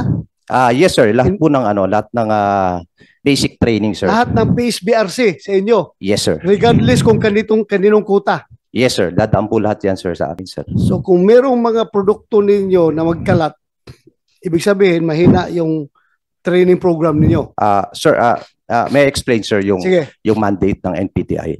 Ah, the mandate of NPTI sir based on ah, RA 11279. Ito po yung absorption sir ng NPTI is to uh, provide uh, mandatory trainings to police non-commissioned officers. Oh, mandatory training. Yan po yun sir. And Ah, observance of the police Yes, sir. operational procedure is a mandat part of the mandatory training. Kasi yan ang pinaka-core duty, core function natin.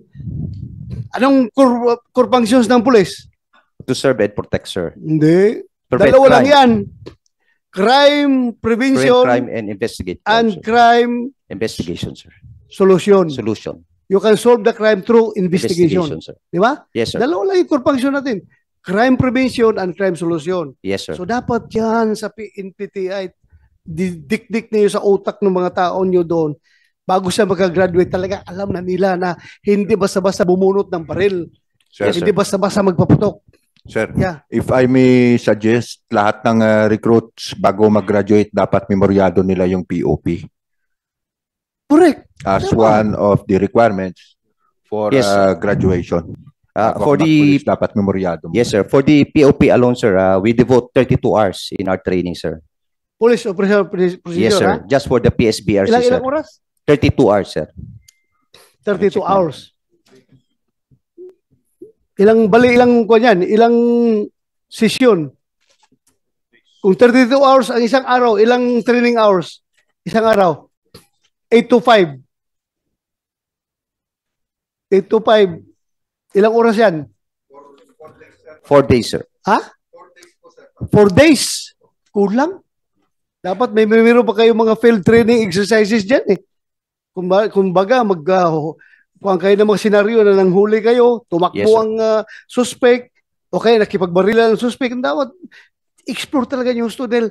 Diyan tayo mahina. Yes. Nakikita natin, kung malakas tayo dyan, wala itong ganitong mga kaso. Ah, wala tayong ganitong kaso ngayon na inimbestiga. Diyan tayo kulang. Sinong PO-an dyan? Ah, yung patrolman. Patrolman. May patrolman ba dito? Anong next rango ng patrolman? Police corporal sir. Wala nang patrolman first class? Uh, wala na po sir. Wala na. Uh, Corporal diretso. yes sir. Sinong police corporal? Ay, wa- investigador ka eh. Yung sa likod mo. Ah, investigador ka rin. Sinong police corporal? Wala. Tanungin natin sana kung yung ordinaryong uh, police on the beat, police, police on the streets, hindi yung investigador. Kung alam niya yung police operational procedure, POP. So, in PTI, we, we expect ha, na yung produkto ninyo, pag tanungin about POP, kahit anong tanong, masasagot nila ha. Dikdikin nyo ng gusto sa training. Ha? Your Honor, may I correct my previous statement sir? Yes. Just for the uh, police opera- operational procedures, we devote 132 hours. 52 hours lecture and 80 hours uh, case-based scenarios. Malaki naman pala eh. Yes, sir. So kung magamit nyo ng husto yung oras na yan, talagang maganda ang produkto ninyo. Yes, Ha? sir. So, so I expect, meron na kayo nag-graduate na after those, after nung hearing natin, last time, wala, wala pa kayong graduate? Ah, wala pa. Ongoing pa po, Your Honor. Ongoing. So yung gagraduate ninyo ngayon na produkto, ititest ko yan. Bibisitahin ko yan doon sa bago mag-graduate. I-test ko yan yung alam nila, ha? Yes, Your Honor. We'll prepare for that. Oh, thank you, thank you. Kailangan talaga natin, hindi lang kayo dito, ha? Lahat ng NPTI buong Pilipinas. Lahat ng regions. Anyway, uniform naman yung application ng curriculum ninyo, di ba? Program Yes, sir. of instruction, uniform naman yan. So, yun ang gawin natin. Kailan pa tayo mag magsimikap na ma- gaganda yung re- reputasyon natin na talagang professional na police organization kung may mga kaso pa na ganito. Wala, hindi tayo ma hindi ma-upgrade yung ima- imahe natin sa taong bayan. Di ba? Yes, Your Honor. So, dikdikin nyo ng gusto. So, yun lang. Meron pang gusto magsalita? Tony Bernardo, okay ka na? Okay na sir. Yeah. At uh, we commend the uh, uh, General Lucas, uh, Region 4A for doing their job, sir. Thank you, thank you. Also, uh, this committee commends uh, yung mga investigators nyo, the, the leadership of uh, 4A, yung mga provincial director, kahit na yung mga complainant ay medyo alanganin sa inyo dahil kabaro daw, ganun-ganon, kulang sila ng tiwala sa inyo, but you remain professional, pinakita nyo talaga na kahit kasamahan ninyo, talagang inimbestigahan nyo ng husto at ah, kinasuhan talaga ninyo. That's good. Uh, normal yan. Naintindihan natin sila, di ba?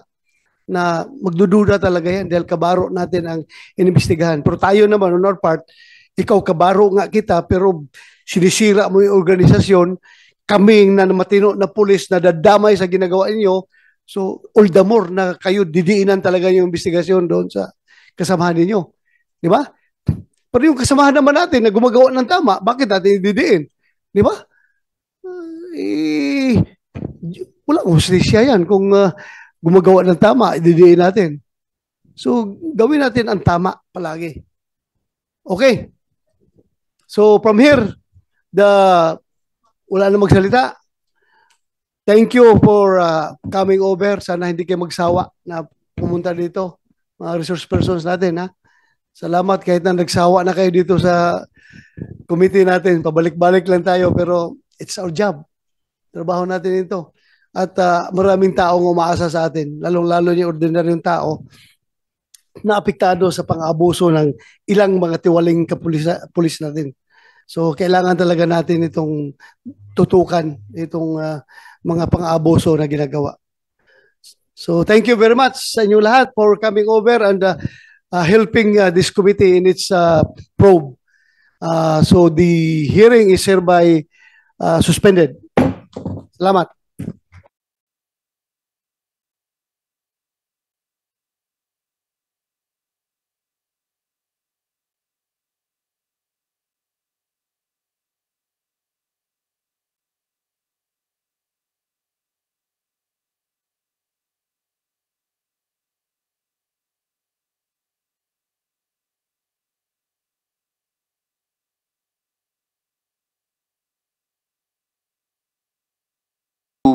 Certain legal